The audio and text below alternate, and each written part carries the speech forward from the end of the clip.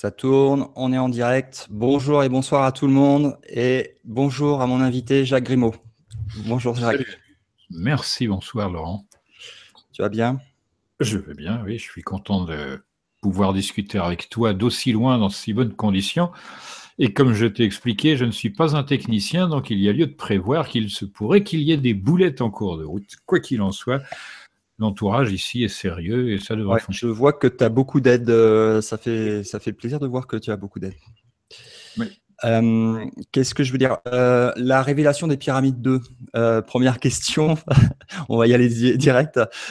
C'est pour quand qu'on voit le film Quand est-ce qu'il sort?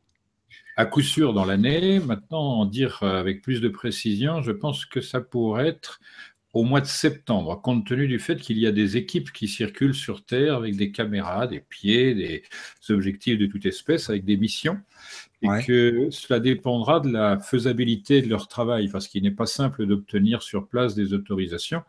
Et pour ma part, je respecte les lois locales, les demandes, etc. Je me conforme exactement à ce qui est demandé. Et la conséquence, c'est que chacun pourra opérer selon. Mais ça, c'est si je choisis l'option longue, c'est-à-dire euh, l'exigence de perfection que je... Avec les, avec les images que tu voudrais avoir de, des lieux sur place avec toutes les autorisations. Est-ce qu'au niveau des autorisations, justement, il n'y a pas des, des, freins euh, que tu as perçus comme étant manipulés par des pouvoirs qui ne veulent pas que certaines informations soient révélées je dirais trois choses. La première, c'est que depuis une quarantaine d'années que je circule sur notre belle planète, j'ai vu se resserrer de toutes les manières possibles les conditions d'accès au site, quel qu'il soit, que ce soit à l'île de Pâques, au Pérou, en Bolivie ou dans l'autre partie du monde, même en Inde, en Thaïlande, au Cambodge, ça devient de plus en plus difficile, de plus en plus onéreux et les conditions sont de plus en plus draconiennes. Et est-ce que tu as identifié qui est derrière? alors justement, il me semble que c'est un effet du mondialisme. C'est-à-dire qu'on a tendance, selon ma perception, hein, ça n'est qu'une opinion, à canaliser les foules, euh, non pas vers les choses telles qu'elles sont, mais telles qu'on souhaiterait qu'elles soient comprises, appréhendées, vues, et d'une part, et d'autre part, vers tout le circuit commercial. C'est-à-dire, désormais, on entre, il y a une incitation à, entre guillemets, se documenter, s'instruire et à la sortie, acheter tout ce que vous voulez, c'est ça le truc. et donc, tu as identifié. C'est proche de zéro.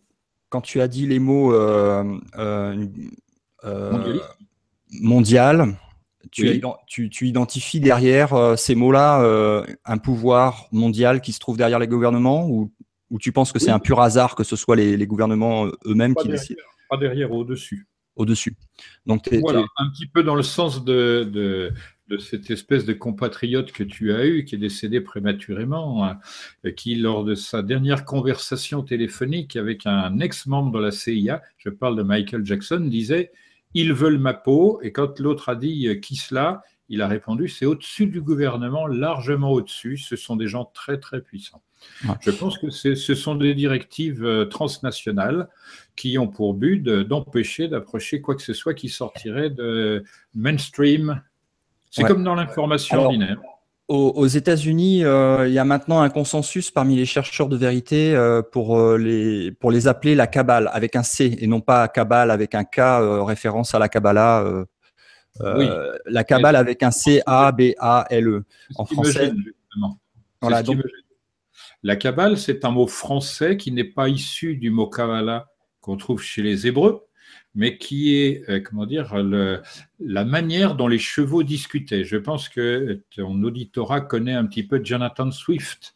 Et ces personnes doivent savoir qu'il a écrit, en marge de Les Voyages de Gulliver, euh, une petite nouvelle qui concerne le langage des chevaux, qui est le vrai mot qui considère la Kabbale parce que les chevaux n'étaient pas répandus sur la planète entière à une époque et que c'était le moyen d'aller d'un endroit à un autre, etc. Donc ça n'est pas exactement la même chose, mais ça me gêne dans ce sens que le mondialisme est plutôt cabale avec un K qu'avec un C pour moi.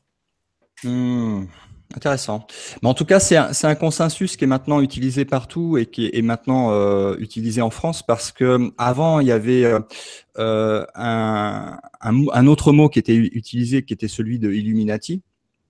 Oui. Mais qui n'est pas non plus très correct parce qu'il y a des différentes factions à l'intérieur, bien que euh, une, une, partie des Illuminati, Illuminati fasse partie de la cabale mais on ne peut pas non plus tout globaliser de, à l'intérieur de ce mot-là. Donc, euh, il y a une distinction qui s'est faite aux États-Unis d'abord et que j'ai rapporté sur Stop Mensonge euh, pour le, le, le, le faire euh, démocratiser en, en, en, langue française. Et, et, donc, il y a un consensus là-dessus. Mais bon, après, je comprends que selon les origines, euh, ça te gêne. Mais bon, en tout cas, c'est le mot qui est maintenant le plus utilisé ça ne me gêne pas. C'est que j'ai fait confusion parce que dans les dictionnaires avant la Révolution, le mot cabale désignait le consensus de conspirateurs. Et c'est dans ce sens-là que je le conçois. Sinon, il y a comment dire, une confusion entre cabale, qui est la tradition hébraïque de transmission, et ce type de cabale qui est euh, fomenter un complot.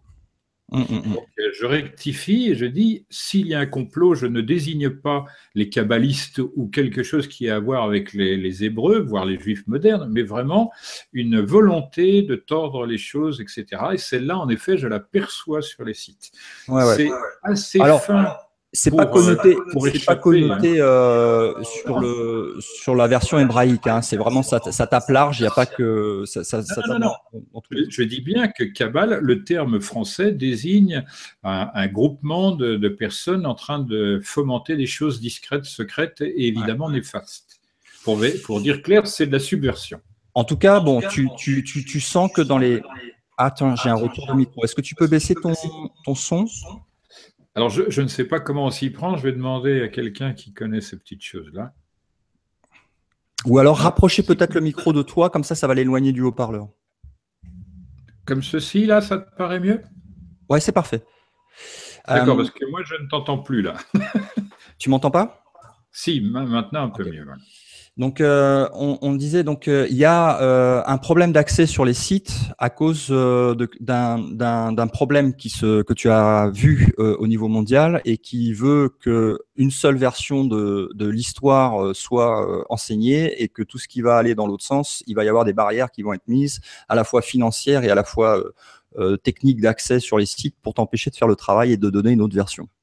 On est d'accord là-dessus. Un entonnoir général qui qui va euh, converger vers des intérêts euh, financiers d'un côté, mais ça se conçoit. Hein, parce que euh, protéger des sites, les mettre en valeur, ça n'est pas évident financièrement, notamment dans les pays où se situent ces, ces édifices. Bon, mais l'autre partie que je vois, c'est que dans les livres, on ne fait que répéter la même chose depuis euh, un siècle, un siècle et demi, et mmh. qu'on ne varie pas. Ainsi, le film euh, La révélation des pyramides n'a strictement rien changé aux caractéristiques des ouvrages consacrés notamment à l'égyptologie. On aurait pu s'attendre à peut-être euh, un, un, léger écho en disant il y a des apports nouveaux, etc. Strictement rien dans ce domaine.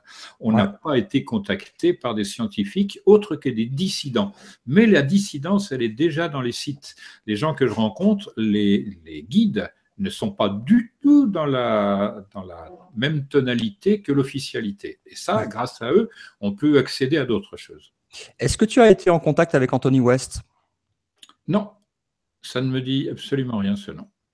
Je suis d'une ignorance encyclopédique. Moi, je n'appartiens pas à un milieu, etc. J'ai travaillé tout seul tout le temps. D'accord. Et euh, est-ce que euh, on pourrait faire euh, Je, je t'ai parlé d'un truc juste avant l'émission et je voudrais qu'on le dise en, en ligne concernant le, le, cartouche d'Abydos. Oui.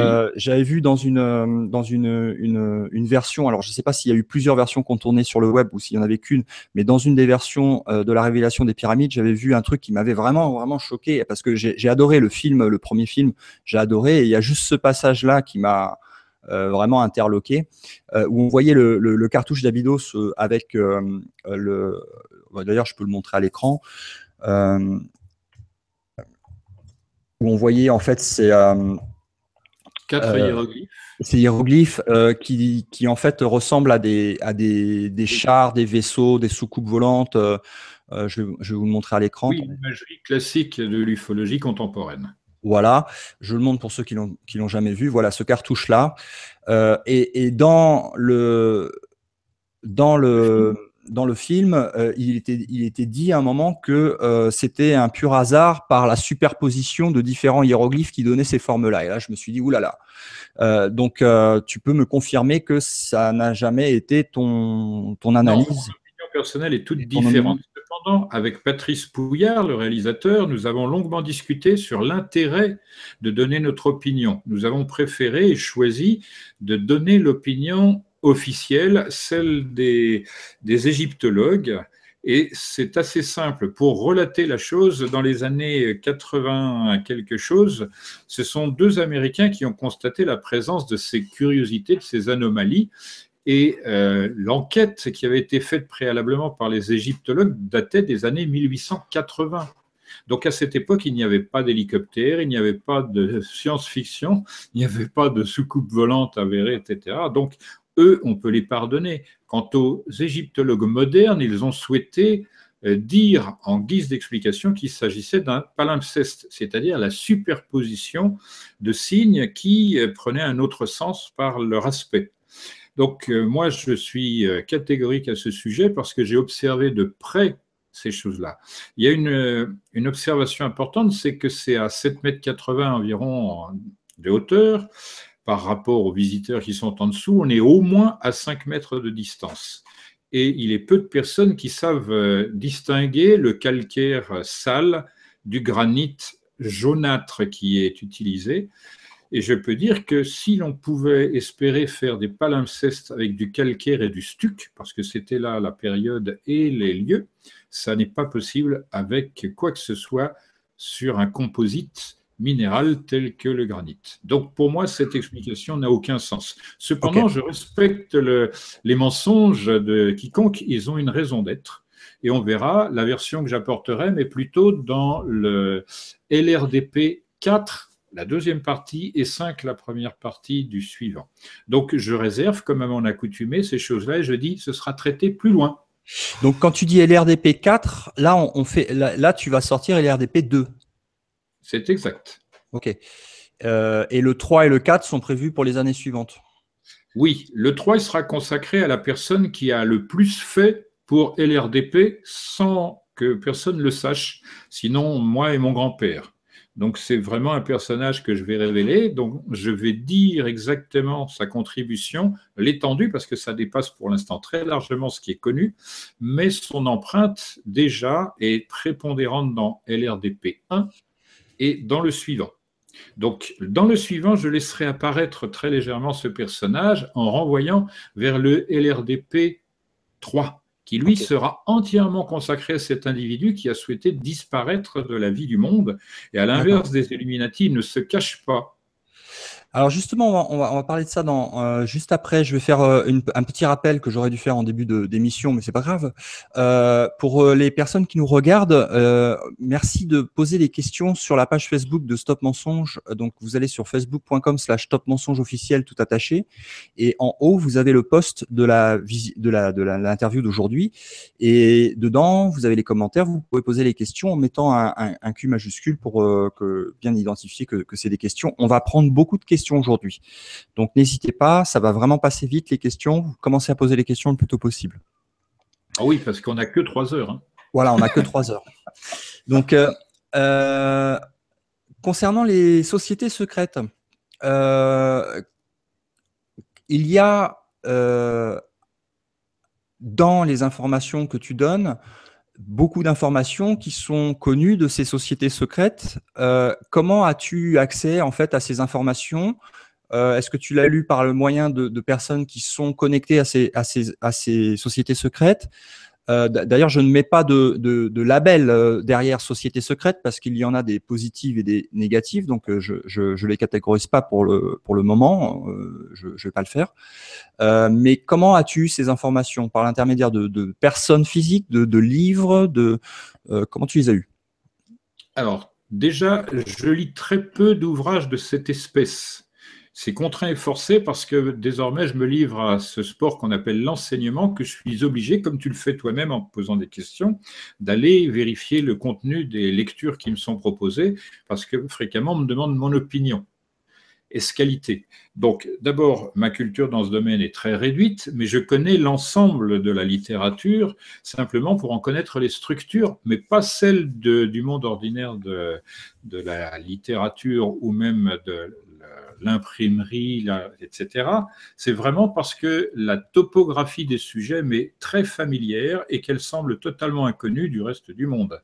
Pour ma part, j'ai reçu cela et je n'ai jamais caché la chose de mon grand-père. Mes frères n'en ont pas eu profit. Lui m'a toujours dit qu'il y avait une raison pour cela, mais je la comprends de manière euh, vraiment périphérique. Les profondeurs de son choix me sont inconnues. Donc moi, j'ai reçu des informations de mon grand-père qui sont capables d'être des clés de compréhension d'à peu près tous les sujets périphériques. Et c'est pour ça, peut-être, que parce que je libère des informations qui étaient euh, réputées secrètes, ça peut poser problème. Mais je n'ai strictement rien à voir avec les sociétés secrètes. Moi, je, n'ai jamais fréquenté tel ou tel groupe, telle ou telle société. Se mettre dans une société secrète, ça veut dire se séparer de tout le reste. Est-ce que ton grand-père, euh, euh, à ta connaissance, était dans une de ces sociétés secrètes? Non, c'était un homme de la terre, un paysan qui, par la, guerre, est devenu épicier et ensuite. Comment a-t-il eu accès à ces informations? Je pense que, selon ce qu'il m'a dit, c'est son grand-père lui-même qui les lui a livrés, dans le même sens qu'il m'a fait bénéficier. moi, Heureusement qu'on a trois heures. oui, mais c'est curieux, mais cette chose-là, je l'ai retrouvée partout dans le monde. Hein. Ouais, ouais, ouais. Et son grand-père, pas de connaissance, euh, pas de connaissance d'une appartenance de son grand-père à, une société secrète? Non, pas du tout. Mais non, la paysannerie n'a strictement rien à voir avec les, les, plaisanteries des villes. Dans les villes, on se réunit parce qu'on est euh, voisins, littéralement. Quand on est paysan, euh, d'abord, avoir une culture lorsqu'on est paysan, c'est beaucoup. Hein. Mon grand-père est allé à l'école jusqu'à l'âge de 7 ans. Il savait lire, compter, écrire, c'est tout.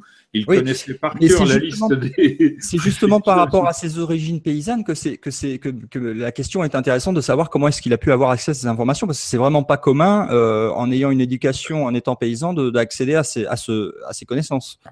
Mais je suppose que c'est sur le même modèle que moi j'ai reçu de lui et lui de son grand-père. Ça transite comme ça.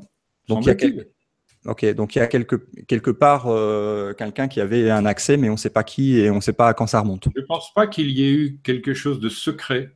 Discret, certes, mais secret, non.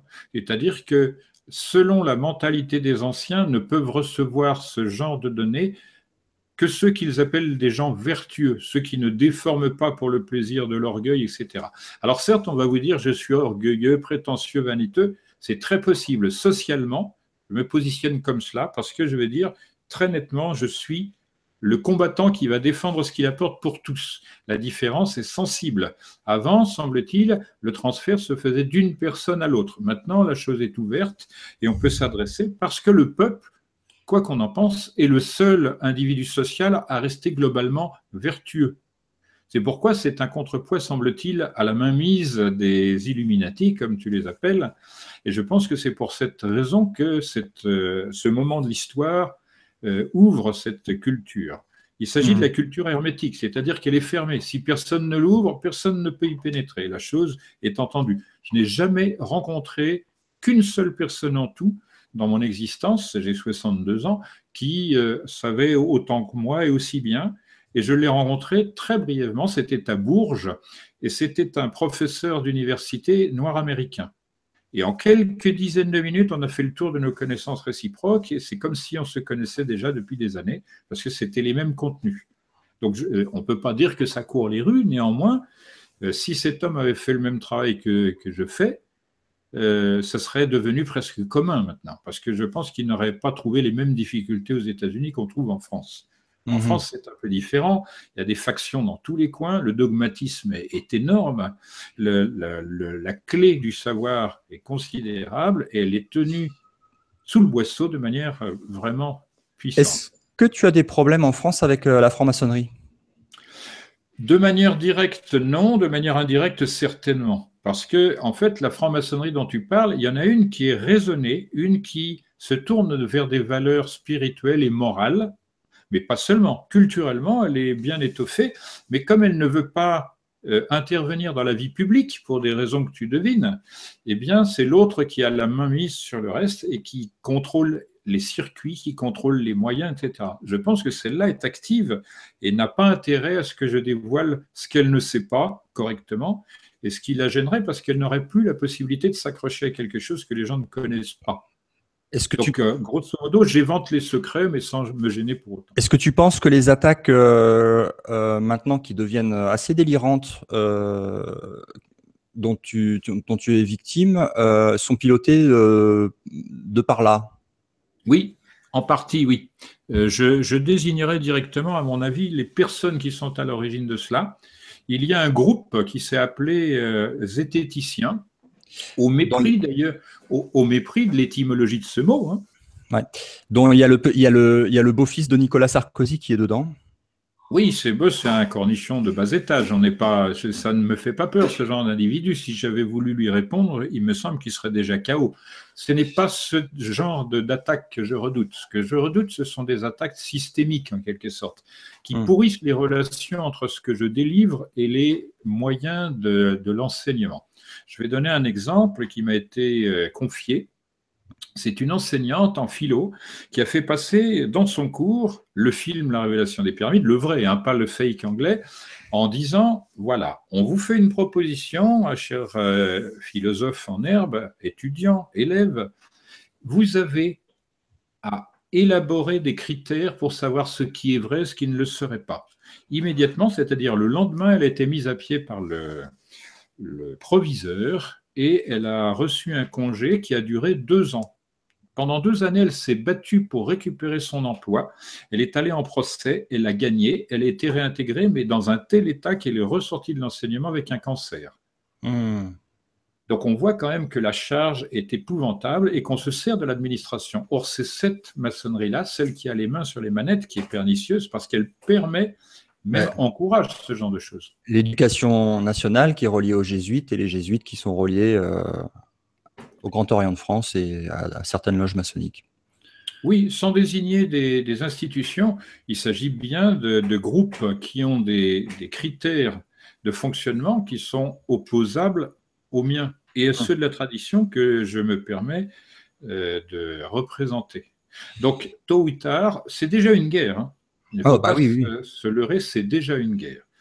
Maintenant, c'est une guerre qui se fait à plusieurs niveaux. Ça n'est pas seulement physique, c'est ni psychologique et ni seulement moral, c'est dans tous les domaines.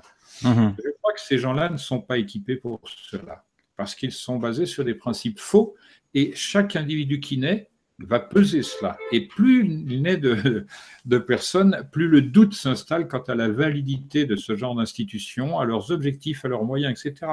Et ça, je pense que ça se sent au Canada, aux États-Unis, en Autriche, en France, en Espagne, un peu partout.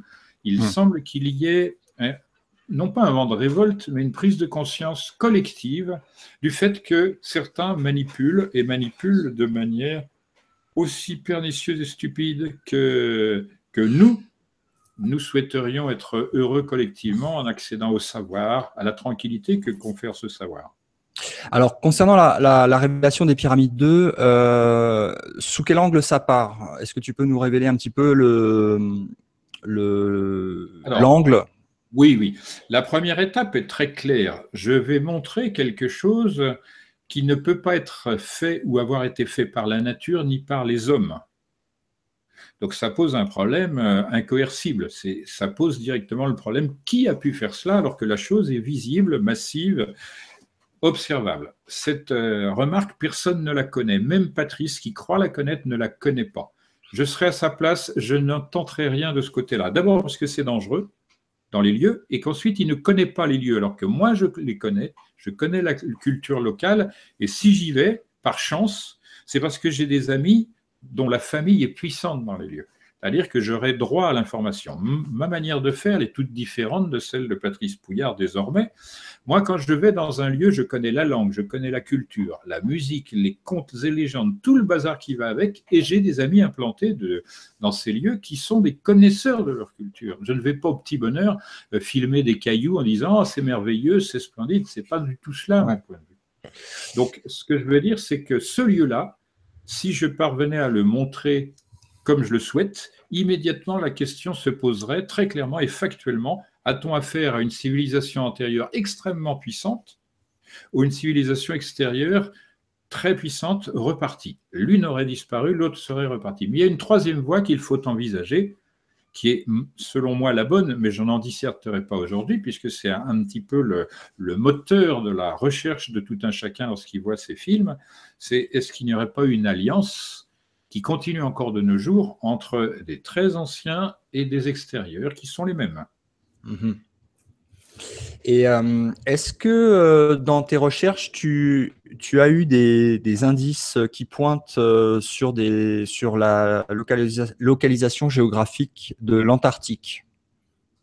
Alors, je vais d'abord, si tu veux bien, répondre à ta question précédente. La suite, l'étape numéro 2, c'est qu'on va reprendre l'équateur penché, qui est le nom de cet opus, étape par étape, mais avec ce regard que je dis avoir, qui est différent de tout un chacun pour montrer qu'il y a une cohérence d'ensemble et que la culture dont on croit qu'elle est Rapanui, c'est-à-dire des insulaires de l'île de Pâques d'un côté, de la côte ouest du Pérou de l'autre, du Mato Grosso brésilien, de l'Afrique de l'Ouest, etc., etc., jusqu'à l'Extrême-Orient, c'est la même. C'est ça ce que je veux démontrer dans ce film, dire qu'il y a une civilisation planétaire d'une part, et d'autre part que le langage employé est accessible encore de nos jours si on pouvait effacer toutes les âneries euh, accumulées sur les langues par les linguistes et autres zigotos, on verrait que c'est un langage qui parle la langue des mathématiques, de la géométrie, de l'ordre universel, etc., de la polarité et de tout ce qui en réalité constitue la vraie science et non la fausse. langue. Euh, est-ce que ça fait référence à la langue atlante? Non, il n'y a pas de langue atlante, en ce sens que je vais utiliser cette langue dont je parle pour démonter et démontrer le mot atlante. Dans les langues anciennes, atl, c'est alt, c'est-à-dire une inversion de lettres, épinthèse, on appelle ça, qui signifie élevé, mais dans toutes les acceptions du terme, c'est-à-dire ça peut être la hauteur, mais ça peut être euh, comme dans Altesse, quelqu'un qui est d'une très haute euh, stature, d'une grande noblesse, d'une grande puissance. Et en même temps, c'est le mot old, ancien, légèrement altéré, parce qu'avant, les voyelles ne, s'écrivaient pas. Donc, on a ce qu'on appelle une forgerie entre alt et old pour Atlante, le début. Il se trouve que Atl, c'est un mot qu'on trouve dans l'ancien Mexique et qui désigne tout ce qui est aquatique. Les Atlantes, ça ne désignait pas des gens qui vivaient sur l'eau ou sur une île seulement, mais des gens dont la constitution corporelle était essentiellement de l'eau, c'est-à-dire les hommes, et non pas des, organismes extérieurs à la Terre. Donc le distinguo existe, donc on doit sous-entendre que si on désigne les hommes par ce mot-là, c'est-à-dire qu'il y a d'autres individus qui ne sont pas de même constitution. Et cela, je le montrerai au fil des opus avec des éléments certains, des éléments vérifiables et accessibles par tous. C'est pourquoi, quand je dis j'ai étudié 40 ans, ce n'est pas seulement les éléments en question, c'est la méthodologie à mettre en œuvre pour que chacun acquiert des preuves tangibles, solides, et puisse combattre la mainmise sur euh, tout le monde par une fausse histoire, une fausse information, des circuits totalement pourris, bah, pour être clair. Donc, mhm. je fais ce travail, je continue. C'est Atland pour Atlante. Land, c'est de l'anglais, c'est-à-dire un mot issu d'une langue d'insulaire. C'est une contrée. Land, c'est ce qui est euh, justement utile dans ce contexte. Si on fait référence à l'anglais, c'est parce que l'Angleterre parle une langue insulaire. Les insulaires ne se comportent pas de la même manière que les continentaux. Il y a de la psychologie plus particulière, etc. Ils sont plus conservateurs, c'est normal, parce qu'il y a un nombre qui établit une économie, une gestion générale, et la langue se, se circonscrit à un terrain très très isolé, par conséquent elle n'évolue pas. Mhm. Donc, donc on dit un ancien, une ancienne contrée, un ancien pays élevé, parce que probablement c'était un, un type montagneux, et dans Atlantide, tide en anglais toujours, c'est la vague ça peut désigner aussi bien, euh, comment dire, un tsunami, euh, etc. Donc, mhm. on décrit par le mot la nature de ce qui est dit par Platon, puisque c'est lui qui l'utilise, en disant que ce n'est pas un mot qui vient de lui, mais de son grand-oncle Selon, qui l'a appris des Égyptiens. Et tu connais donc le nom qui portait à l'origine, qui n'était pas Atlante Non, non, non.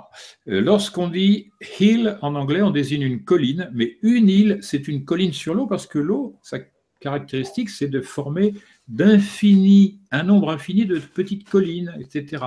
Donc il faut appréhender la mentalité d'abord pour ensuite euh, comprendre. Par ailleurs, il, l'article en français, euh, c'est le troisième dans notre manière de computer, si je puis dire, la langue dans un verbe, c'est euh, je, ça c'est le nom de la divinité, tu c'est la divinité plurielle, il c'est le neutre, c'est-à-dire on ne sait pas qui il est, c'est l'être spirituel par excellence. Or, cette désignation existe partout. Et l'être spirituel dans ces, dans ces langues anciennes, c'est l'humanité entière. Mhm. Ça fait partie donc des caractéristiques de cette langue qui n'a pas été appréhendée parce qu'il y a comme principe, puisque tout est séparé par la géographie, il ne peut pas y avoir de transfert de langue. Le problème, c'est que le sens est le même pour tous les hommes. Mhm. Et donc, parce qu'on n'a pas observé cela de ce point de vue-là, on est dans l'erreur dans tous les domaines. C'est seulement en prenant à partir de ce principe-là les règles générales, à savoir, il y a nécessairement un sujet c'est-à-dire la chose sur laquelle s'opère l'action que l'on va décrire, un verbe qui lui détermine le temps, le passé, le présent, l'avenir, la chose est-elle commencée et terminée ou non, etc. Et en troisième lieu, ce qui est fait, euh, comment dire, complément ou attribut, épithète, etc., la modification qui est apportée par le verbe jusque sur le sujet. Donc c'est un ternaire là aussi. Toutes les choses ternaires font relation à cela. Ainsi, euh, le christianisme, qui est ternaire par son essence, sans que la prêtrise, euh, même la plus élevée hiérarchiquement, puisse expliquer ce dont on parle, elle est assujettie à la science du verbe.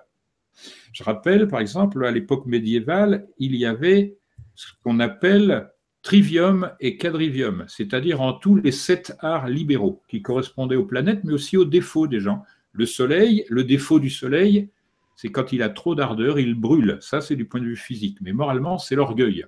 Ça, ça brûle la personne, l'orgueil, hmm. etc. Donc, toute cette infrastructure, elle existe encore en dessous de toutes les cultures. Il suffit d'aller le voir sur place pour s'en apercevoir.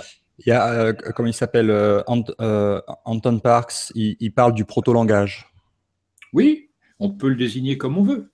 Hmm. Mais ça, ça va te gêner un petit peu, mais ça, ça s'appelle pour les anciens le langage kabbalistique. ça, c'est le vrai langage kabbalistique. Et quand on parle de Kabbal, Kabbalah avec K, enfin, je ne vais pas rentrer dans l'hébreu parce que ça va gêner, mais c'est un emprunt qui a été fait par les Hébreux anciens à l'Égypte, qui était le ah bah, premier local de cela. Euh, de toute façon, euh, même le terme hébraïque, il est complètement euh, euh, usurpé, puisque euh, l'hébreu, euh, c'est du phénicien ancien. Donc, Entre autres, entre autres. L'hébreu, ça s'écrit comme du cunéiforme et ça se lit comme de l'égyptien à l'origine, puisque ce, peuple occupait la distance géographique entre le pays à deux fleuves, donc Mésopotamie, et le pays à un fleuve, le Nil.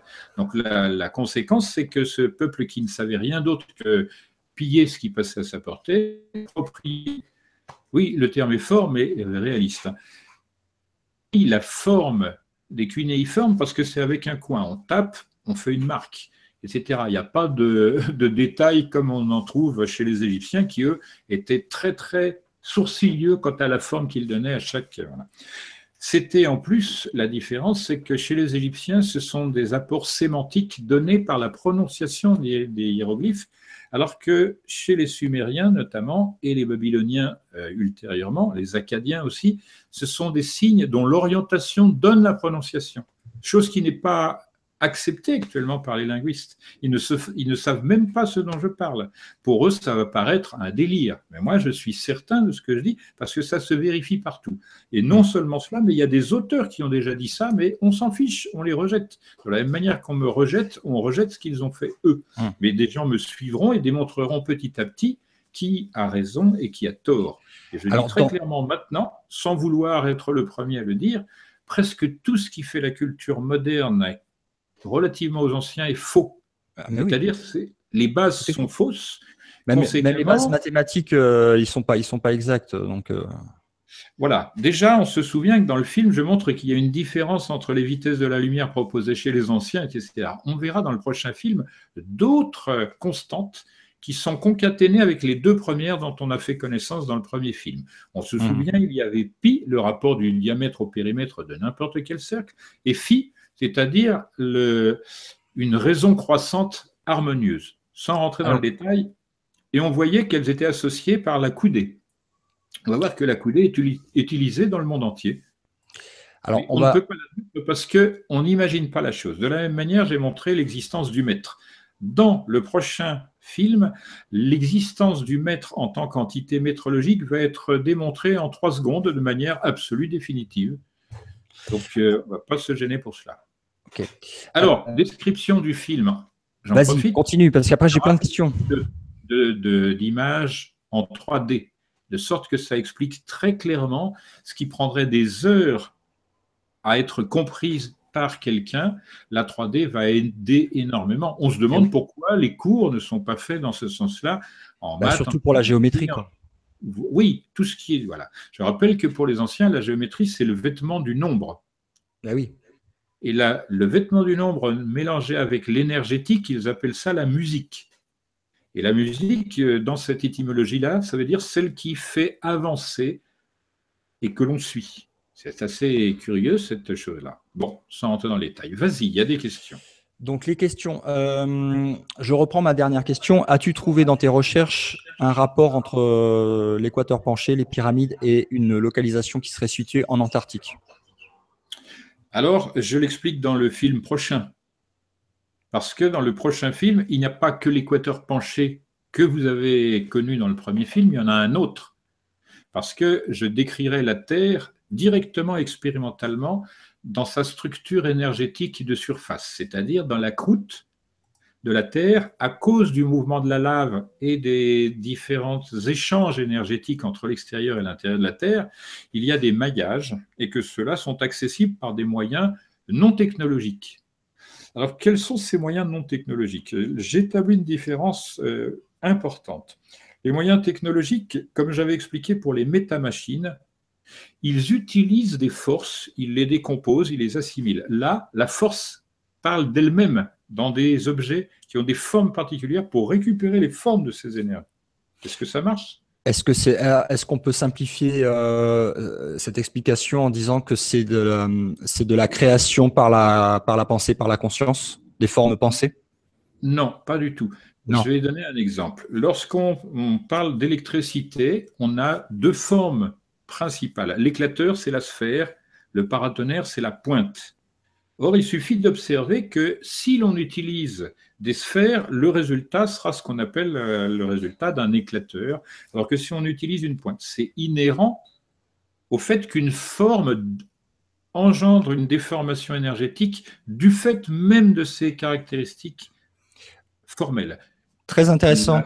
Oui. Le paratonnerre est estimé masculin et transmettre dans le sens de sa forme quelque chose, alors que l'autre, la sphère, c'est un condensateur qui se décharge de temps en temps. C'est ainsi que les anciens voyaient cette énergie qu'on appelle l'électricité, par polarité. Et c'est la connaissance des circuits de polarité qui permet de détecter les modifications locales, notamment en termes de verticalité et d'horizontalité. Donc je ferai venir quelqu'un dont c'est le métier. Il est seul, à ma connaissance, sur la planète à travailler comme les anciens. Donc c'est lui que j'ai choisi il se trouve qu'il habite en France, ça tombe bien pour moi. Et donc je le fais travailler comme il sait faire. Je ne lui pose aucune question. Je lui dis, tu fais ton travail et moi, à l'issue de tout ton travail, je le mettrai en forme et j'en montrerai la théorie, de sorte que tout le monde pourra accéder à cette science-là elle nécessite euh, des aptitudes. Ça veut dire que tout le monde ne peut pas travailler et avoir des résultats de cet ordre, mais ces aptitudes ne sont pas accessibles. C'est constitutif de l'être. Donc on verra que c'est comme la musique. Il y en a qui font de la musique au naturel et d'autres c'est impossible, etc. Mais ça rejoint, scientifiquement parlant, le principe d'incertitude, c'est-à-dire on ne sait pas où sont les choses à tel moment, tel, ni leur euh, gradient énergétique, ni quoi que ce soit, d'une part, et de l'autre part, ça rejoint aussi cette notion euh, qui a étonné la physique dans les années 50, c'est que l'expérimentateur partage l'expérience. Il est dans l'expérience, en fait euh, partie. Et conséquemment. Bah, ça a été démontré, entre autres, par l'expérience de la double fente de. oui, qui, montre que c'est à la fois euh, euh, des, particules et des, ondes en fonction de l'observateur. Non, je plaisante. Mais bon, oui, mais c'est pas exactement cela. Ce, dont je parle, c'est que toute personne ou tout individu euh, interfère avec une expérience. Bien sûr. Et conséquemment, tel ou tel va empêcher telle expérience de fonctionner, alors que d'autres va un autre disposer différemment va en quelque sorte encourager le même résultat. Donc ça, je vais le montrer et on va voir naître sur la planète Terre encore un autre équateur totalement inattendu. Et ici, on ne connaît pas cet équateur. Le, sujet du premier, la révélation des pyramides, s'envole. Donc ce deuxième équateur, Donc ce deuxième équateur passe par l'Antarctique. C'est le troisième, hein, c'est le troisième. Il y a l'équateur géométrique, c'est-à-dire à la perpendiculaire de l'axe de rotation de notre planète, l'équateur. Ensuite, il y a l'équateur penché, celui que j'ai montré, qui est à 30 degrés, qui intercepte la grande majorité des plus importants sites de la Terre. Et je montrerai comment il s'accroche avec les autres sites, parce que presque tous sont liés à cela, mais encore faut-il trouver la formule. Et le troisième, c'est l'équateur énergétique. Conséquemment, c'est ce ternaire-là qui est aussi sous-entendu dans les langues à savoir que ces langues synthétisaient la totalité du savoir sous différentes formes. Hmm. C'est bizarre, mais c'est ainsi que ça fonctionne. Donc, euh, dans le deuxième opus, je vais essayer d'avoir. Euh, Attends, on n'a fait que deux étapes sur 43. Hein. Est-ce qu'on a une information concernant une localisation sur l'Antarctique? Oui, je le répète, on montrera des tas de choses étonnantes notamment en passant par toutes les cartes qui existaient avant la découverte de l'Antarctique et qui montrent simplement que la forme en était très bien connue, l'épaisseur tout autant, les caractéristiques d'orientation à un détail près. Ce n'était pas la bonne échelle. Donc on mm. va se poser la question d'où viennent ces choses-là?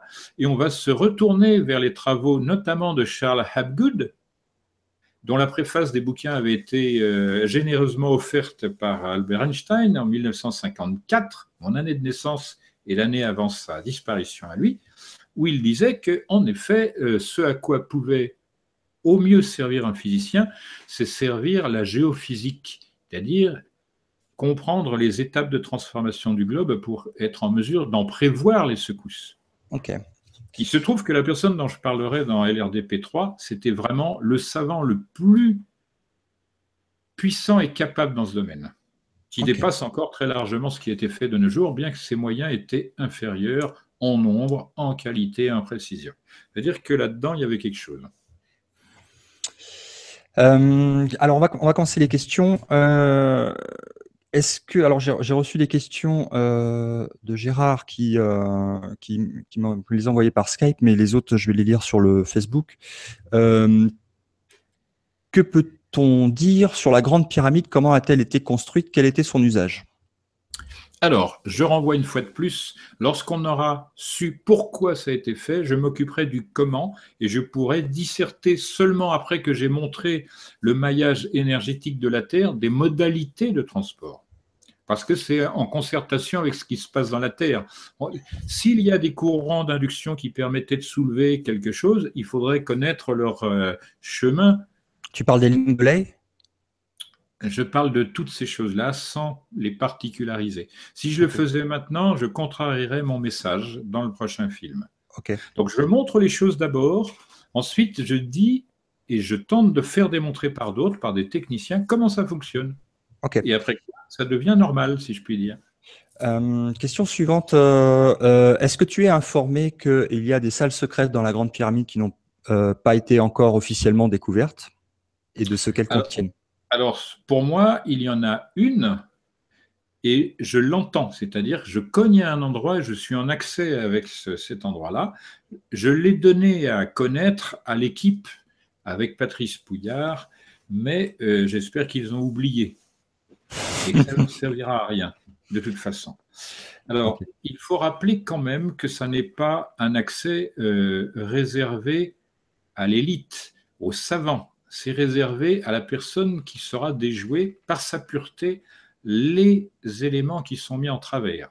Je précise que, par exemple, dans un film de, comment s'appelle-t-il, euh, Stephen Spielberg, euh, terrain de jeu là, hein, Spielberg, euh, il a montré quelque chose qui est dit depuis longtemps dans certains ouvrages rares, c'est-à-dire qu'on n'accède pas au sein des saints comme ça euh, au débeauté. Il y a des conditions à remplir, et celle-ci, je peux dire que jusqu'à présent, parce qu'il y en a qui sont dans les lieux en Égypte, personne n'est parvenu euh, à obtenir quelques résultats que ce soit, et que ça a fait de nombreux morts. Alors, je ne veux pas jeter, euh, comment dire, une alarme là-dessus, et je dis renseignez-vous il y a le plus grand musée du monde en construction.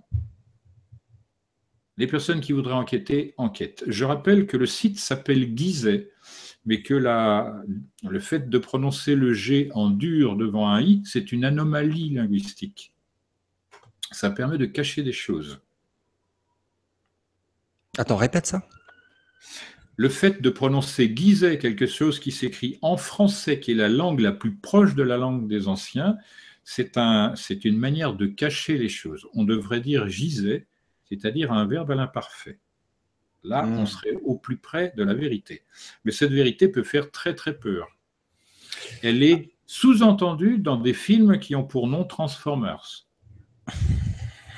C'est-à-dire des trucs de grande quantité de, de, mètres de hauteur et de grande puissance, pas musculaire seulement. Donc, je me tais là-dessus. Mais ça, c'est relaté par les anciens. C'est-à-dire aussi bien dans les, dans les écrits égyptiens anciens qu'arabes qui ont succédé. Tu as, le, tu as le numéro du Transformer, c'est le 1, 2, 3, 4 Aucune idée, parce que moi, je n'ai pas le temps de regarder les films. C'est simplement par analogie que je dis, ça propose une image de cet ordre, c'est-à-dire un individu géant, extrêmement puissant et capable de prendre tous les aspects. Au moins euh, du point de vue théorique. Je ne vais pas plus loin, chacun appréciera. Mais ça, c'est au, risque de sa vie, hein, pour deux raisons. D'abord parce que c'est empêché d'accès, et là, on se fait. Moi, je me suis fait tirer dessus en Égypte une fois, hein. donc euh, je ne plaisante pas avec ça. Fort heureusement, je sais ce qu'il convient de faire dans ces cas-là, mais toute personne qui prendrait le risque de, s'amener comme ça euh, risque sa peau, hein, réellement. C'est quelque chose qui est extrêmement protégé. Et là, la maçonnerie américaine y est pour quelque chose. Donc, je ne veux pas alimenter le mythe des Illuminati, des francs-maçons tout-puissants, mais ça y ressemble beaucoup. Il n'y a pas que là, en Iran aussi, les choses ont été faites de cette sorte qu'on on vole l'information. oui, le, musée de Bagdad qui a été pillé par les, par les Américains, les tablettes de sumériennes, etc. On, en a beaucoup parlé sur Stop Mensonge. Euh, qu'est-ce que je voulais dire? Euh, euh, Moi, j'ai quand j'ai commencé en fait à, à, faire mes recherches sur le site de Gizeh, euh, je suis tombé sur énormément, énormément de vidéos qui parlaient de la de, de l'alignement en fait des pyramides avec euh, le baudrier de, de, la ceinture d'Orion. Et en fait, je suis tombé sur une vidéo américaine euh, qui dit et qui montre que euh, ça ne peut pas être aligné sur le baudrier d'Orion, que déjà ça ne correspond pas, chose que j'ai vérifiée par moi-même parce que quand tu prends une vue aérienne et que tu mets derrière la, constellation des trois étoiles d'Orion, il ne colle pas sur les pointes de la pyramide. Euh, euh, et par contre, quand tu prends la constellation du cygne, c'est parfait, ça colle parfaitement. À une petite chose près et qu'il convient d'ajouter, la forme de la constellation du cygne, c'est une croix. Oui, mais il y a trois, il y a trois étoiles dans la croix qui collent parfaitement. J'ai parlé de quadrivium pour une croix et de trivium pour ces trois points. Donc la relation se fait par la linguistique. Pourquoi? Parce que dans le langage des anciens, les grands édifices énormes, ça, ça, ça représente le réel sommes d'accord? Parce que c'est considérable, c'est énorme, etc. Et ça demande des compétences dans la matière. En revanche, le langage, il considère que ça devrait permettre de décrire le vrai, c'est-à-dire quelque chose qui est abstrait, qui voilà. Mais on sait qu'un langage, ça peut durer des milliers d'années sans beaucoup de déformations sémantiques. C'est pourquoi ils ont confié à ces deux parties-là, qui sont polariser les secrets qu'ils veulent transmettre. Quand je dis secret, ça n'est pas secret.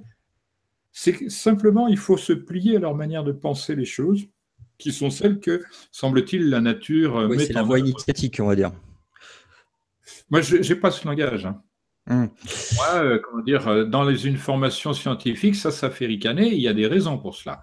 C'est qu'on attend quand même des éléments factuels, démonstratifs, raisonnés, etc. Ce qui n'est pas euh, autre chose que la méthode que j'emploie pour ma part. Même si on considère que je suis dans l'ésotérisme, on m'en fait le reproche. Je dis aux personnes qui me font ce reproche qu'elles sont ignorantes et qu'elles ne devraient surtout pas aborder les problèmes de cette manière. L'ésotérisme, c'est la recherche de ce qui est dans les choses. Il est hmm. naturel que si ça ne se montre pas, on aille le chercher. Et l'ésotérisme, c'est la discipline qui permet d'aller chercher la chose. Alors, en tout cas, euh, pour finir avec l'histoire du signe, c'est que non seulement ça colle parfaitement, mais euh, apparemment, il y a une personne qui a, euh, comme tu le disais, le signe forme une croix et les autres étoiles qui ne sont pas sur les trois pyramides et qui pointent dans des parties du désert, il y a une personne qui a été voir là où cette croix pointait hein.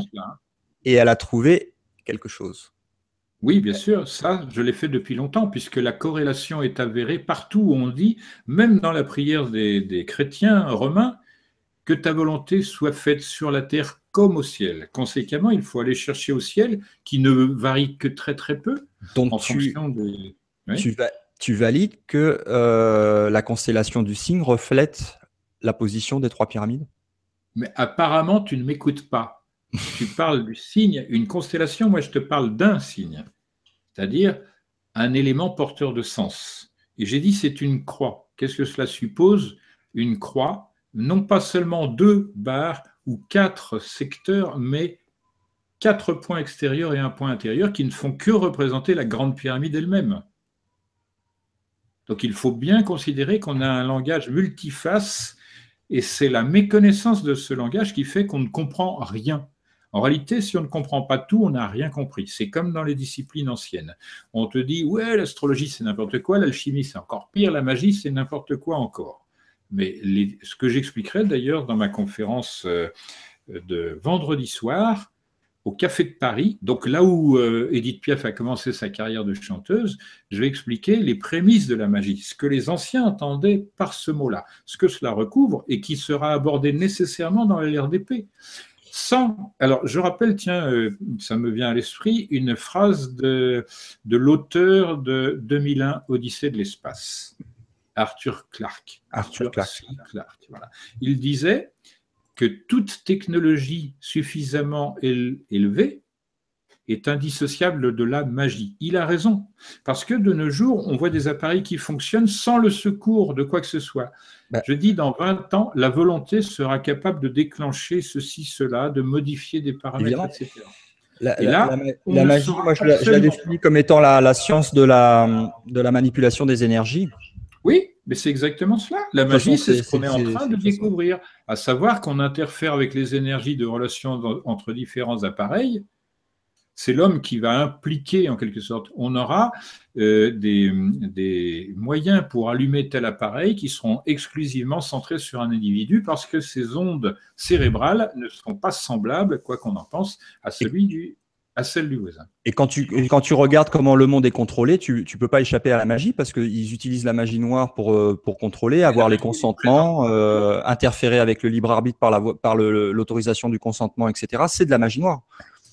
C'est de la magie. Et la première indication de la magie, c'est le conditionnement. Le cinéma, la musique, tout cela, c'est de la magie. C'est ça ce que ne comprend pas le moderne. Il s'imagine que c'est la rationalité qui va tout déterminer. C'est entièrement faux.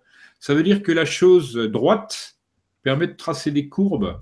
Le sous-entendu sémantique, c'est cela, ce n'est pas possible.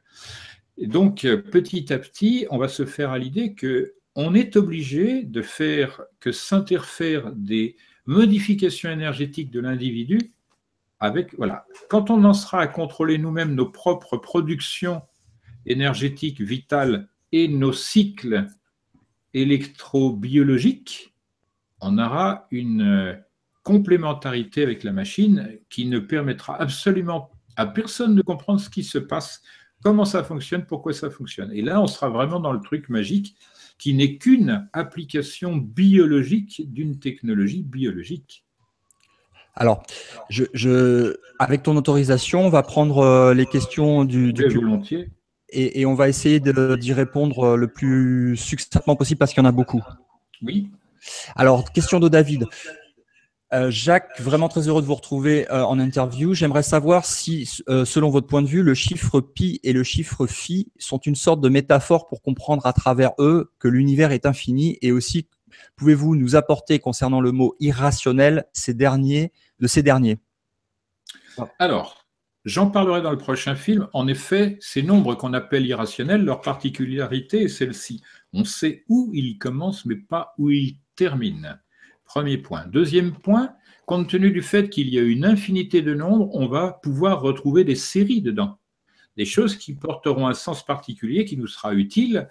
Et ces séries, le sous-entendu, c'est qu'elles décrivent des ordres de la nature. Conséquemment, dans le nombre dit irrationnel, il y a un lien entre ce qui est fini, l'individu, la personne, l'objet, l'être général, et ce qui n'a pas de fin, à savoir notamment l'inscription dans l'histoire, c'est-à-dire la succession du temps, d'événements qui vont modifier jusqu'à l'infini.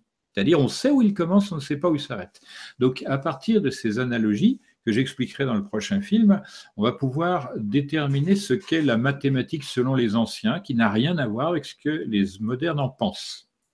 La plupart des modernes. Et donc, irrationnel n'a pas de sens. Pourquoi? Parce que, comme je le montrerai, il y a des structures géométriques dans l'alignement des chiffres. D'accord, ça c'est intéressant parce qu'il y a une autre information que, que j'avais qui disent que ces nombres-là euh, sont euh, euh, des, formes géométriques tout à fait parfaites et non pas des choses hasardeuses avec des nombres euh, qui n'ont pas de sens derrière. Euh, les nombres en eux-mêmes n'ont pas de sens, il faut toujours un rapport. Tout à l'heure, David parle de nombre pi et de nombre ceci et cela, irrationnel. Le nombre chez les anciens n'a pas d'existence. Ce ne sont que des rapports de proportion. C'est pourquoi pi et phi, qui sont euh, caractéristiques de cette manière de penser, ont été abordés directement. Le maître ne considère pas un nombre, mais l'unité. Et là, on est dans le rapport pythagoricien. C'est pour ça, si on s'intéresse à la manière dont Pythagore, ce qu'ils font parler, c'est-à-dire leurs successeurs, euh, les successeurs de Pythagore, on commence à comprendre qu'il y a un nombre qualité. Et le nombre qualité, c'est qu'il renvoie toujours à une géométrie qui, elle, a des lois éternelles, intangibles, fixes, qui ont les qualités des nombres irrationnels qui sont choisis. C'est-à-dire pi, le problème qui se pose, c'est géométriquement, on a un cercle et un diamètre, mais on arrive à tracer des choses finies, alors que le nombre qui décrit cela est infini. Hmm. C'est cette polarité qui sera étudiée et on montrera comment les anciens pensaient cela. Ok.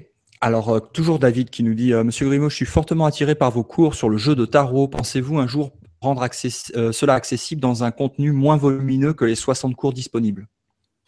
Alors, le problème de cette culture, c'est qu'elle est aussi vaste et étendue que la nôtre, mais beaucoup plus profonde. Donc, exposer quelque chose de manière euh, condensée, certes, mais ça engendre des erreurs, des, erreurs qui en engendrent d'autres, etc. Pour moi, la conséquence, c'est qu'il faut donner le maximum de points de vue au fur et à mesure, et autant que possible juste, c'est-à-dire non pas faux.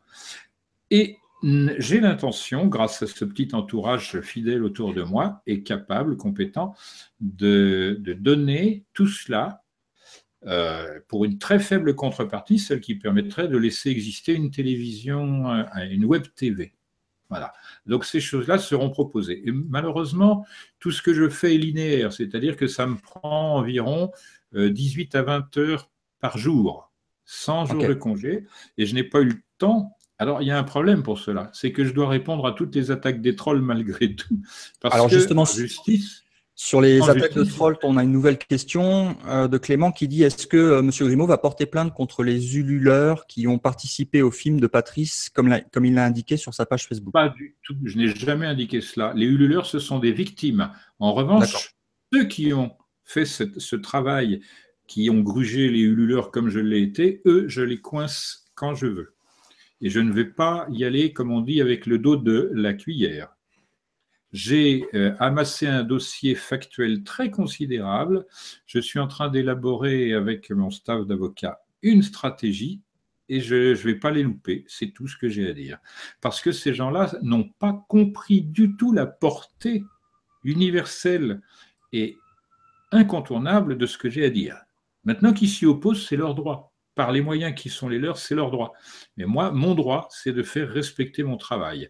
Or, je les ai prévenus, reprévenus, je leur ai dit, le titre, la révélation des pyramides, j'en suis propriétaire et légalement représentant. De la même manière, l'équateur penché, de même manière, Orbis Enigma, qui était le premier nom de la série, qui a été squeezé pour des raisons de présentation, etc., etc. Mais ils n'en tiennent pas compte. Donc, c'est contre le fait qu'ils n'en tiennent pas compte que je m'attaquerai à eux. Et qu'ils l'aient utilisé à un moment, je suis d'accord, le temps d'une reconversion. Maintenant, c'est Hmm. Terminé. Ok. Ils sont euh, nuisibles. Question. Euh, est-ce que euh, de, David, est-ce qu'un jour vous écrirez votre autobiographie ou laisserez-vous le soin à un autre auteur de le faire? À vrai dire, ça n'a strictement aucune importance, mon autobiographie, et elle sera inscrite dans ce que je vais laisser. En réalité, pour faire bref, nous, les humains, comme les animaux, comme tous les êtres vivants, nous-mêmes, on ne laisse rien d'autre que des traces ma trace, ce sera euh, le fait que j'ai été auteur de cette. Euh, Alors, cette film, mais il y aura les livres, il y aura les livrets, etc. Ça représente un travail très considérable. Mais ma vie en tant que succession d'éléments, etc., ça n'a pas grand intérêt. Ok. Je, pense, euh, si on me sollicitait pour le faire dans mes vieux jours, peut-être accepter, mais le faire, faire par d'autres, évidemment. Moi, je ne vois pas du tout l'intérêt de ressasser des souvenirs. À quoi ça ne peut pas servir à titre d'exemple, les temps changent trop vite maintenant. Euh, encore une question de David. Euh, Jacques, Dompierre sur Marne comporte un numéro de département 52 360. Pouvez-vous nous dire euh, quelque chose là-dessus? Que Dampierre, c'est une indication traditionnelle très forte. On a Dampierre, on a 21 Dampierre en France. Mais le plus important, ce n'est pas celui qui a comme numéro 52-36, c'est celui qui se trouve dans les Charentes. C'est un château qui comporte des messages qui sont en partie intéressés à LRDP. Ok. Comme le euh, jeu de tarot. Dans le jeu de tarot, on parle de LRDP sans le dire expressément. Mais il suffit que je l'explique dans les cours et on s'aperçoit immédiatement que, ah oui, alors là, il n'y a pas à tourner autour du pot, c'est le moins qu'on peut ben, dire. Je peux faire une petite parenthèse, petite, euh, c'est que euh, avant euh, le début de l'émission, je t'ai envoyé deux articles euh, qu'on a condensés de, du livre La loi, la de 1 et, j'espère qu'on aura l'occasion d'en reparler dans une prochaine émission. J'aimerais faire une émission spéciale sur ton interprétation de la loi de 1 par rapport à ça parce que il y a quand même des choses qui sont très liées à, ton travail. Entre autres, le fait qu'ils se présentent comme étant les constructeurs de ces pyramides. Ils se présentent comme étant les transmetteurs du tarot. Hmm. Euh, ils euh, aussi euh, sont très liés évidemment au message hermétique puisque ils se présentent comme étant en fait tous les tous les signes montrent qu'ils sont qui sont en fait ce qu'on appelle des avions bleus euh, qui sont révélés en fait par les par les, les, révélations que fait en ce moment David Wilcock avec Corey Good et qui sont en fait. Je ne connais absolument rien de tout cela. Hein. Bah justement, c'est pour, ça que c'est pour ça que j'en parle et que je t'en parle et que et que je te donne les informations pour que tu puisses regarder, qu'on en fasse une émission future pour avoir ton avis là-dessus. Parce qu'il y a un truc qui, qui, qui, qui, se rejoint parfaitement et il y a une synchronicité que je veux pas rater, c'est que euh, tu, tu parles aussi d'Hermès, des messages hermétiques. Euh, Hermès chez les Égyptiens, c'est Thoth. Thoth, il est représenté avec une tête d'oiseau. Oui, ibis, pour la raison phonétique ça veut dire le brillant. C'est le superlatif de l'intelligence euh, dans l'ancienne Égypte. Hein. Donc on ne va, pas, on va pas rentrer dans le détail maintenant, mais il y a vraiment énormément de, choses qui, se corrèlent. On, va en faire une émission spéciale avec ton autorisation, si tu le veux bien. Euh, une fois. Moi, je me prête à toute euh, tentative loyale. Je contribue comme je peux. Voilà. Alors, toujours dans la question de David, j'aimerais également savoir si les anciens utilisaient des lentilles en verre, ce qui pourrait expliquer l'utilisation de, rayons solaires, de télescopes ou de microscopes. Alors, il est avéré, on les voit dans certains musées, euh, qu'il y a eu des lentilles qui étaient façonnées pour des raisons d'optique. Il y a même eu des prismes et toutes sortes de choses, des, lentilles avec des rayures destinées à décomposer la lumière, etc. Toutes ces choses, semble-t-il, étaient connues. Il suffirait de trouver, j'espère que c'est encore possible sur Gallica ou Google Book, les ouvrages du premier maire de Paris, qui était un astronome, euh, qui était euh, donc, cet astronome s'appelait Bailly il a eu la tête coupée, d'ailleurs, comme le fermier général à qui l'on doit la chimie, Lavoisier. Et donc, dans les deux ouvrages principaux de cet astronome, il est bien dit que l'astronomie, que l'on connaît à travers les objets, les théories, etc., c'est ce qui reste d'une civilisation antérieure et supérieure. Il le dit très clairement.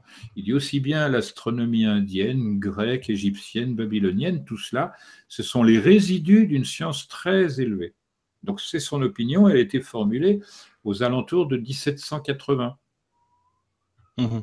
Le fait de négliger ces anciens ouvrages, c'est une euh, lacune extraordinaire. On a des milliers d'ouvrages qui mériteraient d'être lus, portés à connaissance du public et proposés sous forme de synthèse, et ça n'est pas fait. C'est-à-dire qu'on dort sur un trésor culturel extraordinaire et tout le monde s'en fiche. Alors là aussi, tout à l'heure, tu me posais la question des sites. Je fréquente dès le début de l'ordinateur tout ce qui a été euh, reproduction d'ouvrages anciens. Il est de plus en plus difficile d'y accéder. Dans les grandes bibliothèques maintenant, depuis 15 ans, je ne peux plus rentrer parce qu'avant, euh, comment dire, j'appartenais au monde universitaire, je pouvais accéder aux bouquins. Maintenant, soit je suis éditeur, ce qui est le cas, soit je dois avoir une autorisation euh, d'éditeur ou d'universitaire pour accéder à tel ouvrage. Le problème, c'est que quand j'ai besoin d'un ouvrage, je me rends dans telle bibliothèque et on me dit, désolé, cet ouvrage est en réparation. Et les réparations, ça dure ordinairement 4 à 5 ans. Et ça, ça ne s'explique pas par des raisons correctes. Donc là, je vois la main de la maçonnerie, de la même manière que j'avais vu la main de cette euh, maçonnerie perfide et perverse lorsque la Bibliothèque nationale a déménagé de la rue de Richelieu au site, bah, je suis désolé parce que c'est Paris et tout le monde ne connaît pas Paris comme cela, dans un nouveau site qui s'appelle la Bibliothèque François Mitterrand. C'est bah, François Mitterrand, qui l'a déménagé? Les, initiales franc-maçon euh, François Mitterrand. Et euh, il a quadrillé la France de ses âneries maçonniques. Bon. Eh bien, dans ce, transfert, plus de 10 000 ouvrages ont disparu et des ouvrages en exemplaires uniques. Des ouvrages concernant la maçonnerie, mais également l'alchimie, l'astrologie, les édifices anciens, etc. Il y a des ouvrages assez étonnants. Il y en a un qu'on devrait trouver facilement, qui me simplifierait la tâche, qui est un ouvrage maçonnique, mais dans le sens noble du terme, où il est question des grandes pyramides vues sous l'angle hermético-occulte c'est quand même assez intéressant de trouver cet ouvrage quand même euh, assez épais pour tenter d'expliquer, mais ce n'est pas la bonne solution. Ce n'est pas avec cet ouvrage qu'on trouvera, puisque c'est le fait de quelqu'un qui croit quelque chose et qui fait converger ses arguments vers la chose qu'il croit, ce qui n'est pas la méthode scientifique et n'est pas la mienne. Voilà, c'est une réponse longue, passons à la suite. Ouais. Alors, euh, question de Anka, euh, la dimension idéale de la pyramide est bien le demi-périmètre divisé par la hauteur, égale pi. Oui, mais une variété de nombres euh, pi. Ce n'est pas exactement 3, 14, 159, 93, etc. C'est 3, 14, 28, 57. Et ce nombre, qui est constitué de trois catégories, donc 14, 28, 57, se répète à l'infini. Donc c'est une variété approximative. Euh, autre question. Euh, alors, j'ai euh, Gérard qui nous dit que les scientifiques ont repéré une, une salle cachée avec la technologie des muons. Et il pose la question dans une de ces salles ou dans ou s'il y en a plusieurs ou dans cette salle, il est peint. C'est une question. Est-il peint gravé le tarot original donné par les, aux Égyptiens? Non, il n'y a pas de tarot original puisqu'il est répandu partout. Le tarot, c'est l'ensemble de ce que l'on peut récupérer des gravures en Égypte, parce que le tarot manifeste le, dépôt de quelque chose. Cependant, on connaît environ 30% du legs de l'héritage de l'Égypte. Tout le reste est sous le sable. Donc on ne peut pas parler. Donc pour faire bref et plus précis, dans l'Égypte ancienne, au témoignage des, Égyptiens qui se sont exprimés en grec, qui ont été rassemblés, ces témoignages par Jean-François Champollion, il y avait 42 livres. Ces livres recouvraient la totalité du savoir ancien, mais comme je dis, ces livres étaient exposés partout. On en trouve en partie à Abydos, justement, qui est la plus ancienne ville. Mais il n'y a pas de gravure dans les anciens temps.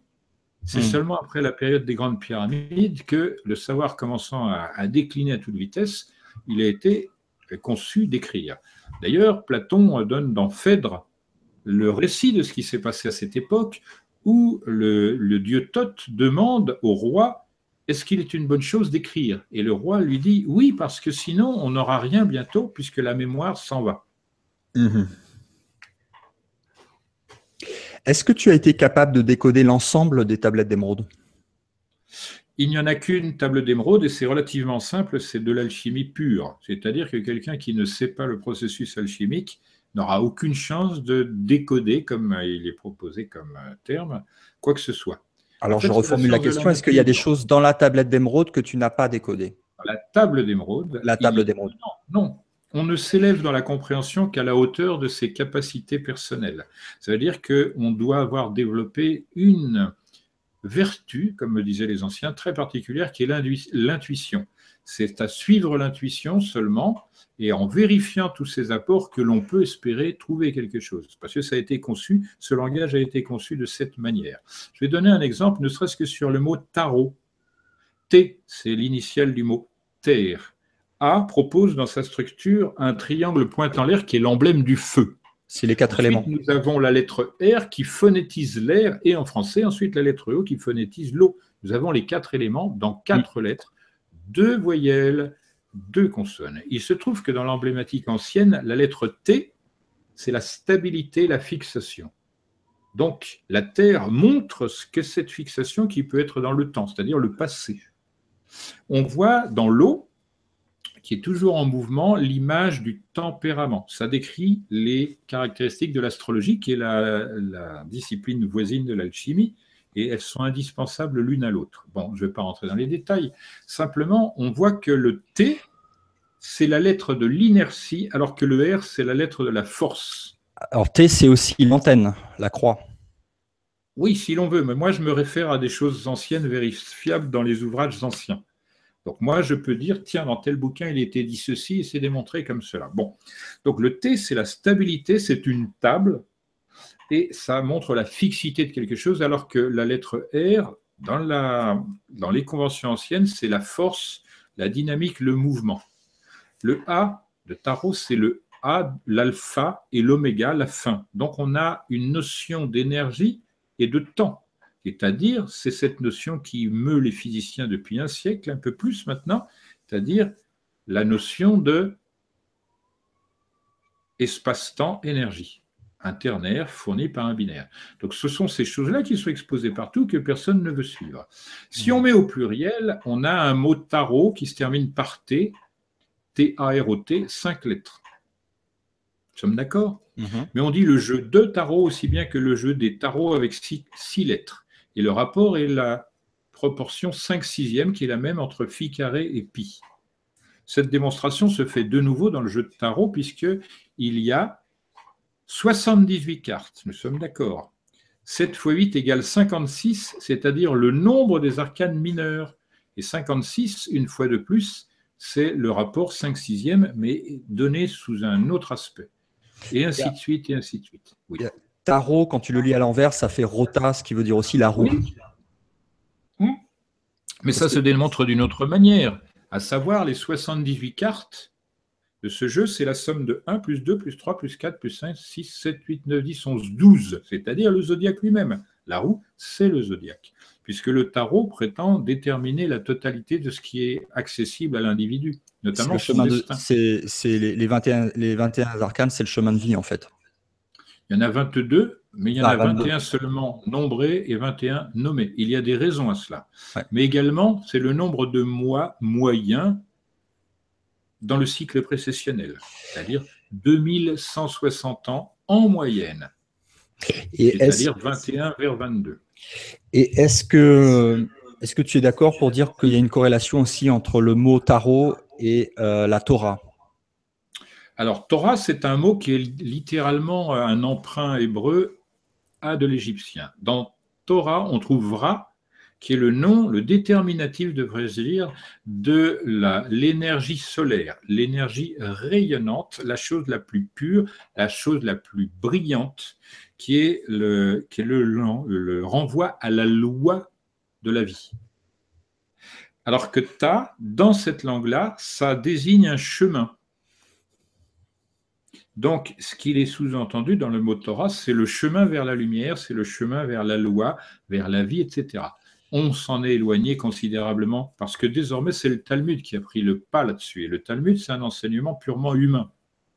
Donc, on voit que si on a un héritage étranger ou antérieur, on est en train de le négliger de la même manière qu'on néglige les ouvrages anciens. Mhm.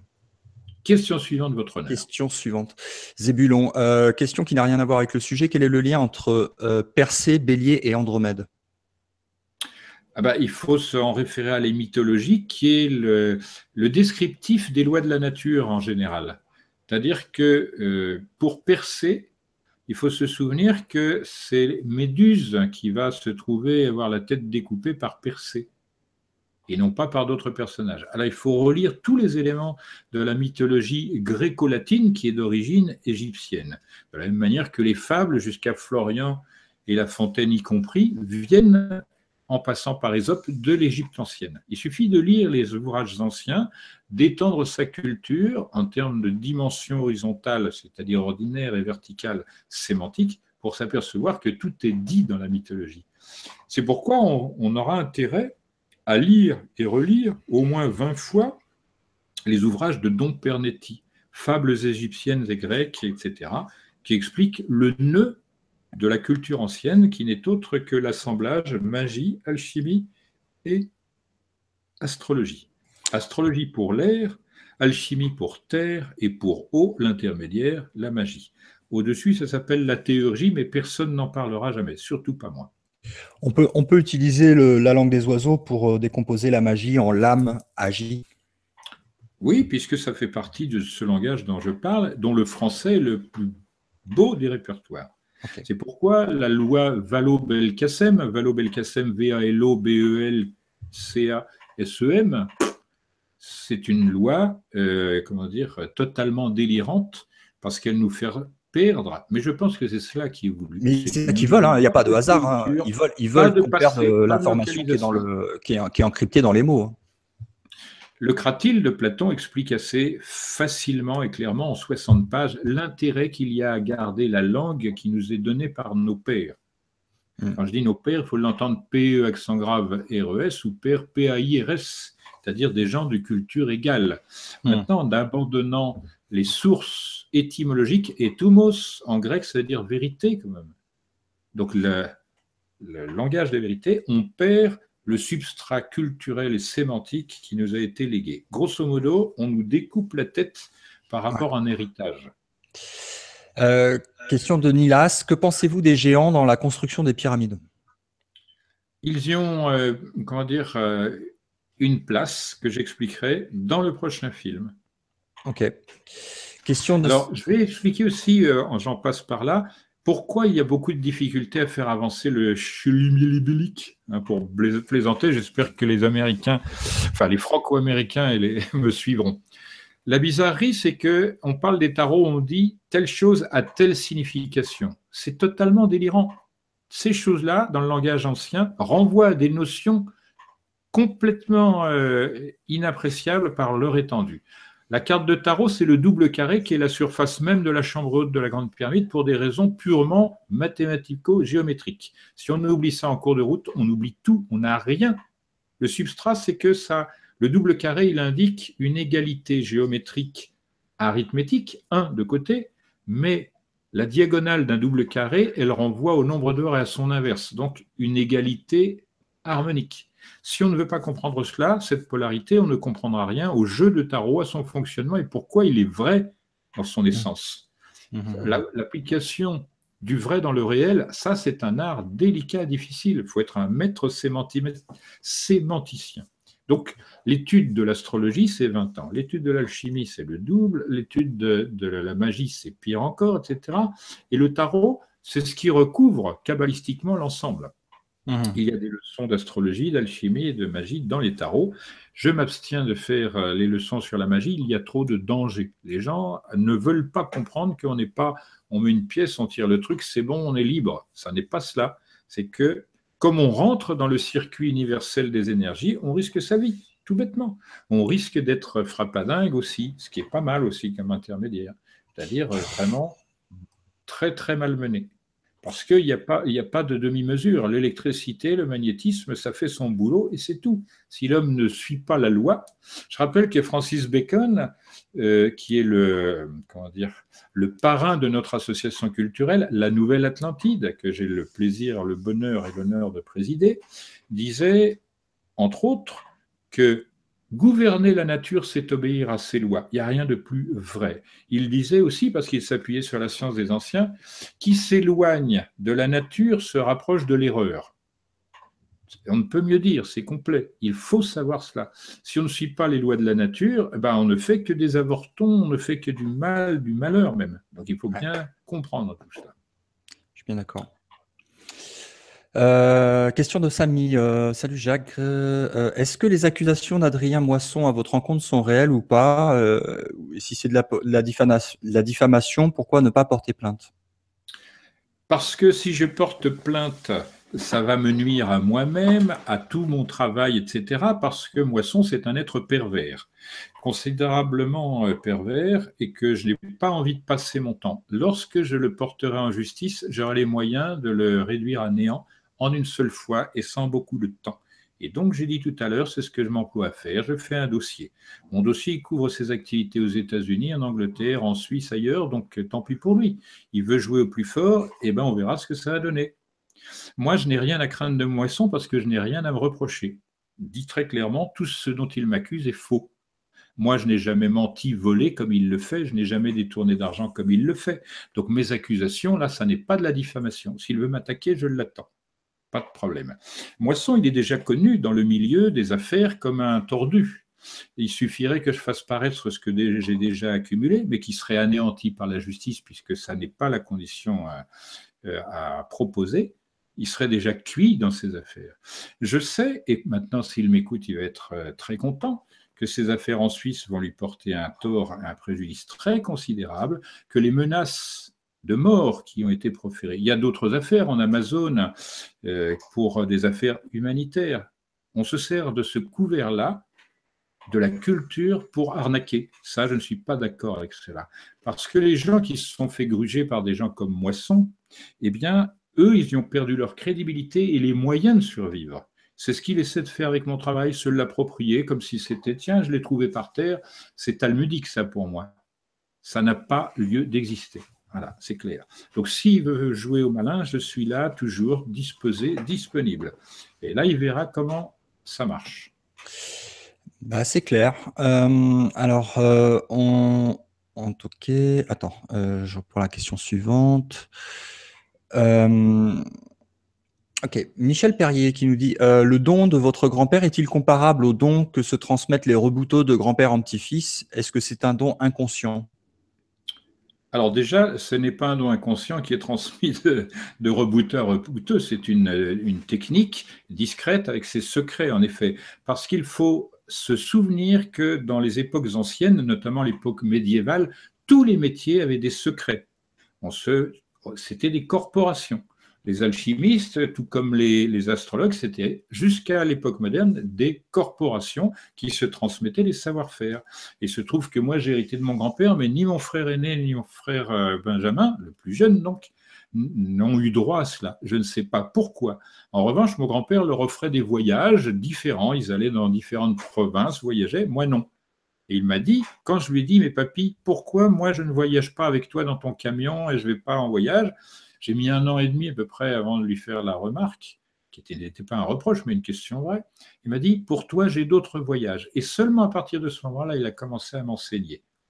Et quand je lui ai posé, quand j'étais bien plus âgé, la question de savoir pourquoi moi et pas mes frères, il m'a dit, toi, tu es un peu différent, toi, tu es un méditatif, tu es un contemplatif. Et je ne sais pas ce que ça voulait dire, mais longtemps après, j'ai compris ce que ça voulait dire. C'est dans l'étymologie qu'il faut rechercher. Hmm. Euh, question de Michel Perrier. Pourquoi est prévue la sortie de LRP, euh, LRDP tome 2, le livre? Il sortira en même temps que le film. D'accord. Euh, question. Grimaud, le nom de famille Grimaud a-t-il à voir avec grimoire? Son ancêtre était-il un alchimiste? Alors, il y a un alchimiste qui s'appelle Grimoald, et la probabilité, c'est que mon patronyme vienne de cette ancienne écriture, mais jusqu'à la fixation de l'écriture, Grimaud AUD, ça veut dire ignorant. Donc il y a un sous-entendu probable, par antithèse, peut-être, sait-on jamais. Mais Grimaud, si on l'analyse étymologiquement, c'est multifacette. Ce grimer, c'est en effet changer d'aspect, et Holt, c'est old, alt, etc., toutes ces choses-là, telles que je les ai expliquées pour le début du mot Atlantide. Chacun prendra ce qu'il en veut. Euh, question de Michel. Avez-vous une solution pour unir les hommes, les peuples ensemble, pour aller vers le bon, le beau, le juste et le vrai? Oui. Dès lors que tout le monde est en mesure de toucher la vérité du doigt, de se convaincre par le témoignage direct, quand c'est possible évidemment, eh bien il ne peut pas ensuite varier, abandonner ce qu'il a constaté parce qu'il l'a cherché. C'est un peu comme une femme qui va souffrir dans l'accouchement et elle va trouver, euh, comment dire, euh, la force d'aller jusqu'au bout de l'éducation de son enfant, justement parce que ça justifie sa souffrance. Ce sont des choses de cet ordre. C'est pourquoi l'enseignement traditionnel est fondé aussi sur la frustration. Et la méthodologie que j'emploie pour euh, cet enseignement, elle est parfaitement justifiée, au moins dans mon esprit, parce qu'il faut mettre bout à bout des choses qui sont assimilables par tous. Or, je constate que ce ne sont pas les plus intelligents qui ont fait le plus de profit de LRDP. C'est un constat qui se fait à l'évidence quand on lit toutes les remarques de telle ou telle personne. Il y a par exemple des messages qui sont extrêmement euh, vigoureux intellectuellement, culturellement, mais faits par des personnes qui ne savent même pas écrire correctement notre langue.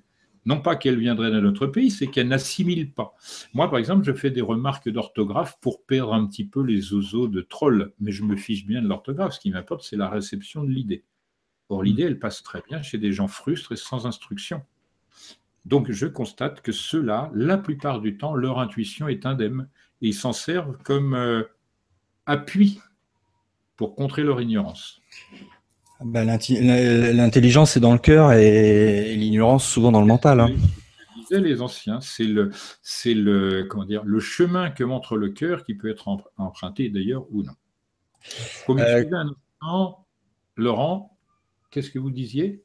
Il y a quelque chose à dire là? Didier fait des signes. Non, non, non. les trolls comme d'habitude. Donc, parce que les trolls se déchaînent en ce moment là. voilà. Donc, euh, on a trouvé la trace de mon ligne. Voilà. On est en train de leur manger leur mana. C'est ça, voilà.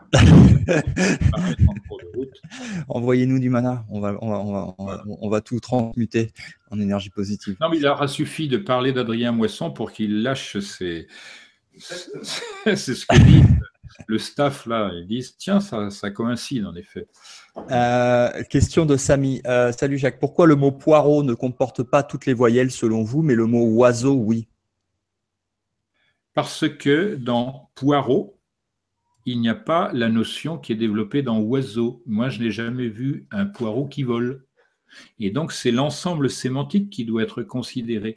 L'oiseau, sa caractéristique particulière, c'est de pouvoir exister entre le vrai, qui est le ciel, et le réel, qui est la terre.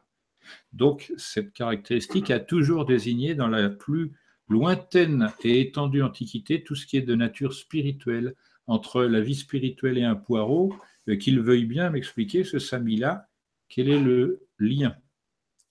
Et je rappelle que dans la langue des oiseaux, le mot poireau n'a rien à faire. Mais si il veut s'égaler à Hercule Poirot, il peut. Hmm euh, question de Stéphane. Bonsoir Jacques. Avez-vous connaissance des infos de Good Absolument aucune euh, info. Je ne connais pas euh, la personne ou le lieu dont il est question. ok. On, on, va, on va remédier euh, à ça justement pour la, entre, entre deux éditions euh, pour pouvoir euh, parler de, ça. David, de Jacques, pourquoi avoir quitté Atlantis pour Helena Parce qu'il y avait en Atlantis le même personnage qui a pourri le premier film LRDP, à savoir Olivier Krasker-Rosen, et qui continue. Alors, il a tellement pourri Atlantis, qui était quand même un lieu d'étude sur l'archéologie, la symbologie, etc. Maintenant, c'est devenu une officine pour le bien-être. Donc, il a vraiment trafiqué de la même manière d'ailleurs que Bob. De Bob vous dit toute la vérité, une émission franco-française. Il se casse la figure littéralement parce qu'il a trahi l'objectif qui l'orientait avant. Bah, il, a, trahi ses auditeurs, il a trahi ses clients. Il trahissent LRDP qui s'étonne des résultats. J'ai cru comprendre, on m'a dit que Demian, leur poulain, avait été dans l'obligation d'arrêter euh, son circuit de conférence parce que personne ne s'y inscrit. C'est légitime, parce que c'est du vide bien entouré. C'est comme un cadeau avec un beau papier de Noël, un beau ruban, et quand on ouvre, oh ben il y a une autre boîte dedans avec une promesse dedans, et ainsi de suite. Donc je comprends bien qu'on n'y vienne pas. Et comment expliquer cela? Parce que tout le monde perçoit qu'il y a une arnaque à la base. C'est qu'on a tenté de substituer un produit déjà périmé un produit qui est en devenir et qui est solide et qui, lui, s'étend, si je puis dire, du point de vue organique, c'est-à-dire le film et l'RDP. Il est dans le profil exact du précédent et ma stylistique, et non pas celle de Patrice Pouillard, va apparaître. Et tout le monde va s'apercevoir que Patrice est un nom odieux copieur que par lui-même. Et s'il ne devait pas admettre cela, je ah. donnerai moi les premières vidéos de ce Révélation des pyramides et on verra la différence très considérable entre son style et le mien. Est-ce qu'on n'est pas tous des copieurs? Nécessairement, puisque l'histoire. Est-ce que la nature elle-même n'est pas copie de copie de copie de copie? Si, si, j'entends bien. Mais le problème, c'est que moi, je ne fais pas reproche. Je dis que si on fait copie, autant qu'elle soit fidèle. Et qu'on ne se présente pas comme celui qui aurait. Le problème n'est pas la le problème n'est pas la copie, c'est la, la manipulation de la copie à des fins de déformation de l'information. Je n'ai pas besoin de faire la réponse, tu l'as fait aussi bien que moi, si. voilà, peut-être mieux même. Euh, question. Euh, Jacques, êtes-vous en contact avec des euh, entités extérieures? Qu'est-ce que sont les entités extérieures? Extraterrestres. Non. Ou, ou, les locaux en contact avec les. Ok, bon, ça, ça répond à la question. Question. Bonsoir. oui, vas-y. Si tel était le cas, ce sera à l'insu de mon plein gré. D'accord. oui.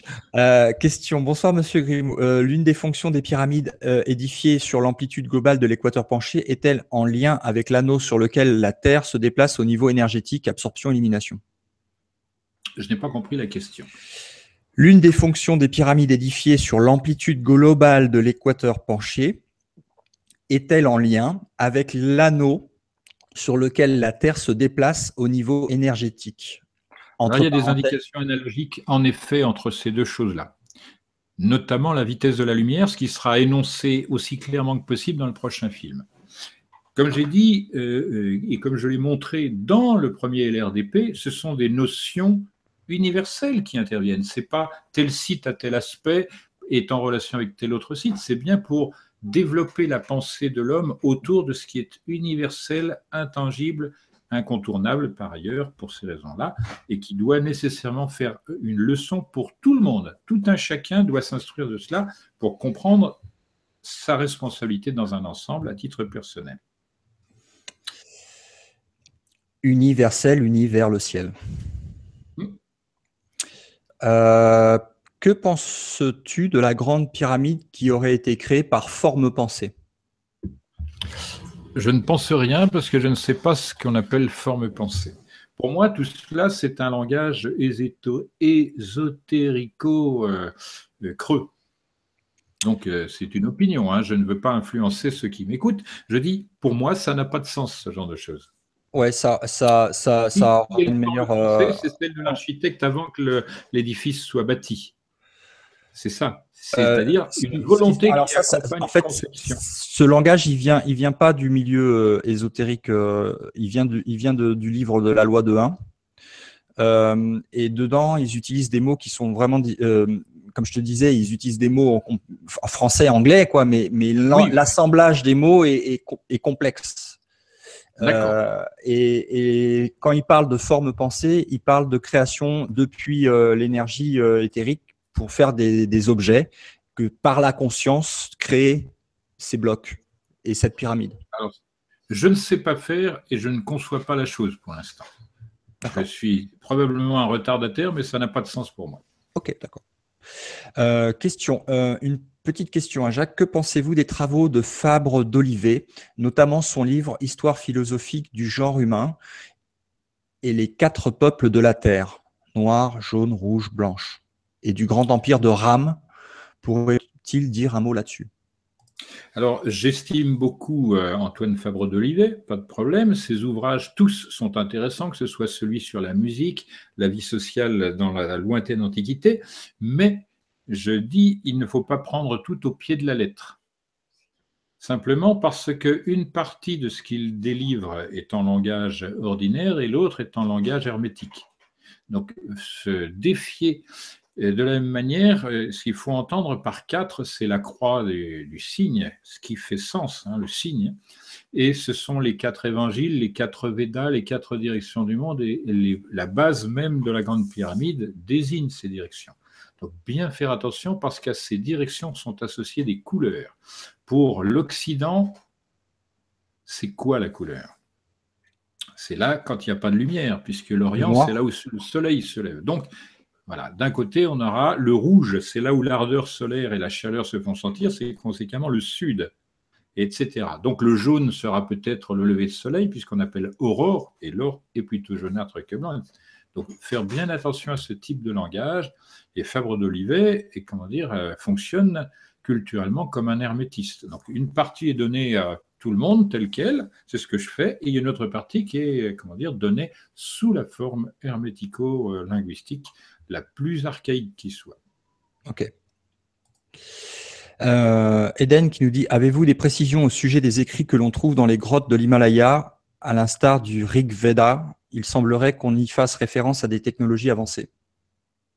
Bah, le Rig Veda et l'Himalaya n'ont pas grand-chose à voir en commun. Hein. Que je sache, euh, il n'y a pas de, lien il y a un point d'interrogation avant. C'est-à-dire que avez-vous des précisions au sujet des écrits que l'on trouve dans les grottes de l'Himalaya? Point d'interrogation. Et après ça.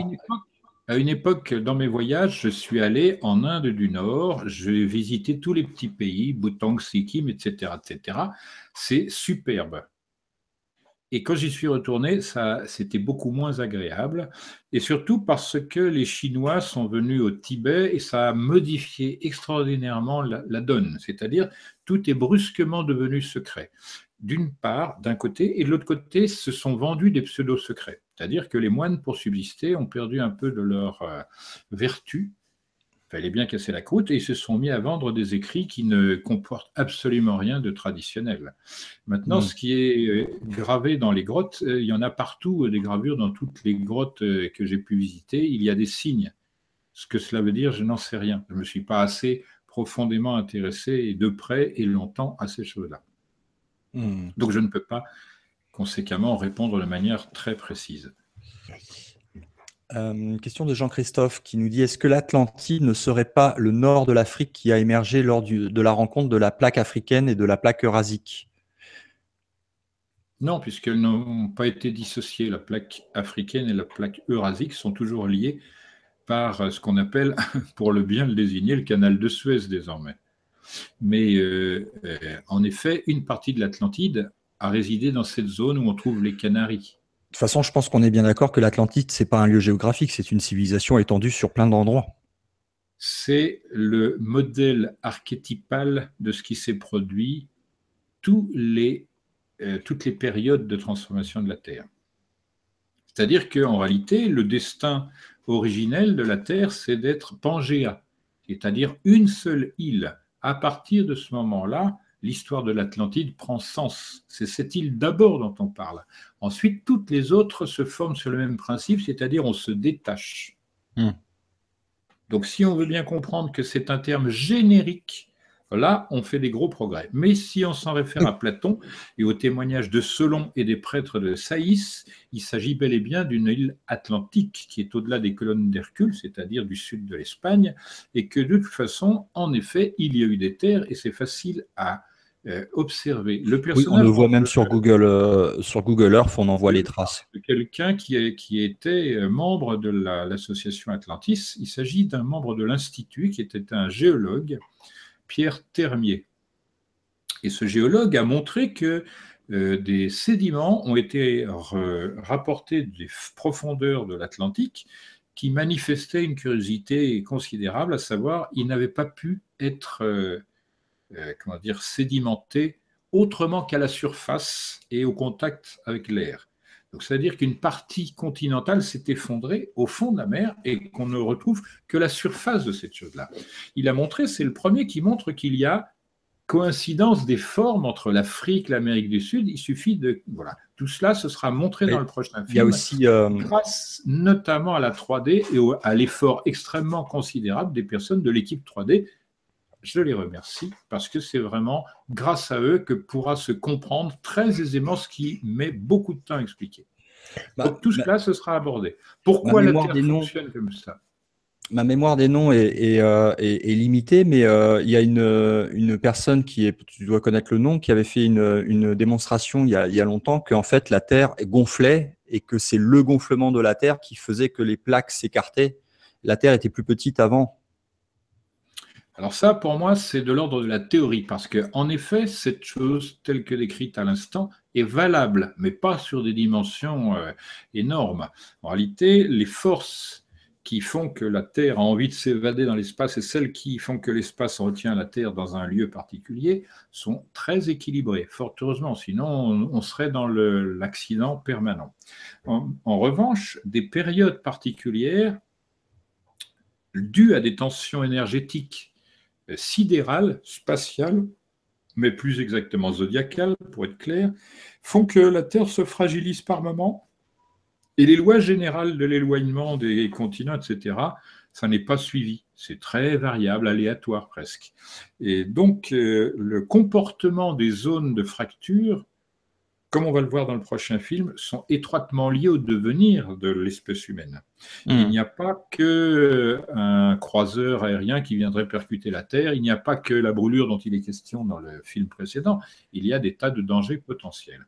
Il a, oh, par exemple, quelqu'un comme euh, Buffon, le clerc de Buffon, donc naturaliste, etc., lui, il parlait de quelque chose sous une forme particulière qui a été désignée comme théorie du catastrophisme. Il disait, lui, d'après ses observations, d'après ce que je vois de la Terre, des animaux, du développement des végétaux, etc., il semblerait qu'il y ait des cataclysmes successifs qui donnent des, qui boostent en quelque sorte la, la nécessité de se réadapter et que c'est ça la, la vie sur Terre, ça n'est pas un long fleuve tranquille.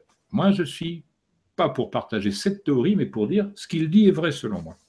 Mhm. Donc, on passe par des moments d'accident et on s'en relève quand c'est possible, où les choses changent. Mhm. Bah, moi, ça, me paraît, ça me paraît assez logique quand même, cette théorie du, gonflement de la Terre à travers les âges, parce que euh, rien ne se perd, euh, tout se transforme, et on reçoit en permanence des rayonnements euh, qui sont émis des, différentes étoiles, et quand ils viennent à, à frapper la Terre, une partie se transforme en onde, en de torsion qu'on appelle matière euh, et, euh, et, donc euh, ça, ça, devient en fait de la, de la nouvelle matière, de, de l'énergie photonique devient de la nouvelle matière et, et l'étoile elle a envoyé c'est rajouté sur la, sur la Terre. Donc, c'est des tonnes et des tonnes et des tonnes qu'on reçoit chaque jour et, et ça fait gonfler le volume. Donc, ça me paraît assez logique. Bon, eh bien, je vais donner mon point de vue sans attaquer celui-là. Pour moi, c'est de la poussière sidérale qui tombe en permanence à raison de plusieurs dizaines de milliers de tonnes par an. Oui, ouais, l'un n'empêche pas l'autre. Voilà, ça ne suscite pas, euh, comment dire, un gonflement particulier. Il y a une chose qui est à remarquer que je ferai connaître mieux, à mon sens, dans le prochain film, c'est que la Terre, elle a un hémisphère plus gros que l'autre et que cela, ça engendre des modifications et des tensions internes considérables qui euh, doivent être connus, expliqués pour savoir comment ça va se terminer tout ce bazar. Parce que actuellement, on le voit pour ceux qui sont attentifs, cette distension de l'hémisphère de nord fait que cet hémisphère vieillit plus vite que l'hémisphère sud. Et les les problèmes qui sont posés, c'est quand il y a des modifications, il y a des poches de gaz, c'est-à-dire des matériaux qui étaient empris dans des grandes quantités de lave, se libèrent et vont occuper ponctuellement quelque chose ou localement quelque chose qui n'était pas comme cela avant. Hmm. Et ces poches, leur tendance naturelle, c'est remonter par tout moyen. Et quand elles sont à la surface, brusquement, si c'est un gaz inerte, neutre, sans explosif au mélange de l'oxygène de l'air, eh bien, brusquement, la surface s'affaisse et blanc, on se retrouve avec une grotte en dessous qu'on n'a pas vu venir. Mais ce sont des bulles en réalité. Et cela, ça a été décrit par des géologues il y a un siècle et demi environ. Personne n'en tient compte parce qu'on se dit, mais c'est dépassé par la technologie. Mais la technologie, elle ne peut servir que de prolongement à l'observation. Elle n'explique rien. Et c'est ça le problème des sciences actuelles. On ne pense pas en termes de conséquences des observations anciennes comparées aux modernes. Donc on ne sait pas quels sont les principes que l'on met en œuvre en tant qu'intellect pour euh, approcher du vrai et du réel. Personne ne fait cette séparation. C'est celle que faisait Platon en, en parlant du symbole. Il disait pas c'est un truc que tu coupes en deux, tu en donnes une partie ici et là, comme les francs-maçons qui veulent mmh. se retrouver. Il dit que rien n'est susceptible d'exister s'il n'est pas pour partie dans le vrai et pour partie dans le réel. Ça, c'est la leçon de Platon. Si on veut bien lire la langue ancienne qui est donnée par le grec. Grec, pour les anciens, ça veut dire à ton gré. Exprime-toi à ton gré. Hmm. C'est comme ça que l'utilise Rabelais, par exemple. Avec des jeux de mots comme ça, voilà. Alors, dans la deuxième partie de la question de Jean-Christophe, il y a une terre qui s'élève pour Atlante et Tide, car comportant des numulites et autres organismes marins résiduels. Point d'interrogation je ne comprends pas la question, mais je suppose que les numulites marins, conséquemment, sont des choses qui venaient des profondeurs de la mer, mais les numulites ne vivaient pas dans l'eau, cher ami. Les numulites, c'était des, des, éléments de surface. Conséquemment, il y a un affaissement, mais il n'y a rien qui soit très ancien qui vienne des profondeurs de la mer. Ce sont des surfaces effondrées. On n'a rien du point de vue de la paléontologie qui nous vienne des profondeurs de la mer, puisque euh, rien n'y subsiste par essence un cadavre animal, il va se décomposer totalement. Les os vont disparaître. Il n'y a absolument rien à retirer de, cet enseignement marin. Au mieux, on repère des, terres qui ont été effondrées il y a quelques centaines d'années, mais pas hmm. plus, pas beaucoup plus. Euh, question de Zébulon. Euh, la grande pyramide est-elle une machine pour guérir? En partie, oui, mais elle ne fonctionne plus. Mais en prenant les proportions et l'orientation correctes, on peut reconstituer si on est habile et intelligent, parce que tout ne fonctionne pas. Je connais un garçon russe qui me reconnaîtra et qui se reconnaîtra s'il est en train d'assister et d'écouter cette émission, qui a reproduit une pyramide en bois avec les proportions de la grande pyramide. Mais c'est un grand objet, puisque le côté doit faire un peu plus de 4 mètres. Justement, tiens, il s'était fait voler par le dénommé Adrien Moisson. Curieux, hein? En, sans compter non plus une traduction de Guizet 2000, le livre fait en russe par la même personne, volé également par le couple euh, Moisson-Pouillard. Donc c'est pour dire que cette affaire commence à vraiment être pénible. Donc une pyramide comme ça lui a permis, lui, de se soigner. Conséquemment, il faut suivre ce qu'il a à dire sur le sujet parce qu'il a beaucoup expérimenté, il est très adroit, il sait ce dont il parle, et peut-être euh, dans ce prochain film, il aura un. Quel est, son nom? Hmm? Quel est son nom? Ramil, c'est son prénom. R-A-M-I-L Oui. Ok. Euh, ce qui, est, intéressant, c'est que la réponse que tu viens de faire euh, concernant la, question sur euh, ce qui vient d'être posée est exactement celle que, qui a été donnée euh, par ceux qui ont transmis la loi de 1. Oui, c'est très possible. Je Exactement. ne dis pas, mais je ne sais rien. Comme je t'ai dit tout à l'heure, ce que je connais de cette loi de 1, ce sont des échos des écrits de, de comment il s'appelle ce garçon bon, son nom ne me revient pas, peu importe. C'était un voyant des années. Euh, Edgar Cayce. Edgar Cayce, c'est exact, c'est tout. Qu'il y avait d'un côté les enfants de Bélial auxquelles appartiennent désormais euh, toute la clique Pouillard-Moisson, et de l'autre côté la loi de 1, mais je ne sais pas ce que c'est cette loi, et peut-être que je la suis sans la connaître. Euh, alors, on va arriver dans des questions, euh, justement, attends, je reprends où est-ce que j'en étais.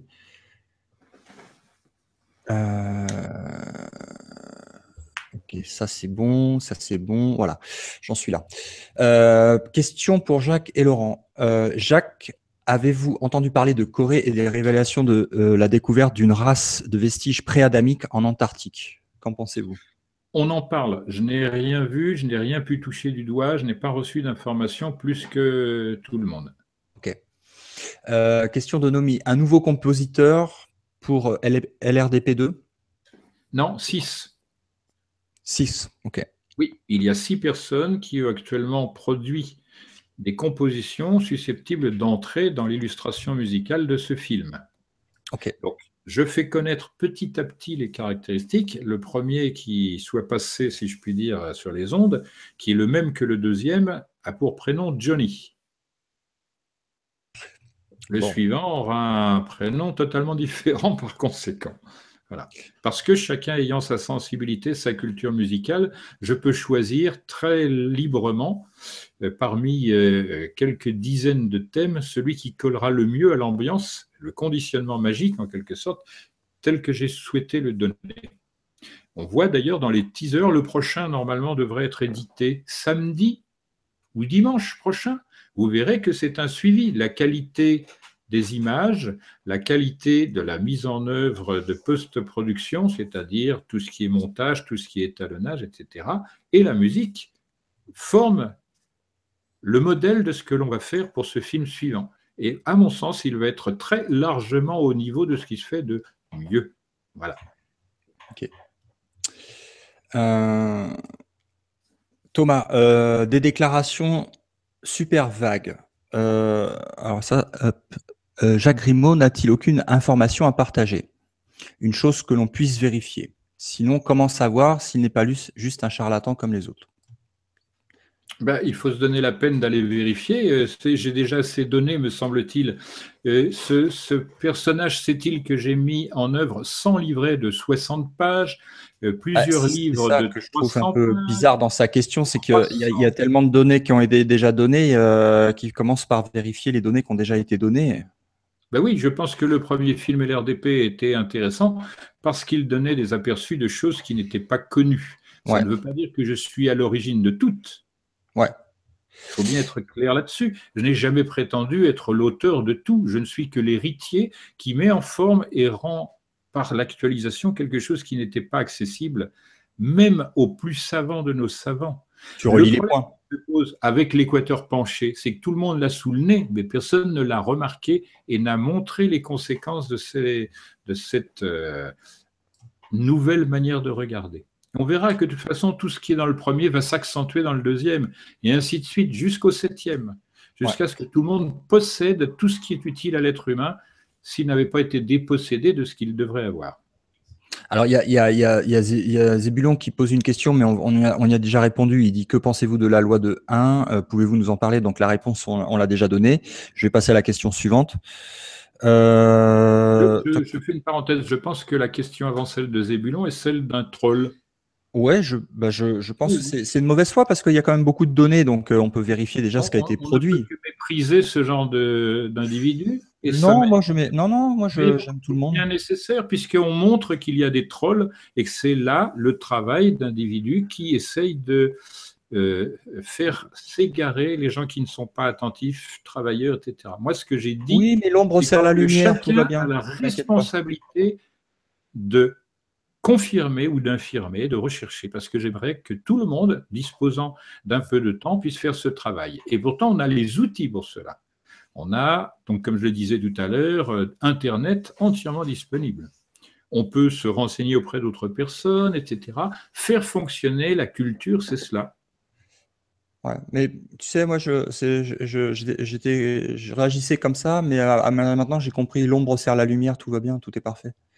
Ça ne me gêne pas. C'est pour ça que je dis on ne, on ne peut que mépriser parce que Non, ça, c'est ton point de vue. Il apercevra relativement rapidement après le deuxième film qu'il n'a désormais plus droit au chapitre, puisqu'il sera obligé de suivre le, le flux des demandes. C'est lui qui va s'opposer. Maintenant, il s'oppose à des personnes isolées comme je le suis, mais quand la chose sera devenue quasi universelle, on verra ce que ça donne. Là, on reparlera de lui. C'est un parasite pour faire bref. Allez, hop.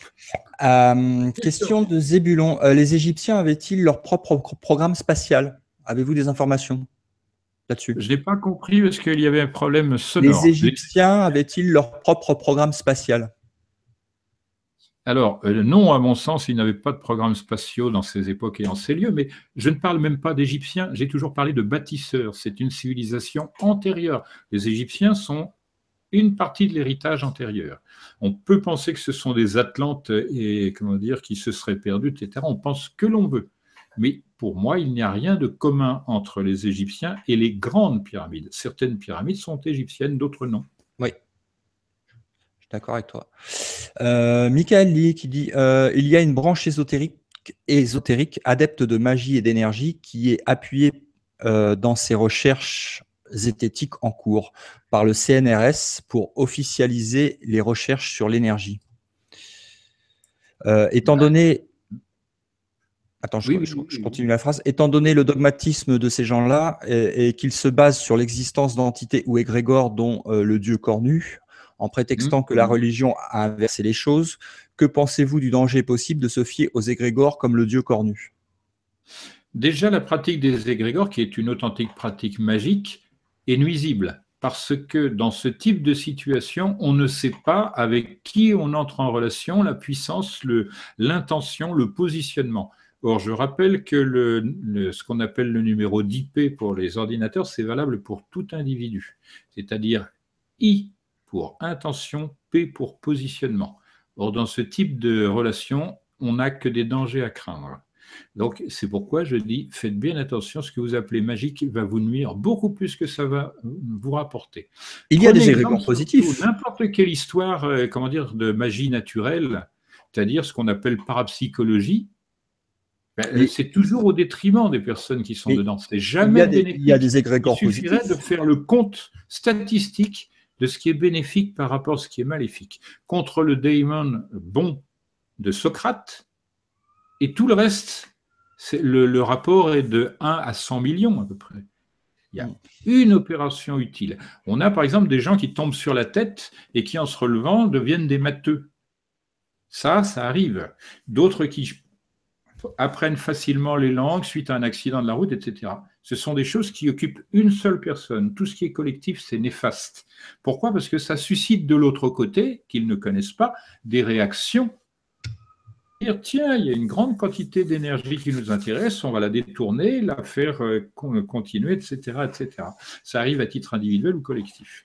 Le résultat est toujours, selon mon observation, néfaste, parce qu'il faut vraiment, vraiment connaître la chose. C'est comme le jeu. Si on veut dépenser sa fortune en jouant, il y a beaucoup plus de chances qu'on la perde que qu'on gagne une autre fortune. Mais il y a des égrégores qui sont positifs.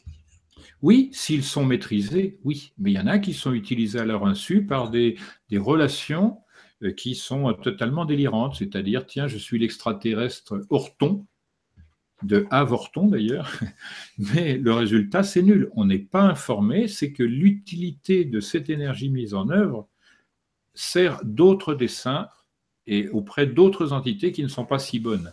C'est de la manipulation.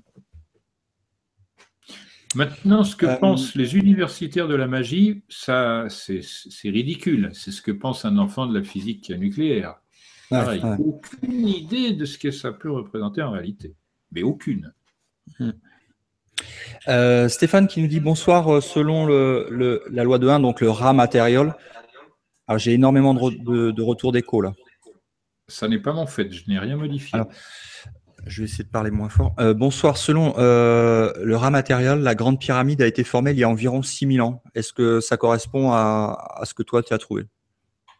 Dès lors que pour les égyptologues, elle aurait été bâtie aux alentours de 2700 avant notre ère, on n'est pas loin de ce compte-là.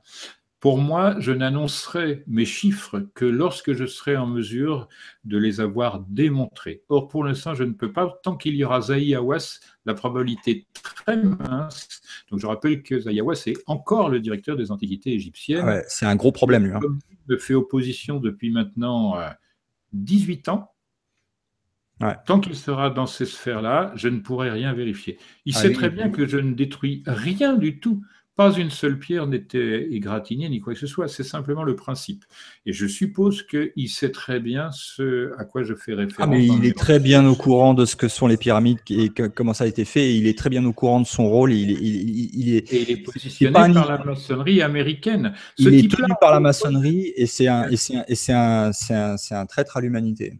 Oui, d'une certaine manière, quoique la, la, sanction pourrait être plus forte encore, mais simplement, on le voit toujours habillé en jean, il parle anglais les trois quarts du temps, il a le chapeau d'Indiana Jones, et c'est l'interface entre la maçonnerie américaine et l'égyptologie officielle.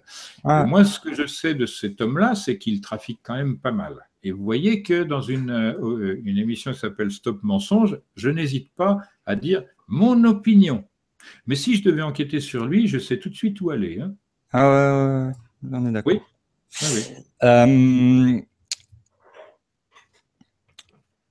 alors, question de Sébastien. Tous vos films qui seront présentés dans les prochaines années sont-elles une clé à un événement planétaire qui se rapproche et qui peut ressembler aux travaux de Jean Simple Si vous connaissez. Je ne euh, connais pas Jean Simple. Jean Simple, euh, ou Jean Simple, je ne sais pas comment ça se prononce. Euh, est-ce que bon, on va, résumer la question courte. Euh, est-ce que dans tes films, euh, il y a un message qui concerne un événement planétaire qui se rapproche? C'est exactement cela qui est énoncé de manière euh, suggestive, elliptique, mais parfois très réaliste et concrète dans le premier film. Et la différence entre LRDP2 tel que je vais le présenter celui qui serait présenté éventuellement par Patrice Pouillard et Adrien Moisson, dit le producteur, n'a rien à voir, puisque ça, ça a été évacué. Et c'est considéré comme du charlatanisme de ma part. Moi, je suis tranquille pour le mot charlatan, puisqu'il y a plusieurs dizaines de milliers d'ouvrages qui parlent de cela. Mais eux, dans leur ignorance profonde, dans leur mépris de la culture des anciens notamment, parce que ce sont des gens qui n'ont strictement aucune culture, des incultes donc, eh bien, ils s'en prennent à moi parce qu'ils veulent cacher le fait que la culture complète, totale et planétaire parle et ne parle que de cela en réalité. Donc on verra la différence. Ok. Euh, Saviez-vous que Gizeh, Paris et Londres sont alignés selon la constellation de la Grande Ourse? Question. Oui, ça fait partie des choses qui seront exposées, mais sans trop insister parce que ça n'est pas l'intérêt de la chose. Il faut encore expliquer pourquoi, quand, comment, qui et toutes ces choses-là. Et c'est pourquoi je prends d'abord le soin de montrer les choses sans les expliquer pour dire vous avez vu, vous avez vérifié. Ensuite, je vous expliquerai pourquoi cela a été fait. Hum, hum, hum, de la même manière, souvenez-vous, dans le premier film avec Yoming Pei, au début, il ne voulait rien lâcher. Et petit à petit, paf, il a de lui-même avoué que c'était ainsi. Il faut savoir quand même que Yoming Pei, c'est un Chinois qui vient donc d'un pays de pyramides, qui a fait le début de sa carrière au Mexique, pays de pyramides, avant de s'installer aux États-Unis, pays d'obélisques. Et que c'est pourquoi la première chose qu'avait faite François Mitterrand, dont les initiales sont FM, euh, ça a été de lancer un appel d'offres. Qui va faire la pyramide du Louvre? Or, ça n'était pas la première fois qu'il y avait un projet de cet ordre. À l'époque de Balzac, déjà, il y avait un projet de pyramide dans la cour carrée du Louvre, qui est une cour ésotérique, et carré et croix, c'est quand même pas très éloigné de ce dont on parle. Voilà. Surtout en sachant que le côté du carré du Louvre, c'est 54 mètres si vous n'êtes pas sourd des yeux et aveugle des oreilles, ça devrait fonctionner dans la computation temporelle. Bon, je ne vais pas en rajouter. on est d'accord que Mitterrand, il nous a pourri avec la symbologie maçonnique. Euh, euh, question, Jacques a-t-il des informations sur les salles ou le labyrinthe présent sous la grande pyramide?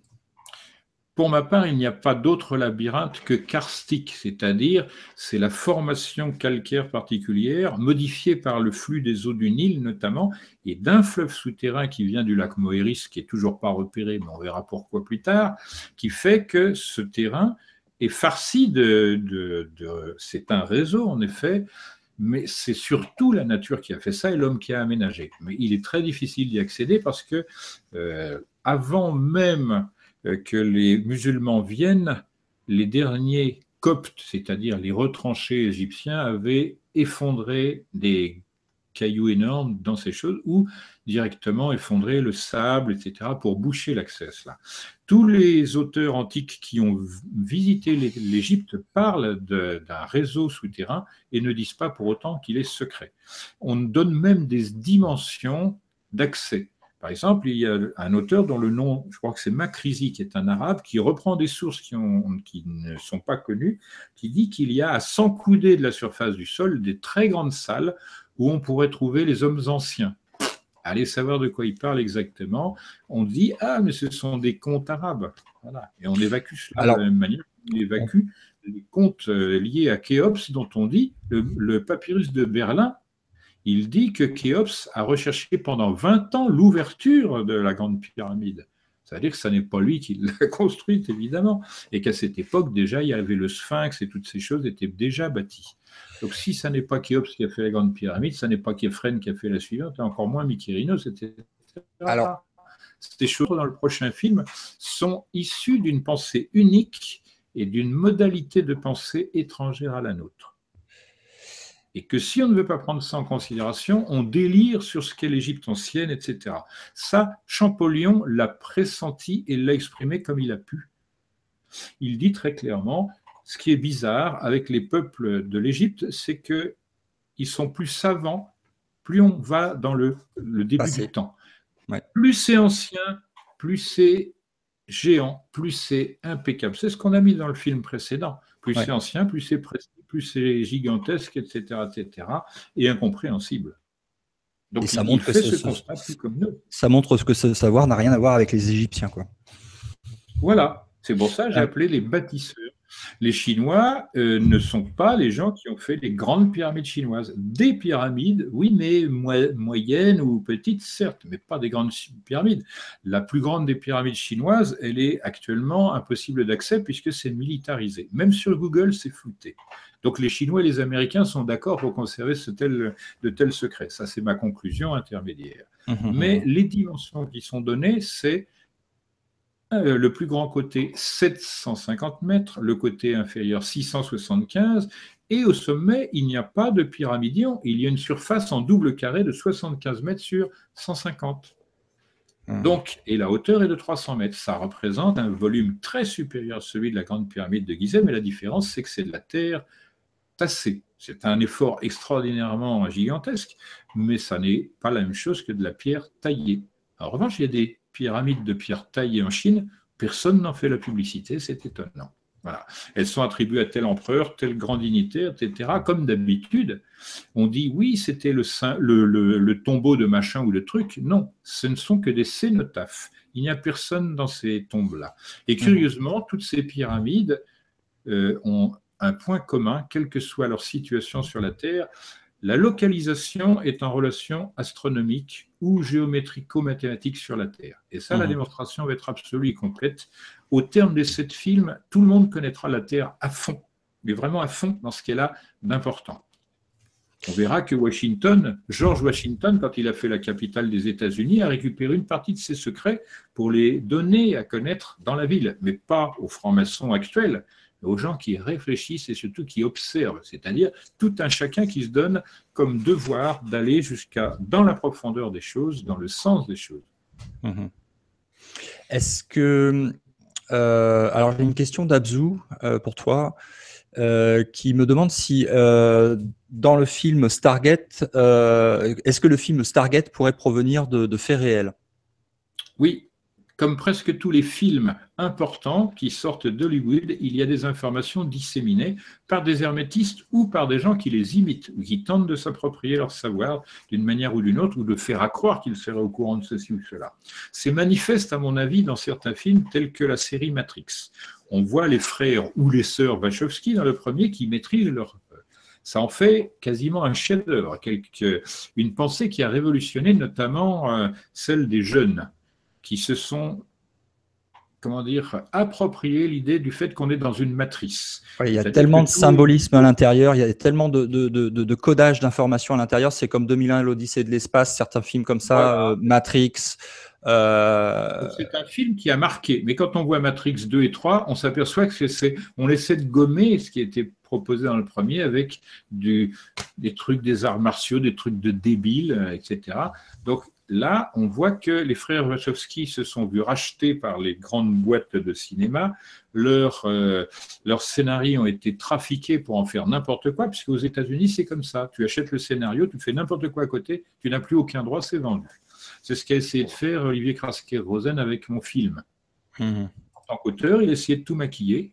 Et moi, j'ai euh, comment dire combattu la chose en mettant le deuxième film dans le premier. Et maintenant, je vais faire le mélange de ce qui manquait au premier de la révélation des pyramides et pour compléter l'équateur penché. Donc on va voir ce que ça donne, mais le départ est quand même assez délicat, difficile, puisque je me trouve grugé deux fois de suite par le même type d'individu.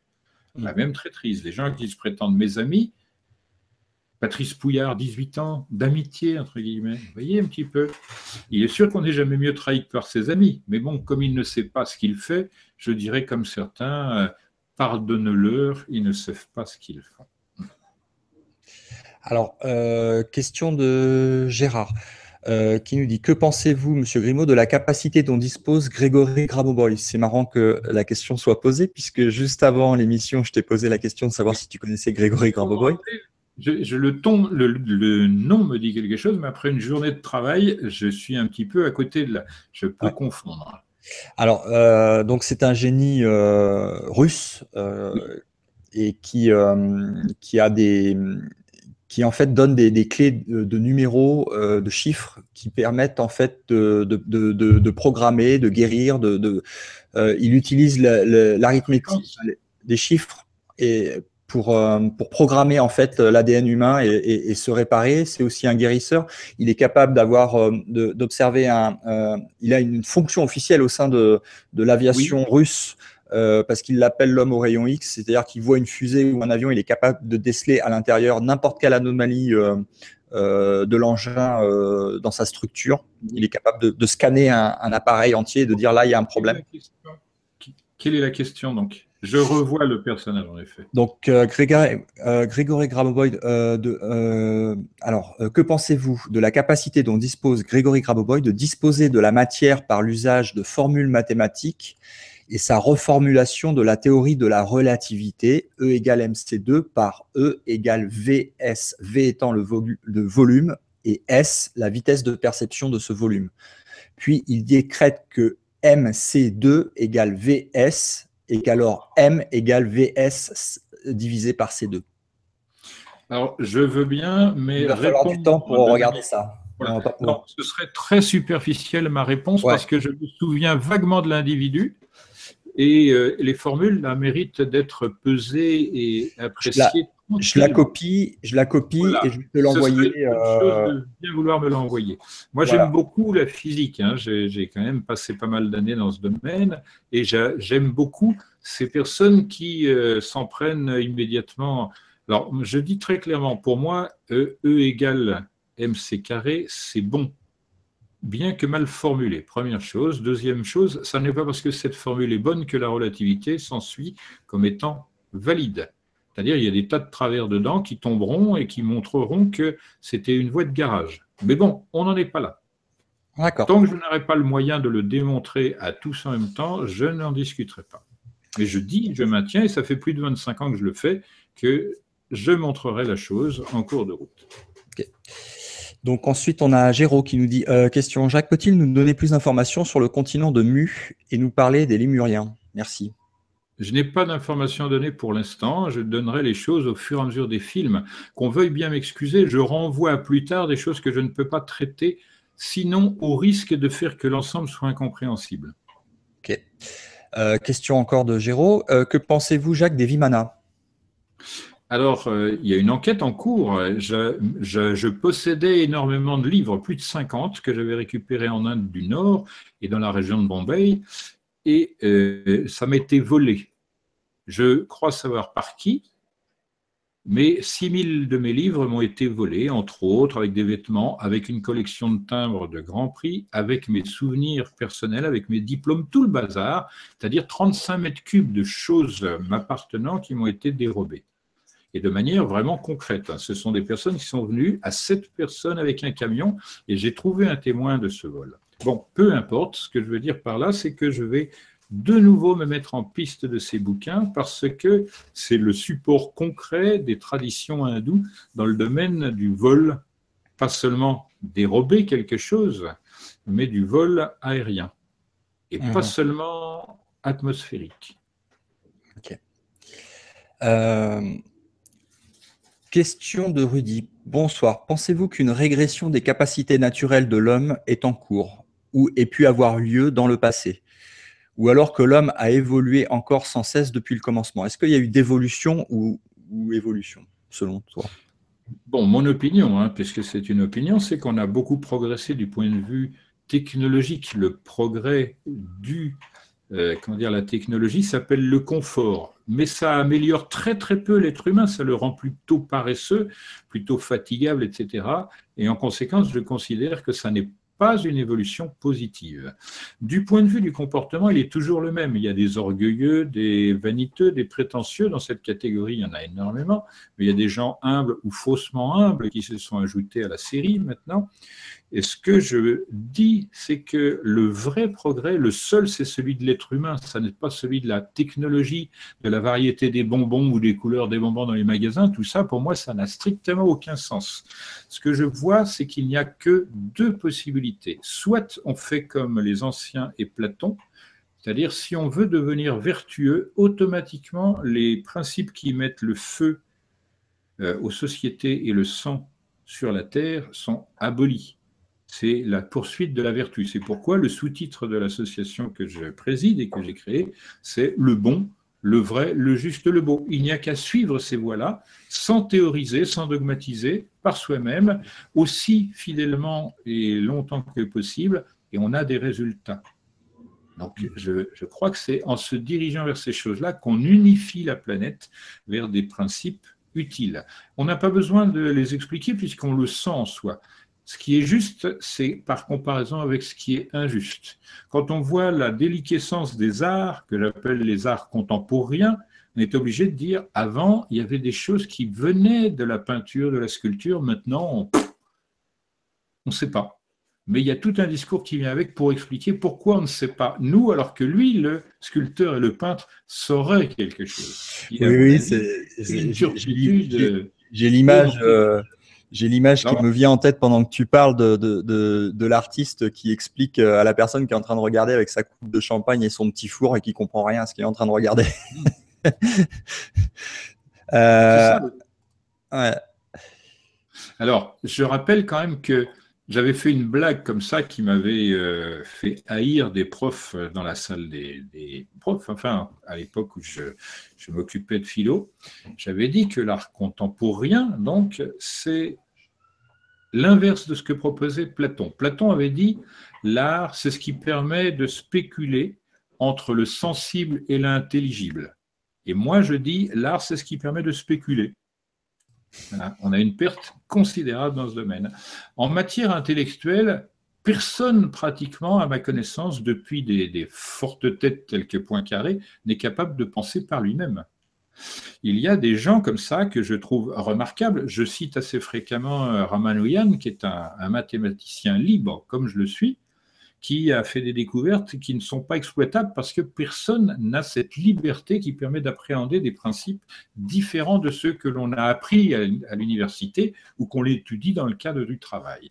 Autre mmh. perte énorme, toute la puissance humaine est plus ou moins orientée vers l'assujettissement de l'espèce humaine à des tâches purement euh, matérialistes ou à l'esprit de la guerre.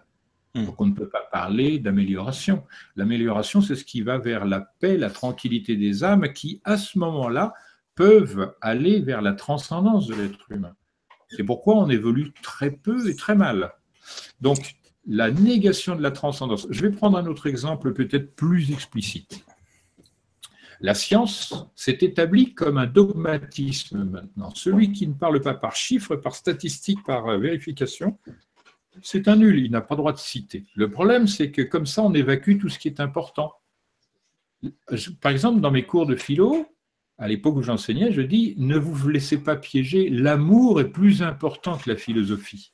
Parce que c'est ce qui modèle le monde. Si les gens ne se marient pas, il n'y a pas d'enfants. Si on n'aime pas les enfants, ils ne sont ni éduqués ni instruits. Et qu'est-ce que ça fait? Des guerres, de la souffrance, etc. Donc la philosophie, elle vient après coup quand l'individu est construit pour affiner, etc. Mais ça ne saurait se substituer à la chose que la religion dit. La religion, au moins celle des chrétiens, dit c'est l'amour qui maintient les choses. C'est ce que disait Dante. Il disait c'est l'amour qui fait que les étoiles sont à la même place les unes par rapport aux autres, etc. Ces gens-là, par exemple, le bouddhisme, c'est la même chose. Tu me pardonnes parce que. Tu sais qu'il y a des races extraterrestres, tu sais que, comment ils appellent euh, l'amour? Non. La gravité. Oui, mais grosso modo, on peut considérer cela. C'est le même nom que, qui est donné au tarot. La loi de gravitation et l'amour, c'est la même chose. C'est pour ça que c'est été écrit l'amoureux. C'est ce qui rassemble, ce qui, ce qui, ce qui... Pas nécessairement, c'est ce qui trie surtout. Parce que curieusement, la loi de, d'accouplement humain, c'est une sélection naturelle. Moi, je ne reconnais pas de loi d'évolution telle que Darwin, mais une loi de sélection naturelle, oui, 100%. C'est-à-dire, comme on s'agrège par affinité et qu'il y a trois formes d'affinité dans les relations, on ne peut qu'améliorer à chaque fois, mais très doucement, par petites touches. Ainsi, on a toutes les variétés de l'individu. Allez, changeons de question. Alors, question suivante euh, de Sébastien. Êtes-vous d'accord avec la théorie de la chambre du roi et celle de la reine, de la reine qui s'aligne vers les cieux avec 6 degrés de différence qui serait avant et après le déluge? Pour moi, tout cela, ce sont des spéculations sens, qui, dépourvues de sens. D'abord, dans ma terminologie, il n'y a pas de chambre de la reine, il n'y a pas de chambre du roi. Il y a une chambre haute et une chambre médiane. Roi et reine, c'est un concept qui est venu après, mais longtemps, longtemps après l'édification des grandes pyramides. Ouais, c'est de la manipulation pure et dure. rien à voir. Pour, mon, ma connaissance, celle dont j'ai hérité, la chambre basse est en dessous du niveau du sol, mais son plafond est bien réalisé par rapport. Voilà. Donc il y a un axe d'inversion qui est le sol. Ensuite, il y a la chambre de la reine dont le, le plafond est sous forme de chevron. Et curieusement, c'est ça qui devrait être protégé de la masse colossale parce qu'elle est dans l'axe de la grande pyramide. Mais curieusement, c'est la chambre haute qui est dotée d'une superstructure dont on dit qu'elle est là pour faire s'échapper les forces d'écrasement vers l'extérieur. Tout ça, pour moi, c'est de la foutaise entière. Toute cette partie-là, avant l'âge de 20 ans, j'avais tout nettoyé par les études en physique, les études en mécanique, en hydraulique, etc., etc. Ça ne tient pas, rien ne tient de toutes ces choses-là. Ça, c'est la vieille époque euh, et la vieille école où on raconte n'importe quoi. C'est-à-dire, euh, j'ai encore, euh, comment dire, Jean-Pierre Adam qui me soutenait il y a dix ans à peu près. Oui, euh, c'est parce que les concepteurs ne savaient pas comment ils échapperaient à l'écrasement, puisque le roi n'étant pas mort dans sa 20, les 20 premières années, il fallait continuer à construire une chambre, il fallait la rendre. Bon, tout ça, c'est du vent. Je démontrerai, et j'ai commencé à le démontrer, que rien dans la Grande Pyramide n'est dû au hasard. Absolument rien pas le moindre millimètre n'est laissé pour compte là-dedans. Et ce mmh. que je sais est très, très euh, euh, supérieur qualitativement et quantitativement à tout ce qui s'est dit et écrit jusqu'à présent. Toutes les théories qu'on trouve ici et là, je ne parlerai pas de celle de Philippe Lheureux qui devrait faire sourire. Hein. J'ai appelé ça les plus grandes toilettes euh, en bord du Nil. Qu'est-ce que, qu'est-ce que vient faire l'eau là-dedans? C'est pas parce que ça, c'est une erreur pour les pseudo-scientifiques. Ça n'est pas parce qu'une chose est cohérente qu'elle est vraie. Hmm. Ça n'est pas parce qu'une opération a un résultat juste qu'il est contingent, etc., etc. Donc la théorie euh, de la science, c'est une chose qui devrait être partagée. C'est la partie qui manque aux sciences modernes, c'est la philosophie, qui est la science de toutes les sciences parce qu'elle questionne tout, sans restriction. Elle se questionne elle-même. Le physicien ne se questionne pas en tant qu'individu participant à une, une expérience. Or, il devrait, parce qu'au terme de la physique, on va devoir s'intéresser à la conscience tôt ou tard. Ah ben ça c'est sûr. Ah oui, la chose est à, prendre avec des pincettes maintenant, mais tôt ou tard, ce sera ça la physique, pas autre chose. C'est clair.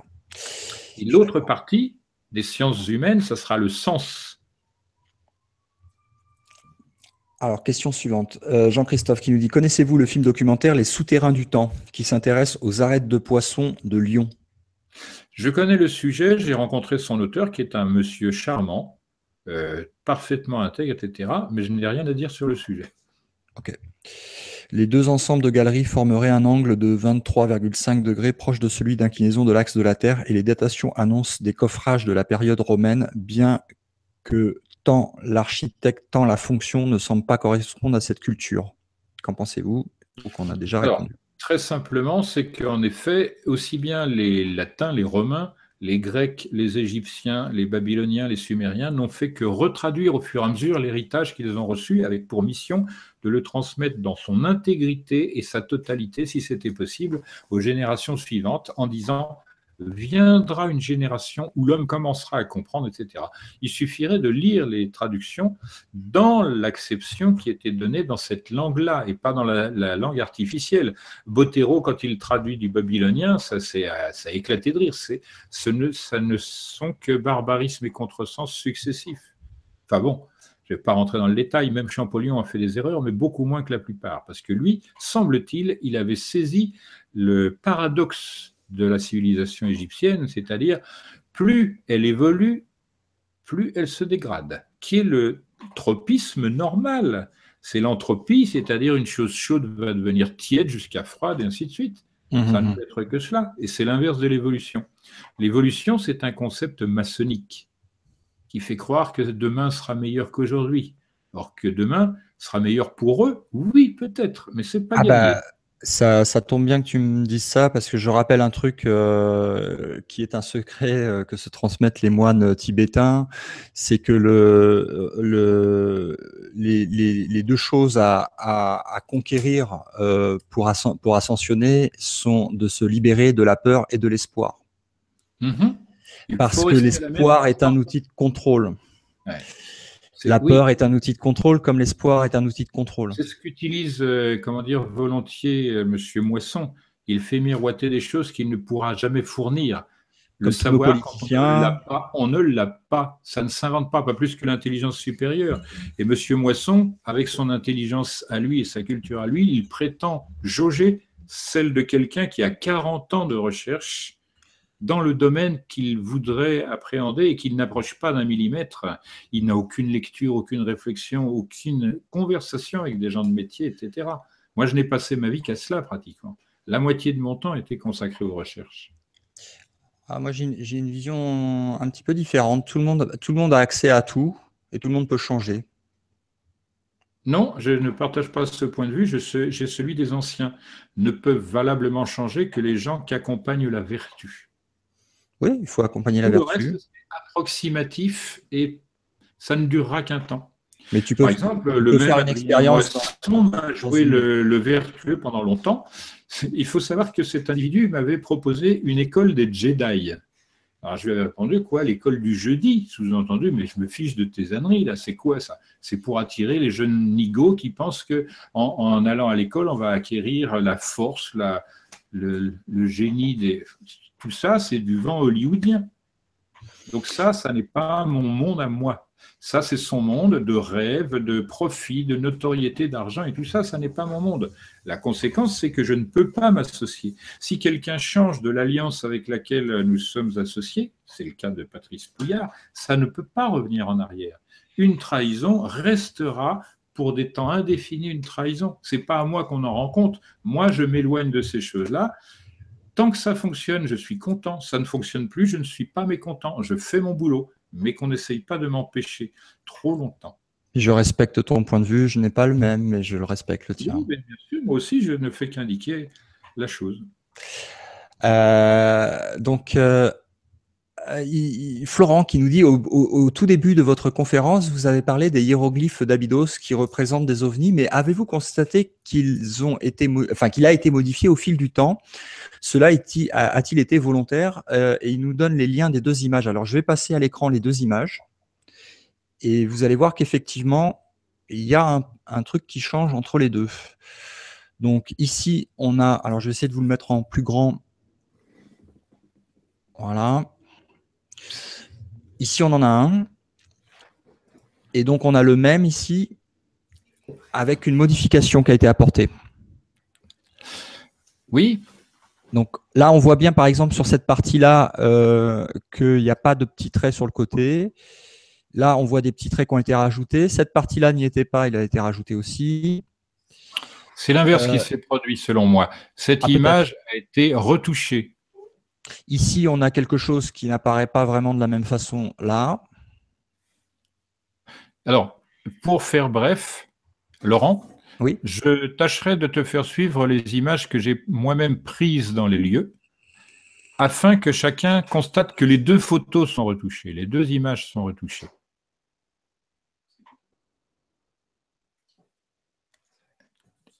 Est-ce que tu m'as entendu, Laurent? Oui, oui, pardon, j'avais coupé le micro. Donc là, là on a la retouche d'image qui serait donc, euh, une, enfin, il y aurait une retouche d'image sur les sur les deux photos. donc, on verra Je tâcherai de produire les les photos que j'ai moi-même prises et qu'a prises aussi Patrice Pouillard, euh, de sorte que chacun puisse se faire son opinion sur la vérité factuelle. Le hmm. problème d'Internet et des photos, on les retouche sans et la, la vérification doit être faite en permanence. À la vôtre. Ah, tienne. Euh, alors, question à propos du tarot. Y a-t-il une relation avec le mot hébreu euh, Yehovah? Oui, ancien, hein, pas hébreu. Oui, oui. Bah, c'est quand même de l'hébreu, mais la prononciation est presque. C'est comme euh, l'américain, c'est de l'anglais, quoi. Oui, on pourra dire cela, mais bon, oui, il y a toujours des relations entre le nom sacré. Le fait qu'il y ait quatre lettres dans le mot originel tarot, T-A-R-O, est une relation analogique avec le tétragramme. Les quatre Encore faut-il comprendre comment cela se fait.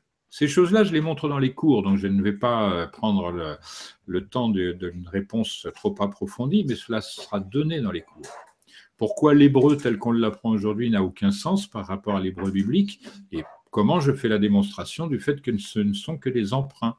Mais il ne faut pas confondre les emprunts latéraux, c'est-à-dire quand les Hébreux, entre guillemets, euh, les Judéens en réalité, prenaient dans le, la culture égyptienne ou babylonienne pour constituer ce qu'ils appelleront après, avec les Grecs, la Bible.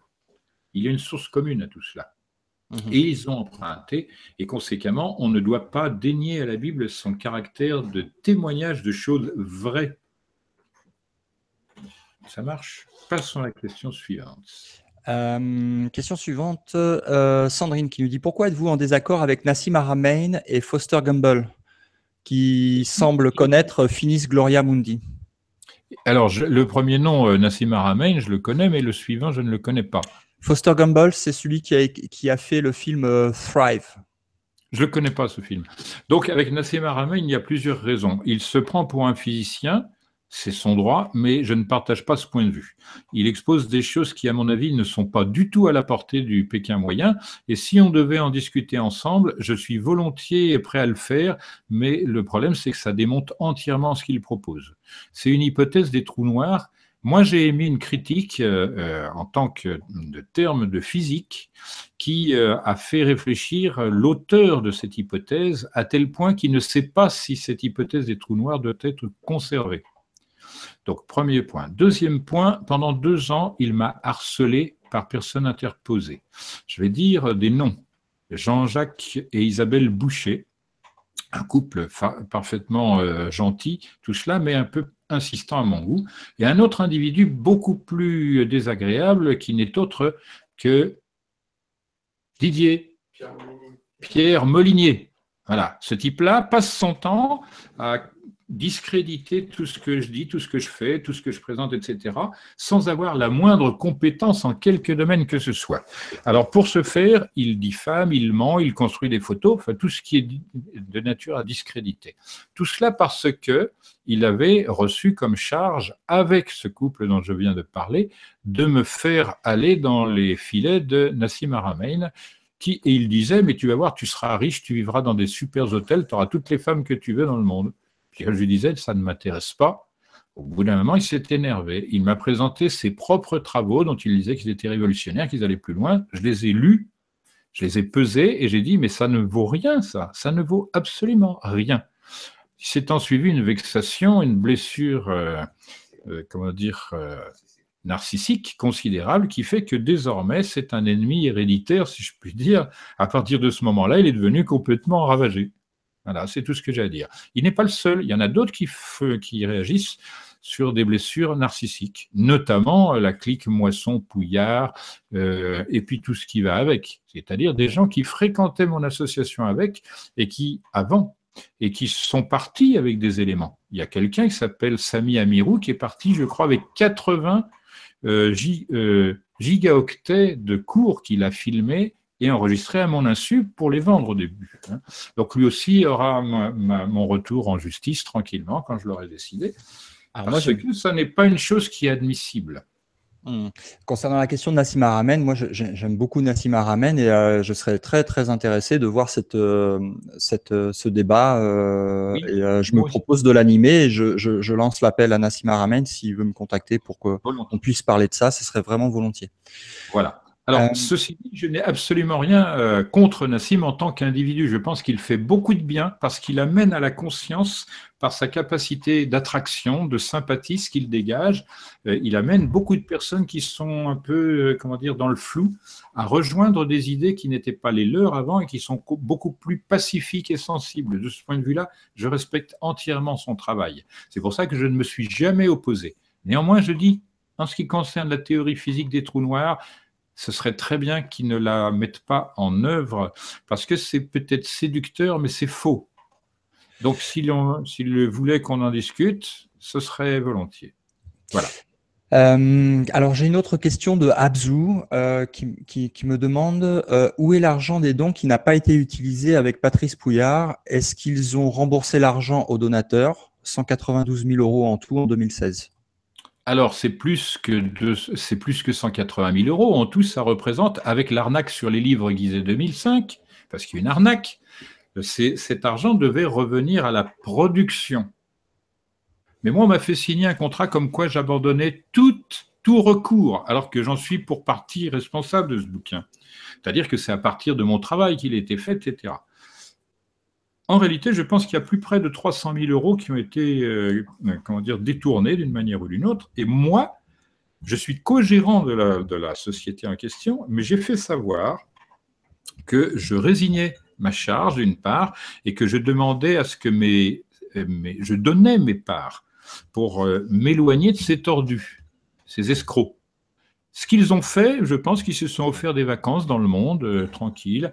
Ils se sont offerts du matériel, etc., pour faire accroire aux gens qu'ils avaient grugé qu'ils étaient en train de travailler. Ce que je constate factuellement, c'est que depuis le mois d'avril, c'est-à-dire le premier moment où on a mis en œuvre ce film à l'île de Pâques et en Bolivie, ils n'ont rien produit d'utile. Ils nous montrent des pierres, des fentes entre les pierres, des trucs. Ah oui, c'est beau, c'est lisse, c'est merveilleux, c'est incroyable, mais du point de vue de l'information, il n'y a strictement rien. Ils prétendent faire des bonnes images, mais ce sont deux personnages que je connais, et dont un que j'apprécie tout particulièrement. Et donc, c'est Raphaël, qui est un excellent technicien, doublé d'un artiste dans la prise de vue, qui est un garçon de bonne qualité. Son ami, je n'en dirais pas la même chose. Quant aux deux autres, Patrice Pouillard et euh, euh, euh, Adrien Moisson, c'est tout autre. Patrice Pouillard va signer un film qu'il n'aura pas fait. Il ne sait pas diriger les prises de vue, il ne sait pas ce qu'il y a lieu de filmer, etc. Donc il va signer quelque chose simplement parce que son nom est déjà connu par LRDP. C'est hmm. encore une substitution. Quant à Adrien Moisson, son nom est bien là pour signifier qu'il est là pour moissonner l'argent, parce qu'il n'a fait que cela. Moi, je n'ai connu de lui que cette activité de, euh, de on fauche et on récupère l'argent. Je ne sais pas ce qui est devenu cet argent puisque le clash qui est intervenu le 12 septembre, ça aurait pu être le 11, ça aurait été plus rigolo encore, eh bien, c'est à la suite de ma demande persistante d'avoir les comptes des sociétés. Il y a trois sociétés qui se font écran il y a celle de Moisson en plus. Or, l'argent passe chez Moisson, il passe après, je ne sais où. Mais ce que je sais en plus de cet Adrien Moisson, c'est qu'il fait de la cavalerie avec l'argent. Il produit le film de, de Déman, euh, Démian, enfin bon, peu importe, Démiasme même pour certains, avec de l'argent qu'il emprunte à d'autres personnes qui ne font pas partie de la société euh, euh, productrice et des choses de cet ordre. Donc, tôt ou tard, ça va lui péter à la figure. Et c'est là que j'interviendrai, moi, en justice, en rassemblant tout cela, ce qu'on appelle une partie civile. Et on va voir qui va danser après. Donc, il est prévenu, je ne vais pas le louper. Je suis désolé, mais cette émission s'appelle euh, euh, par un nom bien parti. Voilà, Stop mensonge. Et c'est ce que je veux dire, c'est que je n'ai pas contre ce, ce garçon d'animosité particulière. Ce que je souhaiterais, c'est qu'il rentre dans le rang c'est-à-dire qu'il ne cesse de flouer. Il y a d'autres exemples, puisqu'une œuvre humanitaire qui s'est développée en Amazon a été squeezée et que suite à cela, comme l'un des organisateurs est français l'a fait connaître à Adrien Moisson, qui fait partie des choses douteuses, la réponse d'Adrien Moisson, ce sont des menaces de mort. Donc s'il veut que je produise et que je fasse produire directement ces témoignages en justice, qu'il le fasse qui joue au pantin, tôt ou tard, ça va le rattraper. Pour l'instant, il a la liberté de faire encore un film et de rattraper ses boulettes avec l'argent qui a été détourné, la substitution qui a été opérée à partir de mon travail. Dans LRDP1, il y a tout un arsenal de choses très importantes pour le genre humain, et ça a été squeezé. On dit, mais non, mais ce type-là, il ne sait pas ce qu'il dit, c'est un charlatan. Ça, ça n'a pas lieu d'être. Les charlatans, mmh. ce sont Patrice Pouillard et Adrien Moisson, ainsi que leurs amis. Donc, je rappelle simplement que l'auteur a des droits supérieurs au réalisateur dans une œuvre. Euh, euh, Patrice Pouillard, pour un peintre, c'est le pinceau, la peinture, c'est tout. Nous sommes d'accord?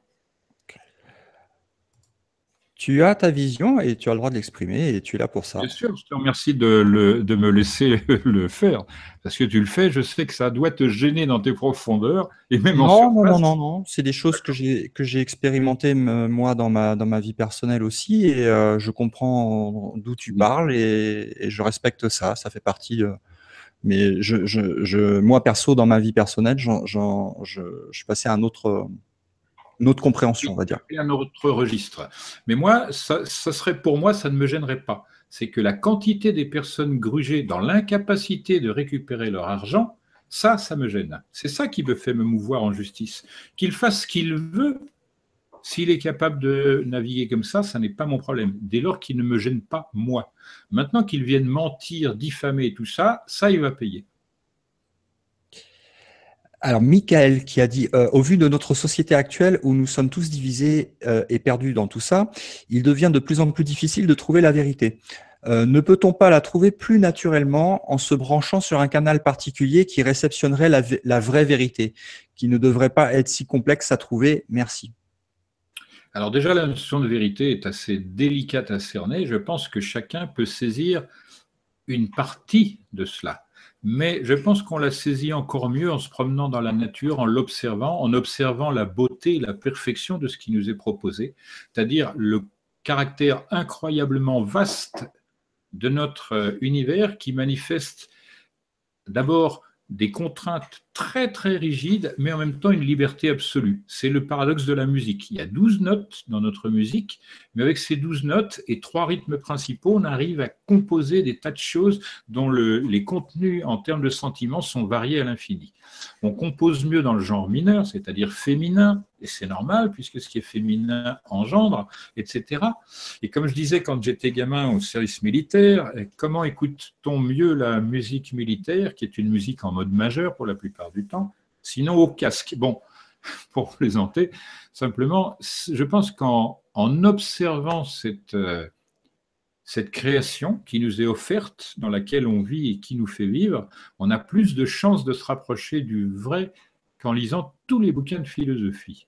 Parce qu'il faut aimer ce que l'on observe et on l'aime parce qu'on le connaît ensemble. Ça, ça fait disparaître la peur, l'espoir et toutes ces choses-là, parce qu'on s'aperçoit qu'on n'est rien et tout en même temps, mais qu'on ne peut pas choisir parce qu'on n'est rien et que tout reste à choisir. Mais on est dedans, c'est déjà énorme. pour moi, la philosophie de base, c'est d'avoir un bon lit et des bonnes godasses, parce que la plupart du temps, quand on n'était pas dans son lit, on est dans ses chaussures, premièrement, et deuxièmement, se satisfaire de ce que l'on a. Tout à l'heure, on avait dit ce que l'on possède, et je ne suis pas sûr qu'on possède quoi que ce soit, même notre existence, elle est transitoire. Autant en faire un chemin de fleurs et de parfums qu'un chemin de, cailloux et de précipices. Voilà. Je ne t'entends pas. Excuse-moi, j'avais coupé le micro. Voilà, c'est ça. Euh, pour répondre à la question aussi, j'aimerais bien rajouter un petit truc dedans, c'est qu'il euh, y a une très très bonne indication qui a été donnée par euh, par Tot euh, dans, dans la table d'émeraude. C'est tout ce qui est en haut est en bas, et ça c'est vérifié. Ah non, tout ce qui est en haut est comme ce qui est en bas. et comme ce qui est en bas, et, et, et, que inversement proportionnel. Voilà. Et donc on peut on peut comprendre en fait tout le fonctionnement de, du macrocosme au microcosme en observant simplement la nature et à son échelle, parce que tout est tout est en fractal et se répète. Et, euh, Selon qu'on est éloigné ou proche, on verra différemment. Mais le principe qui domine là-dedans, c'est l'analogie, qui est un art délicat, mais qui est très puissante lorsqu'elle est comprise. C'est la langue des anciens qui fonctionne comme ça, notamment. Donc c'est une bonne remarque. Mais quelle était la question?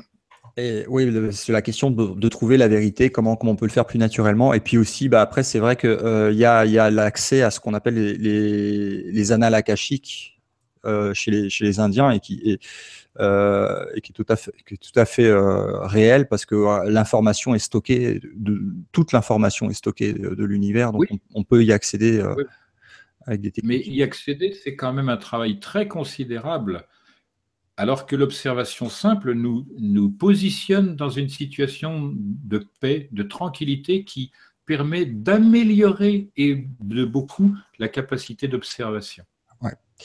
Euh, j'ai une question de Michel qui nous dit euh, Irez-vous au bout du processus de création du film, même sans atteindre le financement espéré?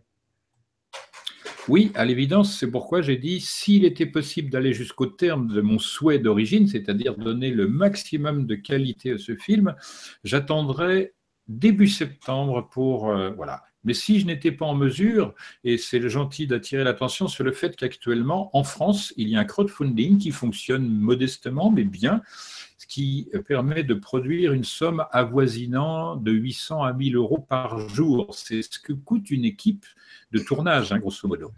Donc, ce qu'il faut savoir, c'est qu'actuellement, notre équipe, elle est toute petite, mais elle est faite, elle est composée de gens de très bonne qualité et de très bonnes compétences mais qu'il euh, est anormal, selon mon point de vue, que ces personnes travaillent à titre gracieux et associatif. Ce sont ces personnes qui vont faire ce film et moi seul qui vais signer. Évidemment, tout le monde sera au générique, toutes les personnes qui ont contribué directement ou indirectement. Mais l'argent, c'est le nerf de la guerre. Et j'ai expliqué dans ce crowdfunding que le problème qui se pose, c'est que lorsqu'on a payé le matériel de prise de vue, on peut tous se débrouiller. C'est-à-dire, on a des amis à tel endroit, qui peuvent faire ceci et cela, ou on y va nous-mêmes, on se fait un casse-croûte avec rien, etc. Mais en matière de post-production, on est obligé de payer les autres parce qu'on n'est pas compétent dans des domaines de haute technologie. Donc on va devoir, pour terminer ce film, pouvoir euh, euh, disposer. Ma demande au début, avant le crowdfunding, on en a discuté ensemble, c'était 175 000 euros, qui est le budget d'un film au total. Et on a commencé ce film en réunissant nos euh, moyens, qui sont assez maigres. On dispose de 15 fois moins de moyens que l'équipe Moisson-Pouillard, qui ont détourné l'argent qui a été gagné en quelque sorte sur ma notoriété, sur mon nom, qui était une garantie morale aussi. Hein. B, mais avec cet argent, on est capable de faire un film de très haute qualité. Simplement, là où ça va buter, c'est qu'on n'aura pas l'argent pour payer la post-production. Mhm. Donc, euh, si ça devait bloquer, eh bien, on, on prendrait un petit standard. Mais l'objectif, c'est de faire que ce film soit accessible au maximum. Alors, l'intérêt d'un crowdfunding, c'est s'il nous rapportait pour ce film, il nous rapporterait pour les suivants, pour la raison qu'on pourrait capitaliser et investir dans le film suivant. Hmm.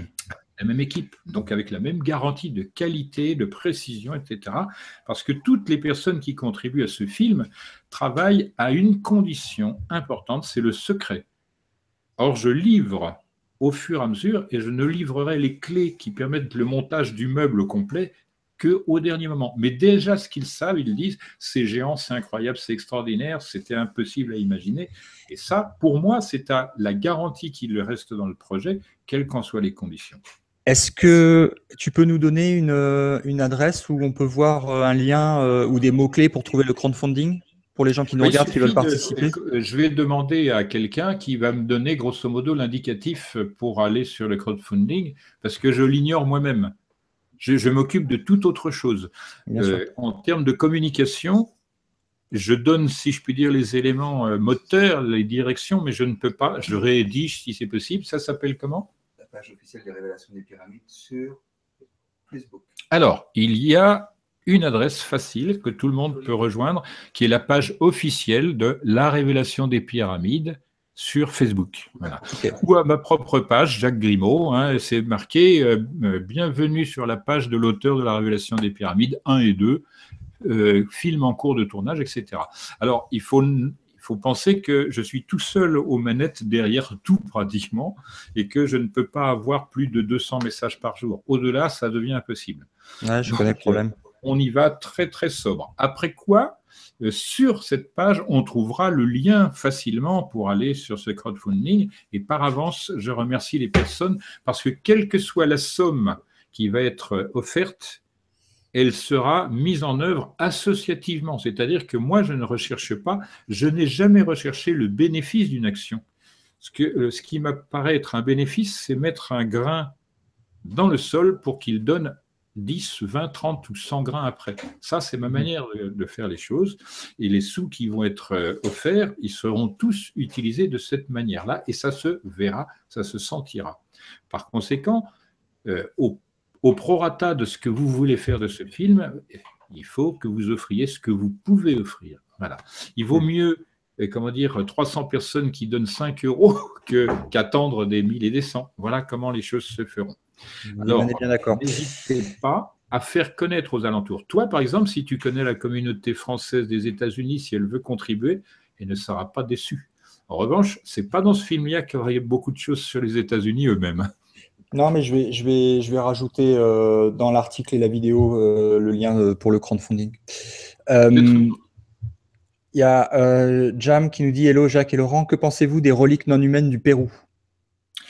Très intéressant sujet que j'aborde dans le film suivant. Il veut parler du musée anthropologique de Paracas, sur la côte ouest du Pérou, à proximité d'une zone riche, parce que c'est celle que traverse en premier l'équateur penché.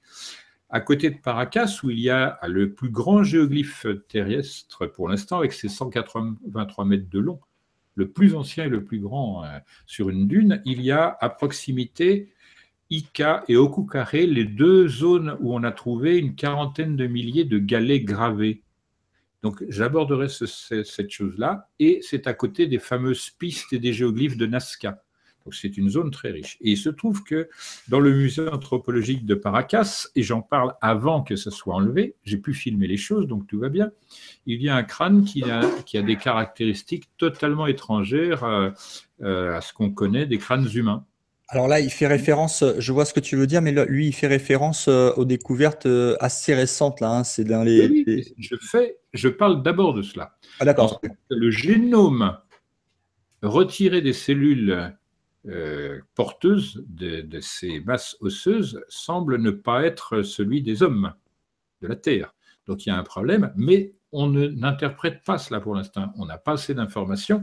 Néanmoins, ça vaut la peine d'être montré. Parce que s'il n'y avait que cet exemple, on pourrait dire, oh oui, peut-être, mais ceci et cela. Mais il y a des éléments qui viennent en appui ou en contradiction, c'est-à-dire que dans le sud-est asiatique, l'extrême orient, donc, on a trouvé des squelettes d'individus d'apparence humaine, mais d'environ 1,20 m à 1,30 m de hauteur, dont les caractéristiques osseuses sont elles aussi différente de l'humain ordinaire contemporain. Donc, interpréter, ce sera plus délicat. Dire d'emblée ce sont des extraterrestres, ça me paraît imprudent. Voilà ce que je voulais dire. Je ne t'entends pas. Oui, je, vais couper le micro. Euh, là, on a posté récemment un article sur de nouvelles découvertes qui ont été faites euh, dans les mois derniers de, corps euh, non humains avec trois doigts, des implants métalliques. il y a des, des, centaines de corps qui ont été retrouvés. C'est dans une cavité sous terre. Il y a un archéologue français que j'ai, que j'ai, avec qui j'ai fait un interview qui, sur lequel on a montré des images, etc. Il y a des artefacts qui ont été retrouvés, dont de la technologie. Euh, des métaux à mémoire de forme que tu peux plier, etc., qui reprennent leur forme, etc.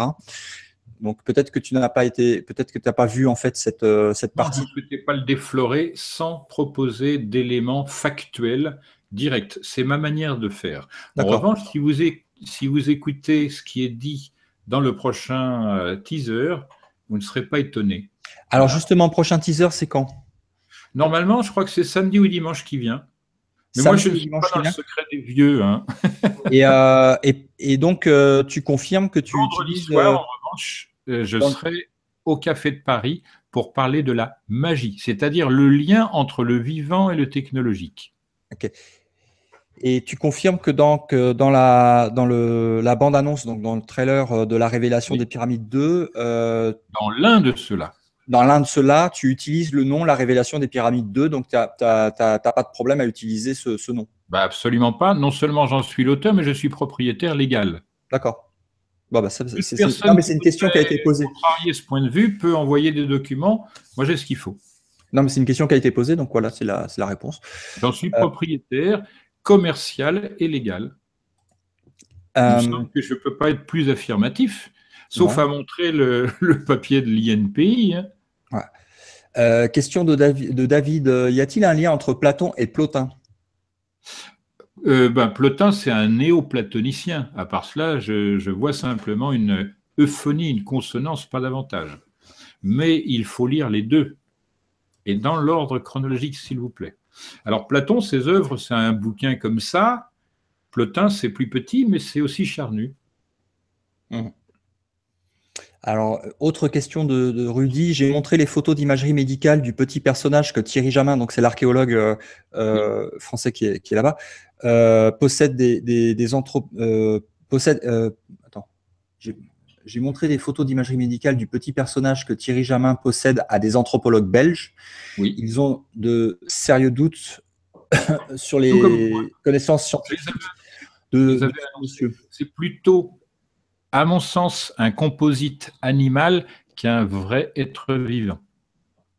Alors moi, la, question me fait rire euh, parce que euh, euh, Thierry Jamin n'a pas la prétention d'avoir des connaissances scientifiques dans le domaine de l'anthropologie ou, de la génétique ou autre. et c'est d'ailleurs la raison pour laquelle il s'entoure d'anthropologues et de, généticiens et de médecins et qui montre en fait ses trouvailles à eux pour leur demander l'analyse. En mm-hmm. aucun cas, moi, je l'ai je, vu prétendre être euh, un scientifique. Euh, donc, je ne comprends même pas la question et, alors surtout pas la réaction de ces anthropologues belges qui, qui apparemment ricanent. je ne comprends pas leurs leur questions et leurs réactions. Enfin, moi, ça, ça, me dépasse. Bah, apparemment, eux, de leur point de vue de scientifique et professionnel, ils pensent qu'on essaie de leur faire croire à eux qu'il s'agirait d'un extraterrestre ou d'une espèce différente. Et de ce fait-là, ça les fait ricaner parce que ça n'est pas vrai. Mais euh, en aucun cas que je sache, Thierry Jamin n'a prétendu cela. Donc en effet, il n'y a pas lieu d'en rire.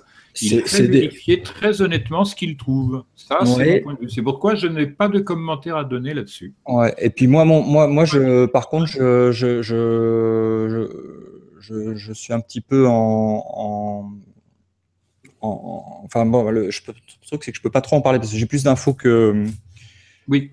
Que, mais pour l'instant c'est pas le moment. Donc on, va laisser ça de côté. Euh, Sim, euh, plusieurs sites archéologiques ont des pierres qui s'imbriquent parfaitement, qui ont euh, été découverts partout dans le monde, mais comment ont-ils fait pour les assembler de cette façon? Alors j'ai des opinions et des démonstrations proposées dans les prochains films, tranquillement.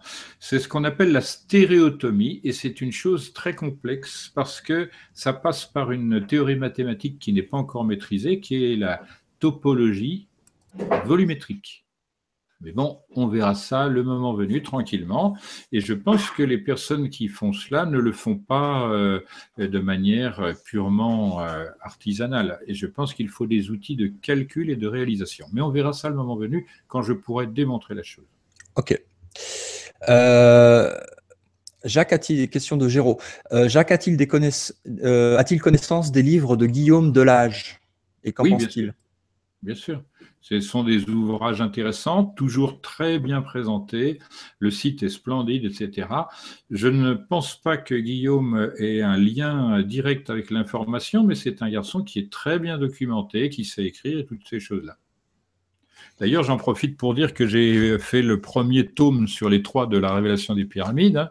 Pour les personnes qui ne seraient pas au courant, ça, cette tête-là, c'est accessible aux éditions de la Nouvelle Atlantide, l'association culturelle que, j'ai créée et, dirige en tant que président. Donc, euh, si ça les intéressait, c'est un complément, mais beaucoup plus, euh, euh, comment pragmatique. Je ne théorise pas, je me borne à montrer les choses, à faire des remarques, à réunir les textes.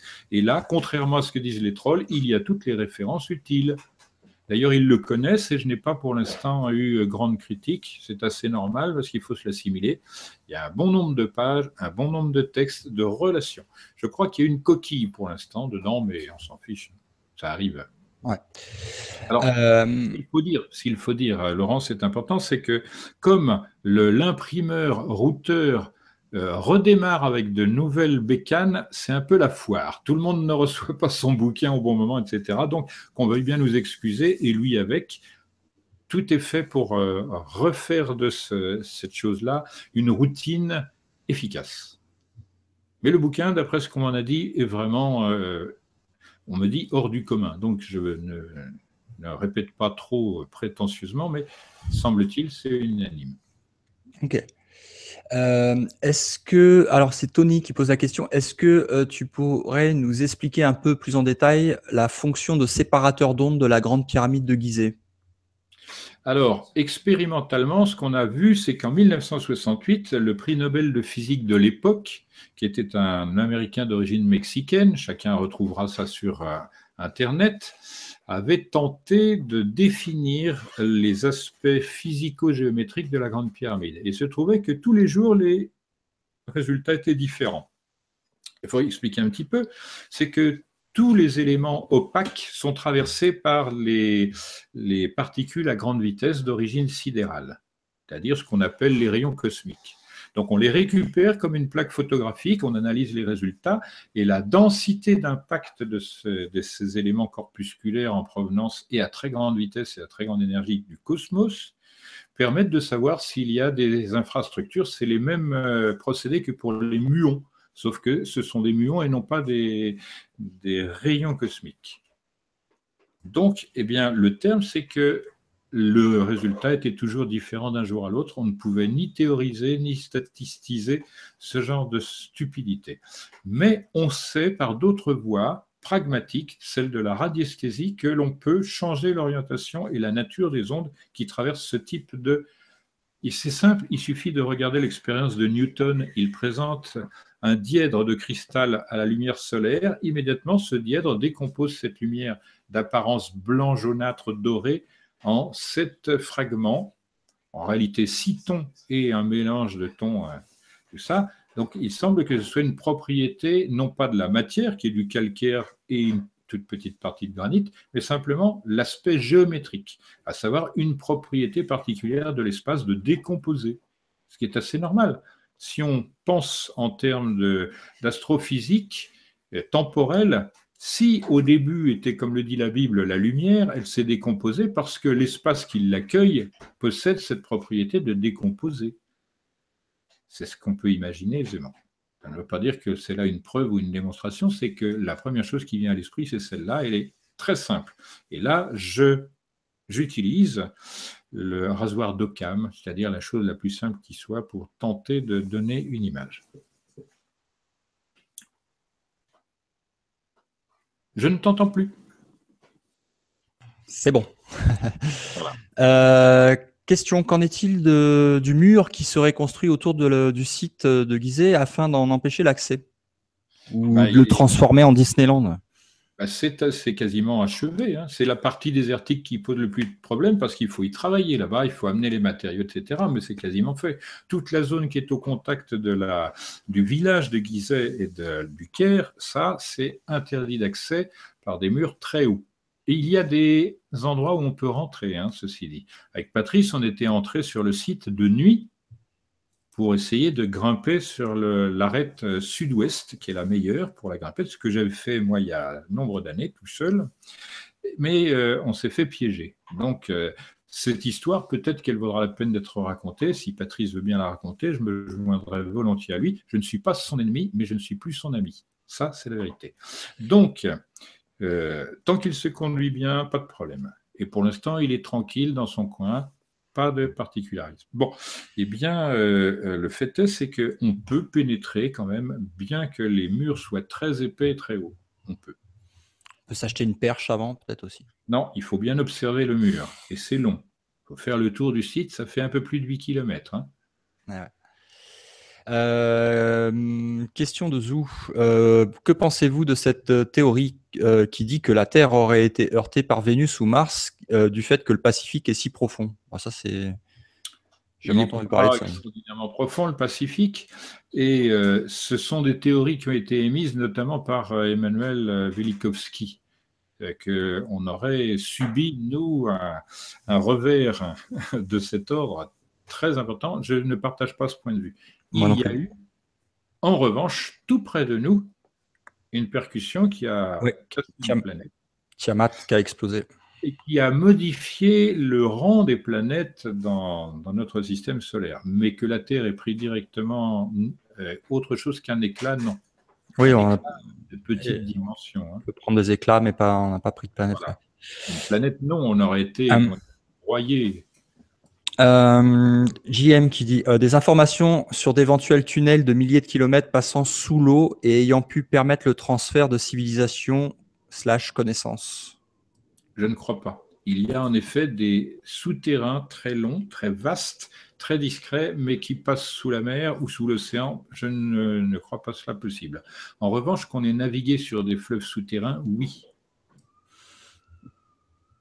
Question de euh, Michel, euh, Michael. Pardon. Euh, que pensez-vous des livres de Arnaud Tully ou de son travail en ésotérie? Je ne connais pas ni ces livres ni la personne. D'accord. Michel. que j'ai une ignorance encyclopédique. C'est-à-dire je ne suis pas en phase avec tous ces bouquins, comme je l'ai dit au début. Ok. Question. Il montre que je ne m'enrichis pas du travail d'autrui, je ne copie pas en réalité. Euh, question de Michel. Euh, le cycle de précession des équinoxes s'étant déroulé plusieurs fois dans l'histoire de la Terre, est-il arrivé que les peuples vivants sur Terre n'y aient pas survécu? Donc c'est une question, c'est assez euh, curieux comme formulation, mais je crois pouvoir euh, répondre parce qu'il me semble que je comprends ce que ce qui est dit, c'est que le cycle de précession semble, selon ce qui est dit dans l'RDP, être euh, ponctué par de gros cataclysmes. Ça, je pense que c'est parfaitement vrai, et non seulement vrai, mais démontrable, et ça se sera démontré. En revanche, je crois que aucun euh, comment dire, euh, aucune humanité ne, sombre définitivement. C'est-à-dire qu'il y a toujours des individus qui parviennent à en sortir. Non seulement les légendes de la transmission euh, orale en fait état, mais ça se constaterait, si je puis dire, sur des exemplaires. Donc, il est possible que ces exemplaires soient ceux dont on a discuté, c'est-à-dire on les trouve dans des, dans des cavités, c'est l'ancienne humanité, etc. Encore faut-il pouvoir le démontrer, ça n'est pas simple. Donc, je hmm. pense qu'aucune humanité ne périt absolument ou complètement, elle se prolonge l'une dans l'autre, et pendant que l'une croît, l'autre décroît et disparaît. C'est affaire de proportion.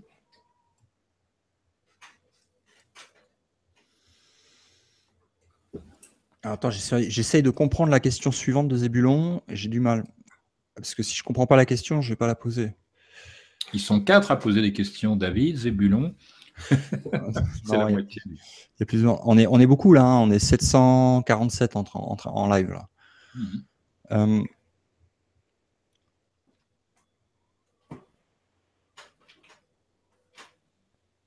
écoute, je comprends pas la question. Je prends une autre question.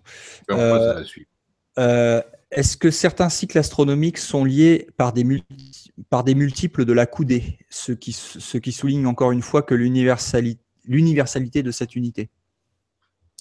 Alors, nécessairement, tout ce qui est courbe en relation avec ce qui est droit est lié par la coudée. Donc, on ne peut pas en tirer de, particularisme. C'est-à-dire que si l'on entreprend de faire euh, des calculs, je le montrerai dans le prochain film, tout est lisible. Par exemple, le géoglyphe de Paracas, le Pérou de l'ouest est très éloigné de l'Égypte, du nord notamment. Eh bien, on trouve que les calculs se résolvent aussi bien en mètres qu'en coudées. C'est quand même très curieux. Est-ce que ce seraient des Égyptiens qui seraient venus au Pérou, qui auraient fait des pyramides, qui auraient enterré pareillement leurs morts sous forme de momies, qui auraient laissé une écriture relativement idéographique, etc. Ça, c'est la question. Moi, je prétends que ce ne sont pas des Égyptiens, mais ceux qui sont passés avant. L'intérêt, c'est que dans la région désertique du Pérou, on trouve les mêmes caractéristiques que dans la région désertique de l'Égypte. Mhm. Euh, ensuite, euh, est-ce que M. Grimaud pourrait nous expliquer un peu plus de détails dans la fonction de ah non mais ça on l'a vu euh, la fonction de séparateur d'ondes ça non je l'ai déjà vu. Question de Michel. Est-ce que tous les zététiciens ont des buts antinaturels et nocifs envers la société? Faut-il les combattre? Les zététiciens? D'abord, il y a un abus de langage. La zététique, c'est la recherche de la vérité par tout moyen, et ça n'est pas le dénigrement de ceux qui sont euh, euh, en train de chercher la vérité etc. Ça n'a rien à voir. En réalité, les zététiciens, c'est le nom que se donnent des dogmatiques idéologues qui prétendent que la science se réduit à ce qu'ils en imaginent eux. Ils ne veulent pas voir la partie d'ombre de la science, celle qui les meut eux-mêmes. Et les zététiciens, le problème, c'est qu'ils se positionnent très mal philosophiquement. Là où ils devraient se positionner, c'est contre la guerre, contre les abus des vaccins et tout ça, ils ne le font pas. Donc leur position est à craindre. C'est pour ça qu'il ne faut pas les combattre, il faut les supporter, mais pas tenir compte de leurs remarques. Là où ils pourraient être efficaces, c'est en tant que critique vraie, de la science vraie mais ils n'ont aucune idée de ce qu'est la science vraie. Ils confondent la technologie et la science, et la philosophie de la science leur est étrangère. Tout cela, ça vient contre le positionnement des zététiciens. Alors, je sais que la plupart des trolls sont payés organiquement par une entité qui vit à, à Sophia Antipolis, près de Nice, qui est une université, dans laquelle il y aurait un laboratoire de zététique qui délivrerait des doctorats de zététique. Mais là, c'est un délire. On perd de l'argent pour des, des trucs débiles. C'est en quelque sorte une antenne de l'Union rationaliste et guerre plus. Et pourquoi hmm. il faut se défier, non pas de leur euh, manière de travailler, mais de leur positionnement, qui est pernicieux. La science, c'est autre chose que ce qu'ils imaginent. Pour eux, l'homme n'entre pas dans la science parce que l'expérience ne permet pas de reproduire sur l'homme de manière systématique. Mais qu'est-ce qu'on en a affiché On apprend toujours des erreurs des autres. Et ils ne le font pas non plus. D'ailleurs, je renvoie à un article sur ce sujet-là euh, qui a été publié aujourd'hui, pour ceux qui l'ont pas lu, à, au journal Le Monde, euh, au service des pouvoirs obscurs, qui ont créé un, outil euh, de, discréditation des chercheurs de vérité qui s'appelle les décodeurs et qui est, et qui est managé derrière par Samuel Laurent. Stupidité de cet ordre. Voilà. Donc euh, c'est une attaque, euh, c'est une attaque euh, très forte sur les chercheurs de vérité et surtout depuis l'élection de Donald Trump, ils ont ils ont ils ont doublé d'efforts pour essayer de discréditer tous les sites qui font de la recherche de vérité. Jean qui nous dit Howard Cross. Howard ferait-il ferait-il finalement partie du deuxième opus? Ben, je le lui ai proposé, mais pour l'instant, il euh, se tient à distance égale de l'équipe euh, euh, Moisson-Pouillard et de moi parce qu'il a eu à, cuire littéralement de ces relations-là. Mais j'observe qu'il n'a pas émis d'interdit quant à l'utilisation que j'ai faite dans le précédent teaser de son témoignage qui avait été fait avant le clash et pour lequel il m'avait donné une autorisation. Donc, a priori, moi, ce que je sais de Howard, c'est un homme d'excellente compagnie, adorable, etc. Un très, très bon chercheur, l'un des rares que je considère comme un chercheur. Ça n'a rien à voir, Howard, avec le reste. C'est quelqu'un qui est très largement au-dessus du panier. Et la différence qualitative, si je puis dire, entre nous, c'est que lui n'a pas abordé les problèmes de la planète, mais seulement à travers Karnak. Il a étendu ces choses. Donc, il a travaillé comme Aristote, alors que moi, je travaillais comme Platon, si je puis dire. C'est pourtant la qualité de son travail, on n'en trouve pas ailleurs. Mm. Soyons clairs, pour moi, hein, c'est mon opinion, et j'aimerais bien que, euh, sans qu'il n'ait besoin de m'appuyer, qu'il m'autorise à faire connaître son travail. Mm-hmm. De ce fait-là, il serait connu honorablement lui, et il laisserait une trace qui est très importante. Ça n'est pas parce que son travail corrobore le mien, c'est qu'il est parvenu à des voies semblables par des moyens différents. Mhm. Voilà. Lui, il a procédé à une analyse très très précise. Ceci dit, cette analyse, je l'avais faite euh, il y a plus de 35 ans maintenant avec les mêmes résultats et des résultats un peu différents parce que je connaissais déjà à cette époque-là la langue des anciens. Conséquemment, mhm. j'ai, par exemple, il a, il a, donné un petit livret très bien euh, fait, assez complet, sur le disque de Nebra, que sont allés filmer Patrice Pouillard et, Adrien Moisson sans en retirer absolument rien. Je fais remarquer que Nebra, c'est de l'égyptien. Neb, c'est le couffin dans lequel on porte les enfants, et Ra, c'est le soleil. Or, c'est la première représentation, ce disque, en métal qui plus est, de le, de, du ciel astronomique et non pas un ciel stylisé, etc. Qui plus est, et ça je pense que vous allez l'apprécier particulièrement, c'est que le périmètre de cet objet de bronze et d'or, avec un peu d'argent dedans, fait un mètre tout rond, comme un 33 tours micro-sillon, paf. Mais ce que j'ai à dire, c'est que le mètre, on le retrouve aussi à Pumapunku, où on soit allé... Euh, comment dire, l'équipe Pouillard pour ne rien en faire. Ils vont galvauder les choses. Là, ils vont avoir un gros problème. D'abord parce que je vais m'y opposer légalement, parce qu'ils n'ont strictement aucun droit sur des images qui ont été tournées dans le cadre de, du film dont je suis l'auteur. J'avais un contrat en cours tacite qui n'a pas déjà été respecté, etc. Donc c'est du vol. Et d'autre part, comme ils franchissent les cordes euh, qui empêche les gens euh, qui visitent d'aller directement toucher les trucs, ça pose un problème. Dans ce cadre-là, ils, euh, ils, vont coincer, si je puis dire, quelqu'un qui n'a pas besoin de cela, c'est Éric Gontier. C'est-à-dire, Éric Gontier, il est allé toucher les pierres avec les interdits. Non seulement il y a cela, mais ils n'ont pas fourni les images qu'ils devaient fournir aussi bien au ministère de la Culture de Bolivie que de l'île de Pâques, Rapa Nui. Donc leur, situation est plutôt ambiguë dans ce domaine. Pour l'instant, je n'ai rien fait, mais il ne faudrait pas que je sois amené à devoir le faire parce que les ennuis seraient les leurs, pas les miens. Donc j'ai pris des dispositions, j'ai fait des dépôts, tranquille, si je les fais fonctionner, c'est cuit.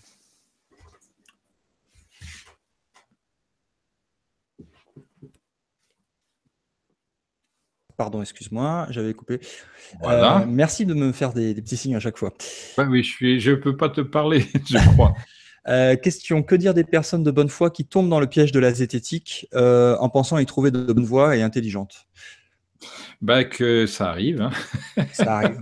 à suivre les aveugles euh, et tamborgne soi-même, on n'aura pas de résultat de cet ordre. Ça ne veut pas dire qu'il ne faut pas suivre la zététique. Ce qu'il ne faut pas, c'est avaliser leur prétendue philosophie.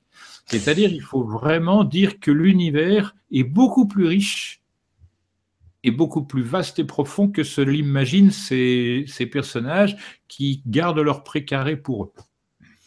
Mais moi, je suis prêt à rencontrer des zététiciens en quantité industrielle. Je les ai épargnés justement pour cela l'autre fois. J'aurais pu leur couper la tête, mais j'ai préféré changer de politique au dernier moment, leur parler. Euh, moi, je les ai invités. Hein. je les ai invités, ils m'ont jamais répondu. Et euh, bah, ce, qui, ce, qui, était marrant, c'est que euh, dedans, il y a le, donc le beau-fils de, de, Nicolas Sarkozy. Nicolas Sarkozy qui sort. La Uri. Euh, non, j'ai Ouais, enfin, bon, non, mais c'est une désignation qui est la mienne, c'est tout. Oui, ouais, c'est la tienne. Mais, euh, mais euh, c'est assez, parfois, mais beau de voir qui est dedans et, et, d'où ils viennent et, ce qu'ils disent. Et puis, euh, et puis, bah, et puis, ce qui est intéressant aussi, c'est de voir, euh, c'est quelle est la quantité d'amour qui est, balancée dans les messages qu'ils donnent par rapport à d'autres chercheurs de vérité. Et je pense que ça, c'est un point qui peut aider les gens à savoir euh, qu'est-ce qui va plus dans le bon sens ou dans l'autre, c'est quel est l'amour qui dégage. Pour moi, ce n'est pas un critère. Hein. Mais cependant, j'aurais souhaité qu'il conserve la forme pour venir euh, rencontrer, mais je demande et je le répète à chaque fois, je veux que ce soit en direct et en public, ce qu'ils ne m'ont pas offert jusqu'à présent. Parce que là, pas de quartier. C'est à la loyale ou à la déloyale comme ils font eux, mais moi, je ne les louperai pas. Je vais leur poser une question s'ils veulent répondre. Allez, on voit une poule et un coq. Comment on les différencie? Ben, Le coq, il a une queue plus fournie, plus colorée, il est un peu plus costaud, il a une crête rouge sur la tête, il a des bajoux rouges. Il faudrait qu'il m'explique qui fait la différence là-dedans et pourquoi. Est-ce que cette crête est fonctionnelle? Est-ce que ces bajoux sont fonctionnels? Est-ce que la queue plus fournie, plus colorée est fonctionnelle? Est-ce que le fait d'avoir des tibias plus longs, c'est fonctionnel? À quoi ça sert tout ça? Qui nous explique ce que c'est que la sexualité de cette, euh, ce genre d'oiseau, ça m'intéresserait. Et pourquoi cet oiseau a-t-il des ailes, ne vole pas Enfin, des tas de trucs comme ça. Pourquoi la poule, qui est réputée si bête, fait des œufs aussi parfaits aussi? Ça m'intéresse. C'est ça ce qui m'intéresse. C'est le sens des choses, en plus de leur apparence et de leur fonction. Euh, qui nous dit question à Jacques. L'auteur Anton Parks a fait des recherches linguistiques et a traduit des textes du sumérien et de l'égyptien. Peut-on se fier à ces traductions? Alors, c'est un syllabaire qu'il utilise, c'est-à-dire il va dans le dictionnaire pour comparer des signes à des... Voilà. Le problème, c'est que ça ne concerne pas la langue ancienne, ce sont des traductions de traductions, c'est-à-dire ce sont des traductions telles que les conçoivent les traducteurs, comme je disais, Botero avec le, le, euh, le cunéiforme, on part des hypothèses de travail de Botero, on les stratifie, on les dogmatise, on en fait un dictionnaire et lui, il travaille là-dessus. Or, le sens profond, il ne le connaît pas. Et il arrive à des contresens délirants. C'est pour ça que je dis faites attention. Il est très intéressant en revanche parce que c'est un garçon qui apporte du document, qui donne beaucoup d'informations. Cependant, c'est comme d'ailleurs pour Zacharias Sitchin, c'est-à-dire ses traductions, c'est vraiment à prendre avec des pincettes. Le problème, c'est que c'est du vrai mélangé avec du faux ou l'inverse, et qu'il ne faut pas statuer là-dessus. C'est pourquoi je ne me prononce jamais. Je dis simplement sous forme d'opinion et je dis, prenez garde, vous êtes en présence d'une chose délicate à manier parce que ça peut vous péter au nez. Si vous prenez la chose qu'il induit, c'est-à-dire extraterrestre et tout ça, vous êtes à côté de la vérité parce que c'est beaucoup plus vaste et profond que cela. Ce sont des indications à caractère scientifique qui sont données et pas géographique, historique et tout cela. Il faut comprendre que la mythologie, parce qu'il s'agit bien de cela, c'est vraiment un véhicule particulier de la science des anciens. C'est même le véhicule le plus vaste qui soit. C'est pourquoi on l'enseignait tel quel aux enfants. Ils s'en souvenaient quand ils étaient adultes et s'ils faisaient le tour de la question, ils étaient instruits. C'est pas souvent. Ah, le mot extraterrestre est revenu plusieurs fois dans l'émission et je ne sais pas poser la question, on va y remédier. Est-ce que tu euh, crois aux extraterrestres? Si je crois. Déjà, oui, je pars de la, je, pars du plus absurde de la question et après je vais la, je sais exactement ce qu'il en est, mais je garde pour moi tant que je n'ai pas la possibilité d'une démonstration qui puisse atteindre tout le monde en même temps. D'accord. Euh, ceux qui liront entre les lignes auront déjà la réponse.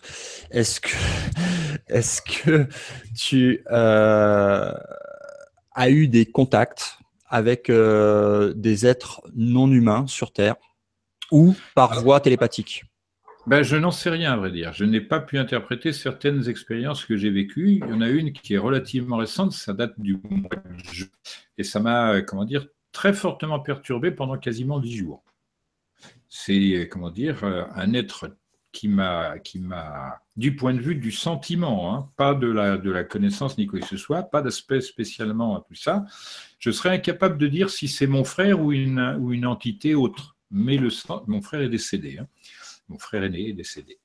Et euh, j'ai eu l'idée, euh, très très violente du fait qu'on est venu me remercier pour quelque chose et avec une effusion tellement puissante que j'en étais vraiment bouleversé euh, dans la chair littéralement et ça m'a hanté pendant dix jours. C'est-à-dire que petit à petit l'intensité de la chose vécue disparaissait ou s'évaporait, j'en sais rien, mais je n'ai pu me détacher de cette idée obsédante de ça que et heureusement que j'étais en vacances c'était les premières vacances que je prenais vraiment depuis 13 ans. Donc c'est intervenu à un moment, et ça m'a bousillé 10 jours de vacances. Et, l'impression me reste encore très très forte. C'est-à-dire que quand je reçois ça, de nouveau dans la mémoire, il n'y avait pas de place pour autre chose.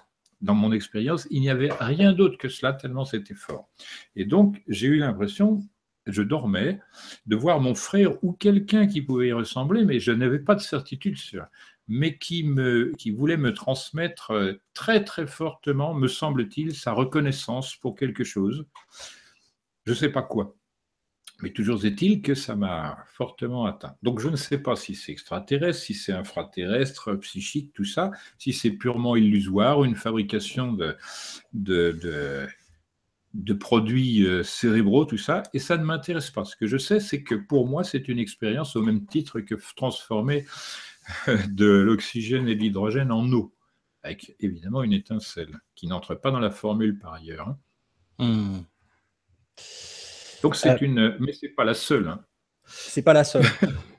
Disons, quoi pour faire j'ai des dons qui sortent un peu de l'ordinaire, mais que je ne souhaite pas montrer parce que ça me rendrait trop trop euh, susceptible d'être sollicité en permanence. D'accord.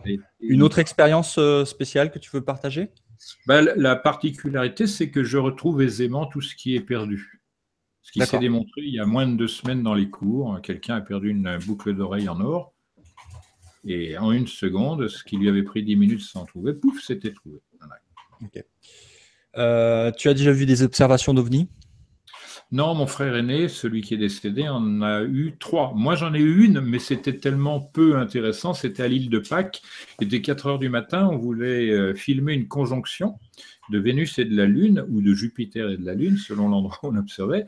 Et on a vu arriver quelque chose dans le ciel, un petit point très haut dans le ciel, mais assez lumineux, qui se déplaçait. Et j'ai donc azimuté, j'ai dit, tiens, ça n'est pas le sens de déplacement des satellites qui vont toujours dans le même sens pour éviter d'avoir du chemin à parcourir en plus par rapport à la Terre.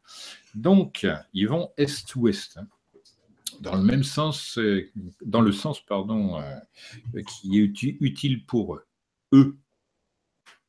La Terre, est-ouest, eux, dans le sens inverse. Bon, eh bien, euh, j'en ai déduit qu'on voyait quelque chose d'anormal et ça a été vérifié parce qu'après, la trajectoire a changé d'azimut et le truc brillant est réparti dans l'autre sens. Donc c'est pas très concluant, mais on peut se dire que c'est ni un avion ni un oiseau brillant phosphorescent. Ça ne peut être, à mon avis, que ces trucs brillants qu'on nomme ovni. Mais j'ai rien de plus à ajouter. Ok. Est-ce que tu médites? Ça m'arrive. Ok. Euh, est-ce que tu as des souvenirs de tes incarnations passées? Je dirais des réminiscences, oui. Réminiscences. Donc tu comprends pourquoi tu es là? Non, pas pourquoi, mais il y a des éléments de trajectoire qui expliquent et justifient certains aspects, non seulement de ma personnalité, de mon comportement, de ma trajectoire. Ok. Ça veut dire que je n'ai pas de crainte particulière sur ce qui a dû se produire avant, et je sais qu'il faut que j'œuvre encore mieux, c'est-à-dire moins mal qu'avant, pour en retirer plus d'efficience. Est-ce que tu travailles sur euh, la, voie royale des alchimistes? Ça, je pense qu'il faut que j'en réponde avec mon avocat. non, non. Ça, bon. Euh, il y a quelqu'un qui m'a opportunément traité de philosophe sans savoir qui je suis. Hein. On s'était rencontrés parce qu'il est venu deux fois au cours et euh, il m'a demandé de travailler avec lui, ce qui m'a pris en tout une minute et demie en réalité. C'est-à-dire, j'ai travaillé plusieurs jours sur place avec lui, mais le résultat se propose en une minute et demie. Et dans son dans le compte-rendu de son travail, il cite mon nom et il dit le philosophe, parce qu'il ne sait absolument rien de moi. Mais il ne pouvait pas mieux tomber. Voilà ce que j'ai à dire. Autre question? Oui. Euh, que penses-tu des mégalithes de 3000 tonnes découverts en Sibérie? Ben, c'est que plus on ira euh, explorer la Terre, et pas seulement la surface de la Terre, plus on va avoir des surprises euh, d'un ordre encore plus élevé. Ok. Alors, ce qu'il faut préciser, c'est que ces mégalithes ont été soulevés, déplacés de manière aérienne. Et que ce que vous verrez dans le prochain film, c'est que quel que soit la tradition, localement parlant, que ce soit en Bolivie ou en Égypte, les procédés qui sont décrits sont les mêmes. Et ce sont des gens qui n'ont pas de relations euh, géographiques, historiques et culturelles. Donc, il faut bien faire attention à ce qui est dit. Euh, question de JM. Que pensez-vous des écrits de Jiddu Krishnamurti Krishnamurti. Krishnamurti. produit de la théosophie.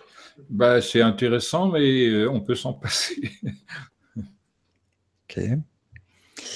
Euh, Michael qui nous dit question. Euh, bonsoir à, tous, merci pour vos travaux et transmissions. À quelle période peut-on espérer connaître le début de la fin de l'histoire? Le dernier volume, le 7 Alors, bah, si tout devait se, se passer correctement, c'est-à-dire pour l'instant, je n'ai pas à me plaindre. Le seul problème que je rencontre, c'est capitaliser. Parce que euh, les personnes qui ont donné pensaient que je serais dans le film.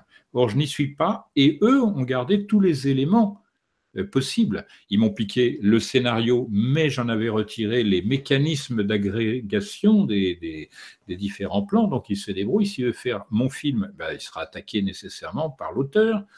Voilà, parce que c'est une tromperie, à la fois de mon côté, du côté des spectateurs, mais je n'ai pas fermé la porte, moi, à euh, des retrouvailles techniquement parlant, mais je n'accorderai plus ma confiance de la même manière qu'avant c'est sûr.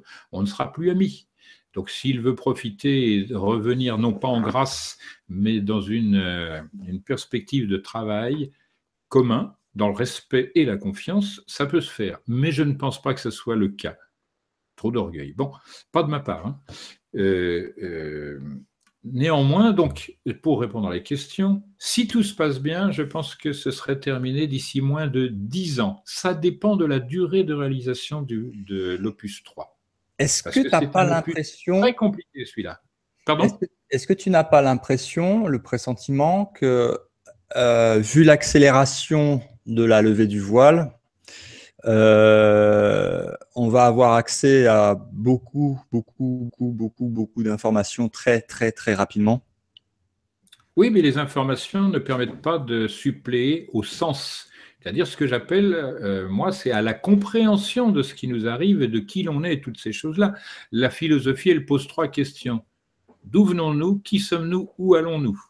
C'est celle-là auxquelles j'entends répondre par des films qui vont aborder tous les aspects de l'existence humaine à titre individuel et collectif. Mais est-ce que tu ne crois pas que, ces réponses-là sont en train d'arriver justement et qu'ils ne vont pas mettre 10 ans à arriver? Oui, la réponse que je fais est celle-là. Le sens de la chose ne viendra pas avant que tout soit disponible. Sauf si on l'y aide, c'est ce que je souhaite faire. Je prends les devants. Ainsi, le problème de Howard, par exemple, c'est que ce qu'il propose pour Karnak, il va falloir qu'il essaye de le démontrer pour tous les autres sites. Moi, je procède à l'inverse, je dis ce qu'il en est pour tous les sites, et après, on peut faire l'analyse de chacun des sites et trouver ce qu'a trouvé Howard pour Karnak. Sauf que je propose la totalité de l'individu organiquement parce que c'est issu d'une pensée unique. C'est ce que je voulais montrer. Et que cette pensée unique nous dit attention, votre histoire, ce n'est pas un truc qui se déroule paisiblement. À certains moments, vous allez en baver parce que si vous n'êtes pas prêt, c'est les trois quarts de l'humanité qui, se retrouvent à la poubelle en un clin d'œil. Et je dis bien en un clin d'œil. Et je le répéterai dans le plus 3, ce clin d'œil. Euh, question de Jacqueline. Ces bâtisseurs ont-ils construit des pyramides sur toutes les planètes? Déjà du système solaire et ailleurs dans l'univers c'est une marque de fabrique, en effet, parce que ce sont les, réceptacles des choses savantes. Mais ça ne veut pas dire que ce soit sur toutes les planètes. Nous, on doit parler de planètes telluriques pour qu'il y ait des marques de cet ordre-là. Est-ce que tu as étudié les, les en Mars, sur Mars? Pour l'instant, on n'a rien trouvé sur Mercure pour la raison qu'on n'a pas visité la face cachée, c'est-à-dire éclairée de Mercure qui présente toujours la même face au Soleil. En revanche, on peut estimer qu'il y a des pyramides sur la Lune, sur Mars, sur Vénus. Mais celles de Vénus, ça m'étonnerait qu'on les voit un jour compte tenu du, temps qu'il y fait. C'est-à-dire. Et Mars, tu as étudié les pyramides de Mars? Oui, il n'y a pas besoin d'étudier longtemps. Hein. Hum. Les principes mathématiques euh, de Mars montrent que ce qui a été fait là-bas, c'est en termes de connaissance de ce qui est fait sur la Terre. Et ça s'est fait après la disparition de la planète qui a disparu à cause d'une guerre quand même. Enfin bon, je préciserai ça dans le fil des opus. C'est-à-dire que j'en balance un petit peu, mais ce que je dis, je le sais absolument. Bah, c'est ça qui, qui, je pense, euh, est, gênant pour euh, pas mal de chercheurs de vérité avancés, on va dire. Parce qu'il y en a qui sont, euh, qui sont déjà au courant de ce que tu refuses de dire pour l'instant. Ils pensent l'être. Moi, je dis ils pensent l'être. C'est ton point de vue. Euh, après, je pense que tu as raison pour certains, d'autres peut-être moins, parce qu'on ne connaît pas tous les chercheurs de vérité et ce qu'ils ont accumulé comme connaissances. Euh, mais euh, donc, ça, ça, engendre une frustration de la part de ceux qui sont le plus avancés, on va dire. Oui, mais j'ai déjà expliqué que l'enseignement des anciens était aussi basé sur la frustration, c'est-à-dire le désir de savoir mieux plutôt que plus. Parce que c'est de la précision de ce savoir que dépend le savoir. Ça n'est pas la quantité d'éléments qu'on assemble. Je dis une fois de plus, c'est pas parce qu'on a fait un tas de cailloux que ça s'appellera un mur. Oui. Et la, frustration peut aller dans les deux sens aussi parce que euh, si les personnes qui ont accès à ces connaissances avant toi. Ça n'est pas mon chapitre, la frustration des jaloux. Mon chapitre, c'est que par la frustration, si ça peut encourager les gens à chercher par eux-mêmes, c'est le but. Maintenant, s'il y a trop d'orgueil dans la recherche parce que j'ai trouvé ceci et je devrais avoir droit ou machin dit ceci, ça ne m'intéresse pas. Ça n'est mm. pas un chapitre qui me concerne. Moi, je ne fais pas de la recherche pour dire, vous voyez, j'ai trouvé ceci, mais simplement pour transmettre. Maintenant, les modalités de la transmission sont particulières ou particulières, pardon, et je suis tenu de les observer parce que c'est comme ça que j'en ai eu l'indication et je m'en tiendrai là. Donc que ça plaise ou non, ce sera pareil. Tous ceux mmh. qui veulent savoir mieux et plus verront les démonstrations dans les prochains films, et s'ils veulent me contester le droit d'aînesse de la chose, ça ne me fait ni chaud ni froid. Je n'ai rien à retirer, ni notoriété ni argent, parce que ça n'est pas du tout mes affaires à moi. En revanche, les personnes qui m'accompagnent, si je peux euh, faire qu'elles soient mieux connues parce qu'elles travaillent sérieusement, c'est le cas de Howard, qui n'est pas un homme riche, qui mériterait d'être tranquille de ce point de vue-là, je le ferai volontiers. Pourquoi? Parce que dans ma terminologie, Howard est un homme intègre, c'est-à-dire vertueux. Il ne ment pas, il ne trafique pas, il n'essaye pas de se faire croire plus qu'il n'est. Au contraire, il est d'une saine discrétion. Ça, ça me paraît être la marque de l'homme correct tel que je le conçois. Et en plus, il est gentil, il est drôle, il est cultivé.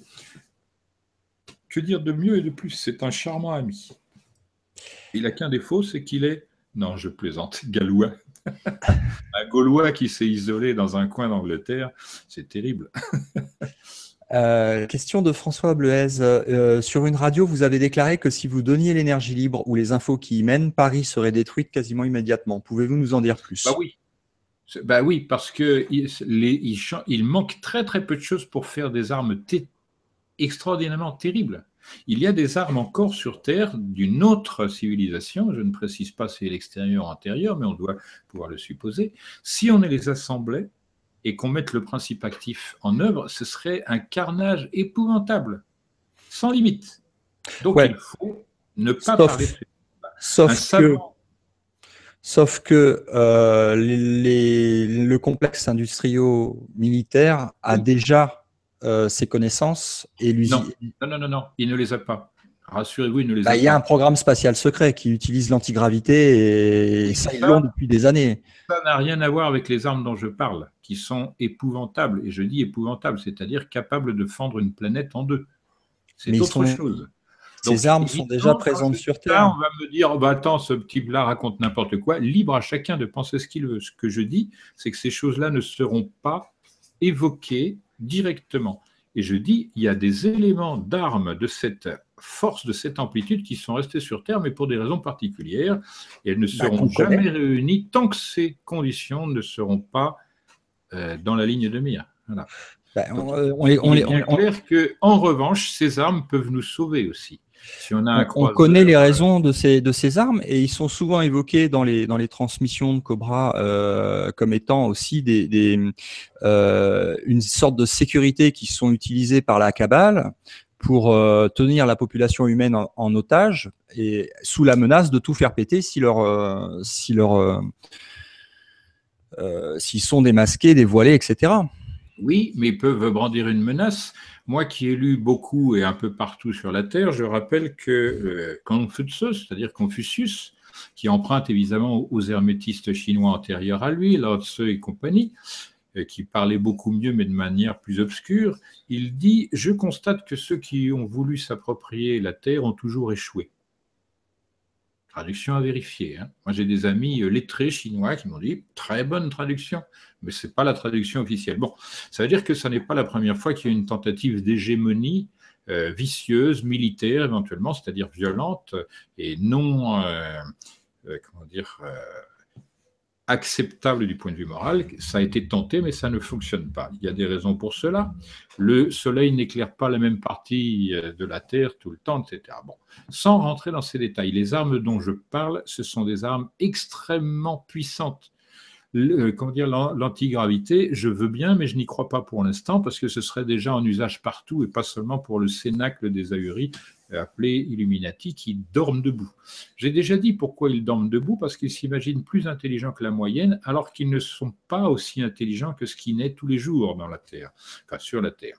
J'ai déjà fait constater que eux, ils parlent d'unifier la Terre alors qu'ils ne font que l'uniformiser. L'erreur est extraordinairement forte. S'ils font des erreurs dans ce domaine, ils sont capables de faire des erreurs partout. Et je dis très fortement, ils font des erreurs partout, des erreurs stratégiques, etc.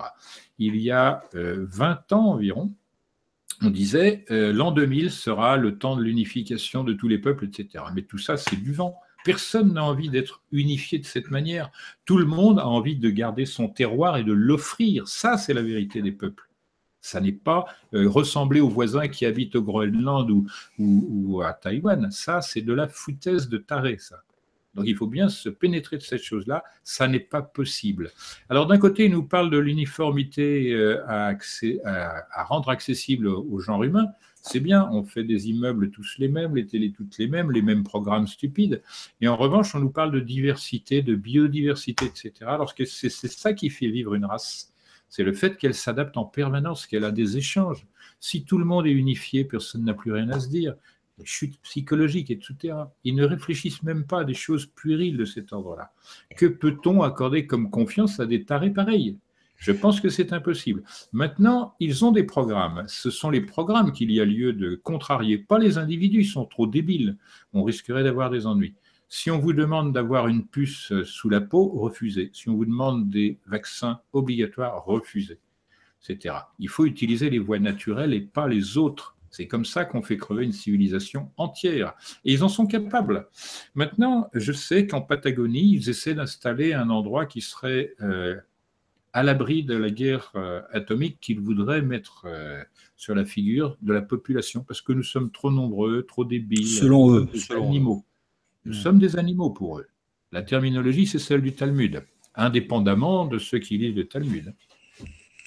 Donc, moi, ce, problème-là, je le traite culturellement. C'est-à-dire, j'essaie de montrer à quel point l'histoire a été pervertie. Et mon premier film, c'était montrer qu'on peut modifier l'histoire telle qu'elle est conçue avec la géographie. Parce que la démonstration est claire qu'on a des milliers, voire des millions de scientifiques qui sont incapables de remettre en cause tout ce qu'ils pensent savoir. Ils ne voient pas qu'il y a un équateur penché avec des édifices énigmatiques qui sont la marque d'une civilisation qui s'exprime d'une manière différente. Ça, non, ça n'existe pas. Ils n'en parlent même pas. Il n'y en a pas un pour dire quelque chose, commenter et tout ça. Ils ne veulent pas prendre parti parce qu'ils n'ont pas le courage de sortir de la chose formatée. Les jeunes qui viennent au monde maintenant, S'ils perçoivent le formatage grâce, par exemple, au film Matrix, grâce au bouquin de Roxa Oker, hein, La Matrice, je ne fais pas de publicité, je pense qu'il faut lire ce genre de bouquin, quel qu'en soit l'auteur, au moins pour avoir une idée. Ah, il est parti, euh, Rox il est parti dans des, il est parti dans des délires quand même. Hein. Nous sommes bien d'accord, mais ça n'empêche qu'on peut avoir dans des délires des choses utiles. Non, non, mais il est intéressant. J'aime bien regarder ce qu'il fait, mais là, il est parti où je peux pas le suivre. Quoi. il est parti dans un truc. Euh, la publicité de Rock Soccer. Je dis, dans ce type de livre, on peut trouver des choses importantes.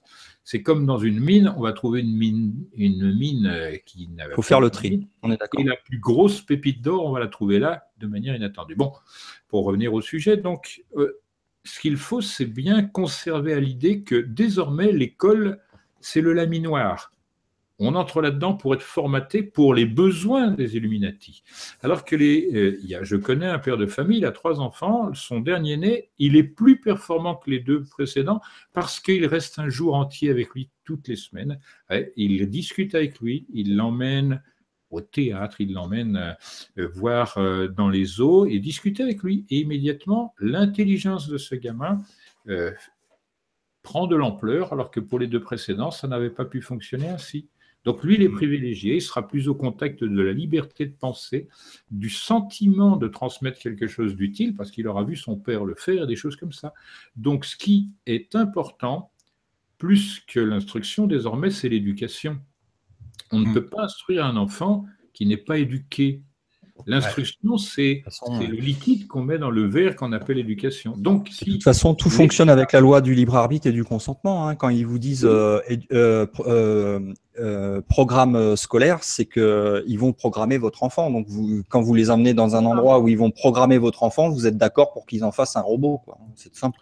Oui, grosso modo, c'est pour ça, je dis, si on avait des universités telles que conçues par les gens au Moyen Âge, c'est-à-dire n'importe qui vient, pourvu qu'il ait les capacités de suivre les cours, ça me paraîtrait quand même beaucoup mieux. Chacun choisit. Hmm. Il peut se tromper. Moi, dans mes études, je me suis trompé. Je suis allé aux Beaux-Arts, je me suis trompé. Je suis allé à Langues orientales, je me suis trompé. J'ai voulu faire médecine, je me suis trompé aussi.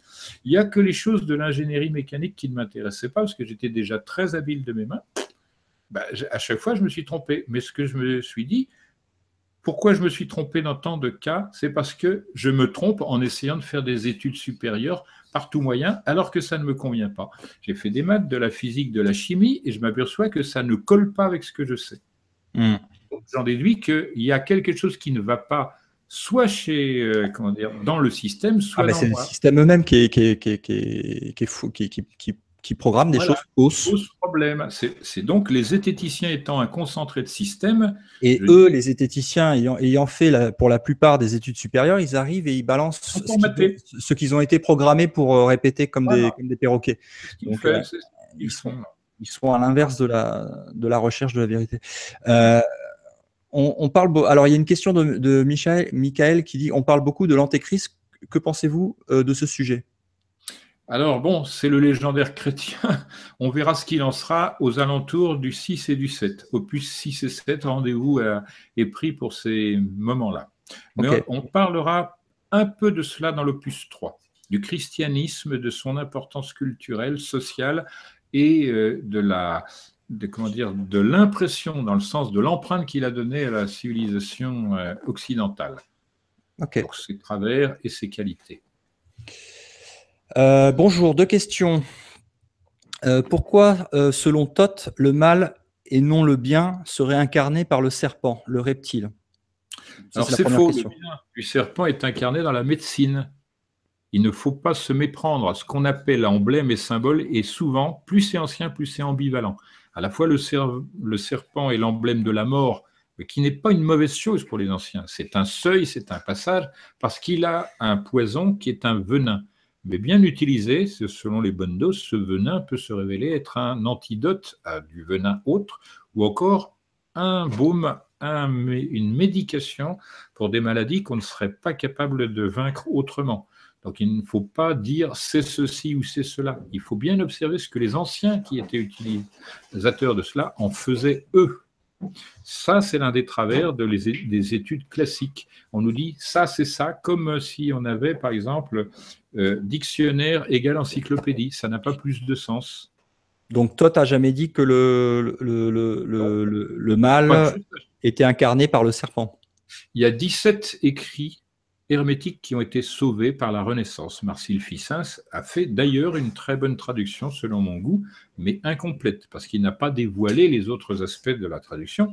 Mais moi qui ai refait cette traduction en entier, je n'ai pas absolument pas vu une indication qui indiquerait que Hermès, Thoth, Mercure ou qui que ce soit de ce genre, voire Djehouti, encore plus ancien et plus local, ait dit que le serpent était l'emblème du mal. En aucun moment.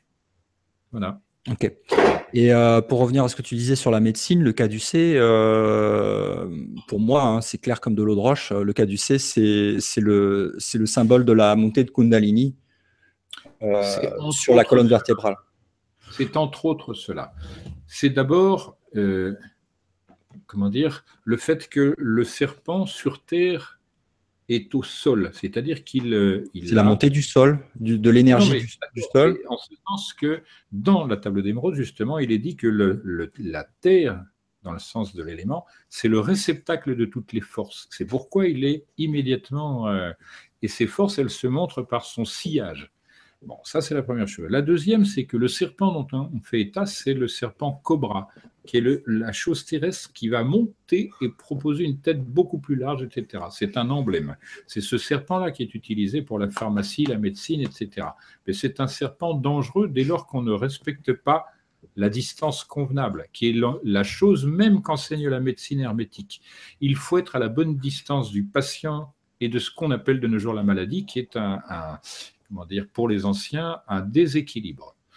La médecine pour les anciens, elle est très simple. Un enfant de 7 ans peut commencer des, études de médecine chez les anciens. À savoir, il faut détecter ce qui est en trop et ce qui manque. Combler ce qui manque, retirer ce qui est en trop. C'est tout bête. Mais pour cela, il faut passer par des cours d'anatomie-physiologie tels que ceux que j'ai présentés dans ma cassette, La science des anciens à savoir la polarité, c'est ce qui domine là-dedans. On est constitué par des axes. S'il y a un axe qui, corrompt un équilibre, il faut le rétablir, le modifier par des actions qui sont soit d'ordre mécanique, osseux, tendineux, musculaire, etc., jusqu'à trouver le bon, la bonne strate. Voilà. Donc, ce sont des choses qui sont très accessibles et qui euh, sont synthétisées par la première demande que fait Hippocrate en matière de médecine. D'abord, ne pas nuire. Alors, ne pas nuire, c'est ne pas déformer tout ce qui a été transmis par les anciens. La médecine hippocratique est très supérieure dans sa philosophie à la médecine actuelle. C'est dommage qu'on ait abandonné les, les recettes de prudence d'attention, d'empathie, etc. Il y a des délires complets là. Le hum. fait de ne pas manifester une empathie pour la personne qui souffre, c'est un travers médicinal pour les anciens. Ils disent que l'on on est au service de l'âme. La médecine, c'est au service de l'âme. D'ailleurs, Lamed et Shin, ce sont des lettres hébraïques. Lamed, c'est recherché. Shin, c'est le courant du serpent de vie. Alors, autre chose, c'est que ce serpent, il manifeste toute forme d'élévation, comme j'ai dit pour le, cobra, qui est appelé Naja ailleurs, Nahas normalement. Bon, c'est parce que c'est un animal qui, sans changer quoi que ce soit de son anatomie, montre une capacité à monter, alors que les oiseaux, ils ne peuvent que descendre une fois qu'ils sont montés. Lui, à tout moment, il peut se relever, etc. C'est un, ensemble qui est, à juste titre, dit symbolique et analogique, ce qu'il faut concevoir. La bonne preuve que ça n'est pas mal, le serpent, c'est que l'on voit sur la tête des pharaons, c'est-à-dire des rois d'Égypte, eh bien, d'un côté un oiseau et de l'autre côté un serpent. L'oiseau, c'est le haut, le serpent, c'est le bas. Ce qui est en bas est comme ce qui est en haut, et ce qui est en haut est comme ce qui est en bas. C'est cet langue-là qu'il faut connaître avant de discuter. Toutes les personnes qui disent en Égypte, ils disent ça, on arrête, on observe si en Égypte cela a vraiment été dit ou écrit. Là, après, on peut discuter. Parce que la plupart du temps, ce qu'on me pose comme question, ça n'a rien à voir avec des. Ce sont des écrits romancés, des trucs comme ça, des trucs à la Christian Jacques, quoi qu'ils soient assez précis, complets, etc., et qu'ils connaissent bien la culture. Cependant, c'est une idée qu'on se fait de la chose et pas la chose elle-même. J'invite à relire les écrits hermétiques avant de discuter de ces choses-là. On n'a mhm. pas à discuter d'hermétisme sans avoir lu, lu, lu et relu, et si possible, au minimum compris ce qu'est le langage de la table d'émeraude, qui paraît une énigme quand on ne la connaît pas, mais quand on la connaît, je dis dans mes cours que si je devais écrire tout le contenu perceptible de la table d'émeraude tel que moi actuellement je suis capable, c'est un bouquin de l'ordre de 600 pages environ qui, qui est nécessaire. C'est-à-dire que comme on dit ce qui est en haut est comme ce qui est en bas, et on répète en disant ce qui est en bas est comme ce qui est en haut, c'est le mot comme qui doit être bien perçu, et non pas autre chose. Je vais donner une petite, un petit début. La version française, pour moi, c'est l'exemple de la meilleure traduction d'un texte hiéroglyphique possible. Il est vrai, trois premiers mots, il, deux lettres, et trois lettres, vrai, quatre lettres. Déjà, ça, ça devrait faire euh, réfléchir. Il, une voyelle, une consonne. I, dans l'alphabet français ancien, occupait la dixième place comme le J, ou la neuvième comme de nos jours. Donc, on a L qui est la douzième place. On a le rapport 10-12e, c'est le même rapport qu'entre phi carré et pi. Toutes ces choses-là, il faut les connaître. I, c'est une ligne qui émane d'un cercle, c'est-à-dire d'un point. Deux choses qui n'existent pas dans la nature, puisque les matheux, les géomètres vous diront, le point, c'est un être abstrait, la ligne, c'est un être abstrait que l'on peut rendre concret, etc. Donc il faut bien considérer tous ces aspects-là. Et quelle est la relation entre voyelle d'abord et consonne, c'est-à-dire énergie d'abord et chose matérielle ensuite? La valeur emblématique de la lettre L, c'est l'ordre. Et I, c'est l'emblème de l'intelligence. Ça veut dire, dans il, qui est une, une chose neutre, c'est-à-dire ternaire avec deux lettres seulement, mais il y a trois traits. Un, deux, trois. Ça veut dire que il y a lieu de savoir quelle est la relation entre une énergie et une chose qui n'en a pas. Ça, c'est la vraie lecture. Donc, il faut faire la leçon simplement sur ce terme-là. Et comme je disais, dans notre nomenclature, nous, c'est le troisième, c'est un terme neutre. Ça veut dire que la divinité créatrice se présente d'abord, elle est perceptible sous l'aspect ternaire et binaire Mais elle est neutre, c'est-à-dire elle n'a pas de parti pris. Ça renvoie à une notion purement médicale qu'on appelle l'homéostasie. C'est un équilibre constant et instable. Donc ces choses-là, il faut les assimiler. Après, on peut dire qu'on lit l'égyptien. C'est pas comme le type qui fait comme Madame Yoyotte, que j'ai eu comme prof à la Sorbonne, qui raconte ce qu'elle veut à partir de ce qu'elle comprend. Le problème, c'est qu'avec ce type d'écriture, on s'élève à la compréhension à mesure de la finesse de perception, d'intuition, de culture, etc. Et tant qu'on n'est pas là-dedans, on ne peut rien comprendre. C'est pourquoi je dis de tous les traducteurs, le moins mauvais, c'est encore Champollion. Parce que lui, il avait perçu l'esprit de la chose. Écoute, euh, c'est vraiment intéressant. On va, on va, arrêter l'émission là parce qu'on va arriver aux 4 heures. Oh bah oui, je regarde ma montre, ne crois pas, il est 11h moins 5. Euh, ça n'a pas apparemment pas gêné les gens que ça dure aussi longtemps, puisqu'on est de plus en plus nombreux depuis le début de l'émission. Au début, on a démarré à 300 euh, en, live et maintenant on est à 800. Euh, et c'est stable depuis plus de deux heures, donc les gens sont, ont adoré l'émission. Il n'y a même pas besoin de le dire, juste les stats le prouvent. Moi aussi, hein. moi aussi j'aime bien adoré. être utile. Hein. Alors, on, s'en refera une, on, en discutera quand est-ce qu'on se refera une émission. On va, on va parler d'autres sujets, euh, mais ce qui vont être vraiment intéressants parce que je voudrais vraiment, vraiment qu'on relie les points entre euh, Tot, les pyramides, le tarot, euh, la loi de 1 et, qu'on regarde tout ça et qu'on l'analyse tous ensemble.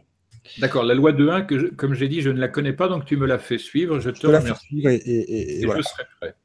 et, puis, euh, et puis donc voilà, on va garder les, questions. Euh, il reste quelques questions. Je t'invite euh, demain, si tu as un petit peu de temps, à aller regarder les questions auxquelles on n'a pas répondu. Malheureusement, je crains que je n'ai pas de temps. C'est la chose qui est, qui est pour moi la moins partagée.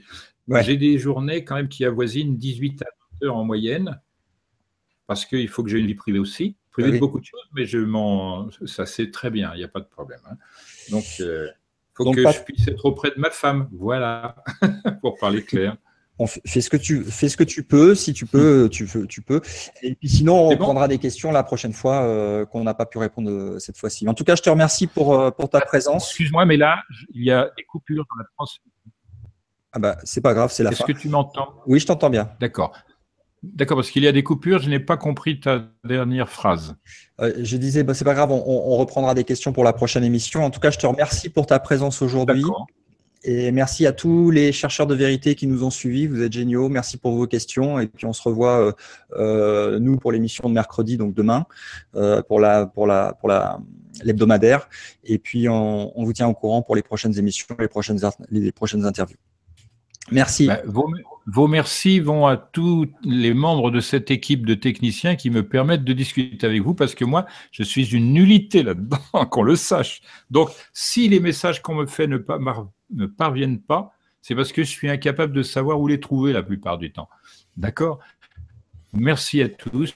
Bonne nuit pour ceux qui sont dans la nuit, c'est le cas à Paris. Et bonne fin d'après-midi pour ceux qui sont au Canada et aux alentours de, Las Vegas. Voilà. Merci beaucoup à toi aussi pour ta patience et pour l'initiative.